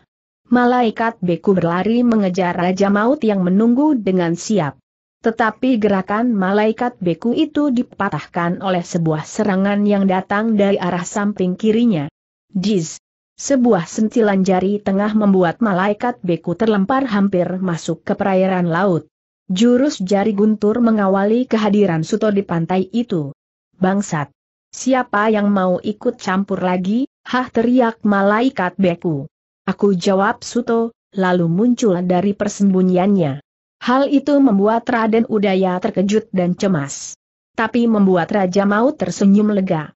Sementara rindu malam terkapar dengan tubuh membiru dan tak bisa berbuat apa-apa. Raja Maut mencoba menawarkan racun di tubuh rindu malam dengan menyalurkan hawa dingin ke tubuh gadis itu. Wuut! Jelek! Suto Sinting melompat dan berdiri tegak tak jauh dari malaikat beku. Di ujung sana, Raden Udaya yang menjadi takut menyimpan kecemasannya. Lalu ia putuskan untuk menyingkir sementara dari tempat itu, menunggu hasil akhir pertarungan yang bakal terjadi dengan seru itu. Tetapi ketika Raden Udaya membelokkan arah kudanya, tiba-tiba seseorang telah melemparkan batu kerikil sekecil kacang tanah. Wuut! Tep! Raden Udaya jatuh dari punggung kuda, tapi ia tak bisa bergerak lagi, Sekujur tubuhnya menjadi kaku. Rupanya seseorang telah menotok jalan darahnya memakai batu kerikil itu. Kini yang dapat dilakukan oleh Raden Udaya hanya menggerakkan kepala saja, termasuk mulut dan matanya. Tapi bagian tubuh lainnya kejang seperti tubuh patung batu. Siapa ini yang menotokku teriaknya dengan berang. Suara tawa seperti menggumam terdengar. Seorang lelaki bertubuh agak gemuk muncul sambil mengunyah makanan. Ki Madang Wangi itulah orang yang telah menotok jalan darah Raden Udaya untuk menahan agar anak Adipati itu tidak pergi dari tempatnya. Ki Madang Wangi hanya terkekeh-kekeh mendengar sebaris cacian dari Raden Udaya yang minta dibebaskan dari totokannya. Ki Madang Wangi bahkan duduk di atas batu sambil memperhatikan ke arah pertarungan malaikat Beku dan Suto Sinting. Sebelum itu, Suto Sinting yang tampak tenang sempat menenggak tuaknya, menelannya beberapa teguk. Membiarkan malaikat beku melecutkan cambuknya ke arah tubuh Suto. Tubuh pendekar mabuk itu melesat lompat ke samping menghindari cambuk tersebut dengan tetap menenggak tuaknya. Setelah selesai menenggak, barulah ia memandang dengan senyum penuh tantangan. Sementara itu dari kejauhan terdengar suara Raja Maut berseru kepada pendekar mabuk, habisi saja dia, Suto. Dia adalah Kalatandu, cucu sesat Empu Sakya yang banyak mengetahui rahasia dan kelemahan Empu Sakya. Suto manggut-manggut memandangi malaikat beku sambil menyunggingkan senyum sinis. Malaikat beku tempat berang kepada Raja Maut. Tetapi jaraknya yang jauh membuat ia tak berani menyerang, karena takut diserang Suto dari belakang. Hatinya hanya membatin, busuklah mulut si tua bangka itu. Dia tahu siapa diriku. Sedangkan Suto Sinting segera perdengarkan suaranya yang kelem, oh, oh jadi kau yang bernama Kalatandu. Ya, memang aku Kalatandu sentak malaikat beku. Kurasa kau yang membunuh Mbok Wiji. Memang. Perempuan itu kubunuh supaya tidak banyak bicara tentang diriku. Sebab hanya dialah yang mengetahui saat aku membunuh Empu Sakya, kakekku sendiri itu. Tapi dia hanya tahu ciri-ciri yang ada padaku. Sengaja ku bawa bumbung tempat tuak seperti bumbungmu itu, supaya orang akan menyangka kaulah pelakunya. Ternyata rencanaku itu berhasil. Tapi aku jadi khawatir kalau Mbok Wiji bicara tentang wajahku dan ciri-ciri lainnya. Dugaan para tokoh pun begitu, kala tandu. Persetan dengan dugaan para tokoh. Sekarang sudah telanjur terbuka. Tapi kau tak bisa menyalahkan aku saja, sebab anak adipati itulah yang memerintahkan diriku dan mengupahku untuk menjatuhkan namamu. Dengan begitu kau akan dibenci oleh Mega Dewi dan Mega Dewi akan mencintai Udaya. Anak Adipati itulah yang mengatur siasat dengan menggunakan bambu tuak pada saat aku membunuh kakekku yang sedang tidur itu. Kenapa kau tega membunuh kakekmu sendiri? Karena aku sudah tak sabar lagi menunggu keris pusaka itu belum juga diwariskan padaku. Sayangnya waktu kakek sudah kubunuh, aku tidak menemukan letak penyimpanan keris itu. Tapi aku cukup puas dapat membunuh Empu Sakya dengan keris peninggalan ibuku. Kurasa Mbok Wiji juga tahu kalau aku keluar dari belakang rumah Empu Sakya sambil membawa keris, ia pasti akan menceritakan kepada orang-orang tentang keris yang kubawa itu, sehingga orang sangka kaulah pembunuhnya dan berhasil membawa keris pusaka. Terima kasih atas pengakuanmu, Kalatandu, kata Suto kalem sekali. Sengaja ku beberkan supaya kau tidak penasaran dalam perjalanan menuju ke alam baka, Suto Sinting. Tentunya kau pun tahu bahwa bocahmu itu perlu kubunuh karena dia mengetahui saat aku membunuh Mbok Wiji. Jika tidak kubunuh dan ia buka rahasia itu, maka orang cerdas akan bisa menyimpulkan siapa pembunuh Empu Sakya sebenarnya. Tapi sayang, Bocahmu itu licin seperti belut dan selalu dinaungi dewa keberuntungan, sehingga sampai sekarang masih belum berhasil kulenyapkan. Kau tak akan berhasil membunuhnya semasa pendekar mabuk masih hidup. Kalau begitu sekaranglah saatnya untuk minggat ke neraka. Haaat. Ta'ar. Cambuk dilecutkan, ujungnya melepaskan sinar api yang berkerilap menyambar tubuh Suto Sinting tapi pendekar mabuk berhasil bersalto dua kali ke belakang dengan gerakan cepat. Gerakan itu membuat cambuk Kalatandu mengenai tempat kosong. Kalatandu menjadi sangat penasaran, ia menggeram sambil segera lakukan lompatan menyerang. Cambuknya diputar di atas kepala menimbulkan bunyi dengung yang amat kuat, lalu dilecutkan ke arah Suto kembali. Ta'ar. Suto Sinting menangkis cambuk itu dengan bambu tuaknya cambuk menjadi terjerat bambu tuak. Lalu Suto sentakan dengan keras, penuh kekuatan tenaga dalam, sehingga tubuh yang melayang itu tersentak maju ke arahnya, kemudian ujung bambu disodokkan ke depan. Wuuh! Wuuh! Tepat mengenai dada Kalatandu. Uh, tubuh Kalatandu belum sampai menyentuh tanah sudah terlempar lagi ke belakang. Wajahnya menjadi merah dan mulutnya keluarkan darah akibat sodokan bambu tuak yang bernama jurus mabuk pelebur gunung. Tubuh Sutop pun melangkah dua tindak dengan menggeloyor seperti orang mau jatuh karena mabuk. Tapi itulah jurus mautnya yang membahayakan lawan. Kala Tando masih bisa bangkit. Padahal wajahnya sudah biru legam, demikian pula bagian lengannya. rambutnya rontok dan menjadi beterbangan tertiup angin pantai. Suto menganggap Kalatandu berilmu tinggi, karena biasanya lawan yang terkena jurus mabuk pelebur gunung akan mati beberapa saat setelah rambutnya rontok. Rupanya ia punya baja pelapis jiwa di dalam tubuhnya pikir Suto, namun ia masih menampakkan ketenangannya. Kala Tandu menepukkan tangannya di atas kepala. Plaap. Klaap. Sinar putih melesat menghantam Suto Sinting. Dengan cepat Suto berguling ke tanah menyambar cambuk yang jatuh, Lalu cambuk itu dilecutkan ke arah datangnya sinar tersebut. Taar. Kilatan cahaya biru keluar dari ujung cambuk dan menghantam sinar putih. Blegaar. Ledakan terjadi dengan dahsyat. Gugusan batu karang setinggi rumah menjadi rontok berjatuhan menutup sebagian tepian pantai. Tetapi Kalatandu masih tetap berdiri tegak tanpa bergeser dari tempatnya sedikit pun. Bahkan kedua tangan yang tadi bertepuk satu kali di atas kepala itu ditarik turun sampai ke dada secara pelan-pelan, kemudian disentakan ke depan dengan kaki merenggang rendah. Wuut! Slaap! Sinar merah meluncur selarik lurus dari ujung dua tangan yang menyatu itu. Suto Sinting menangkisnya dengan bumbung tuak. Taas! Sinar merah itu menjadi besar dan bentuk besarnya bergerak makin mendekati ujung tangan Kalatandu. Akhirnya kala tandu ketakutan sendiri dan melepaskan kedua tangannya sambil melompat menghindar. Wuut! Blaar! Sekali lagi gugusan batu karang menjadi sasaran sinar itu. Dihantam kuat dalam bentuk satu ledakan, dan tahu-tahu gugusan batu karang itu lenyap, tinggal setumpuk pasir putih kecoklatan sebagai tanda batu karang itu lebur menjadi selembut itu. Kala Tandu sempat terperangah heran dan tegang. Tapi pada saat itu, Suto Sinting masih memanfaatkan senjata kala tandu itu dengan melecutkan cambuk tersebut ke udara tiga kali. Tar, tar, tar. Dan kilatan cahaya api merah kebiru-biruan melesat menghantam tubuh kala tandu. Dua ar. Ketiganya menghantam bersama, tubuh kala tandu terlempar jauh. Ketika ia jatuh ke tanah, ternyata satu kakinya sudah tak ada, satu tangannya jatuh di sebelah sana, dan daun telinganya pun entah jatuh di mana. Kala Tando masih mencoba berdiri untuk lakukan serangan dengan satu tangan.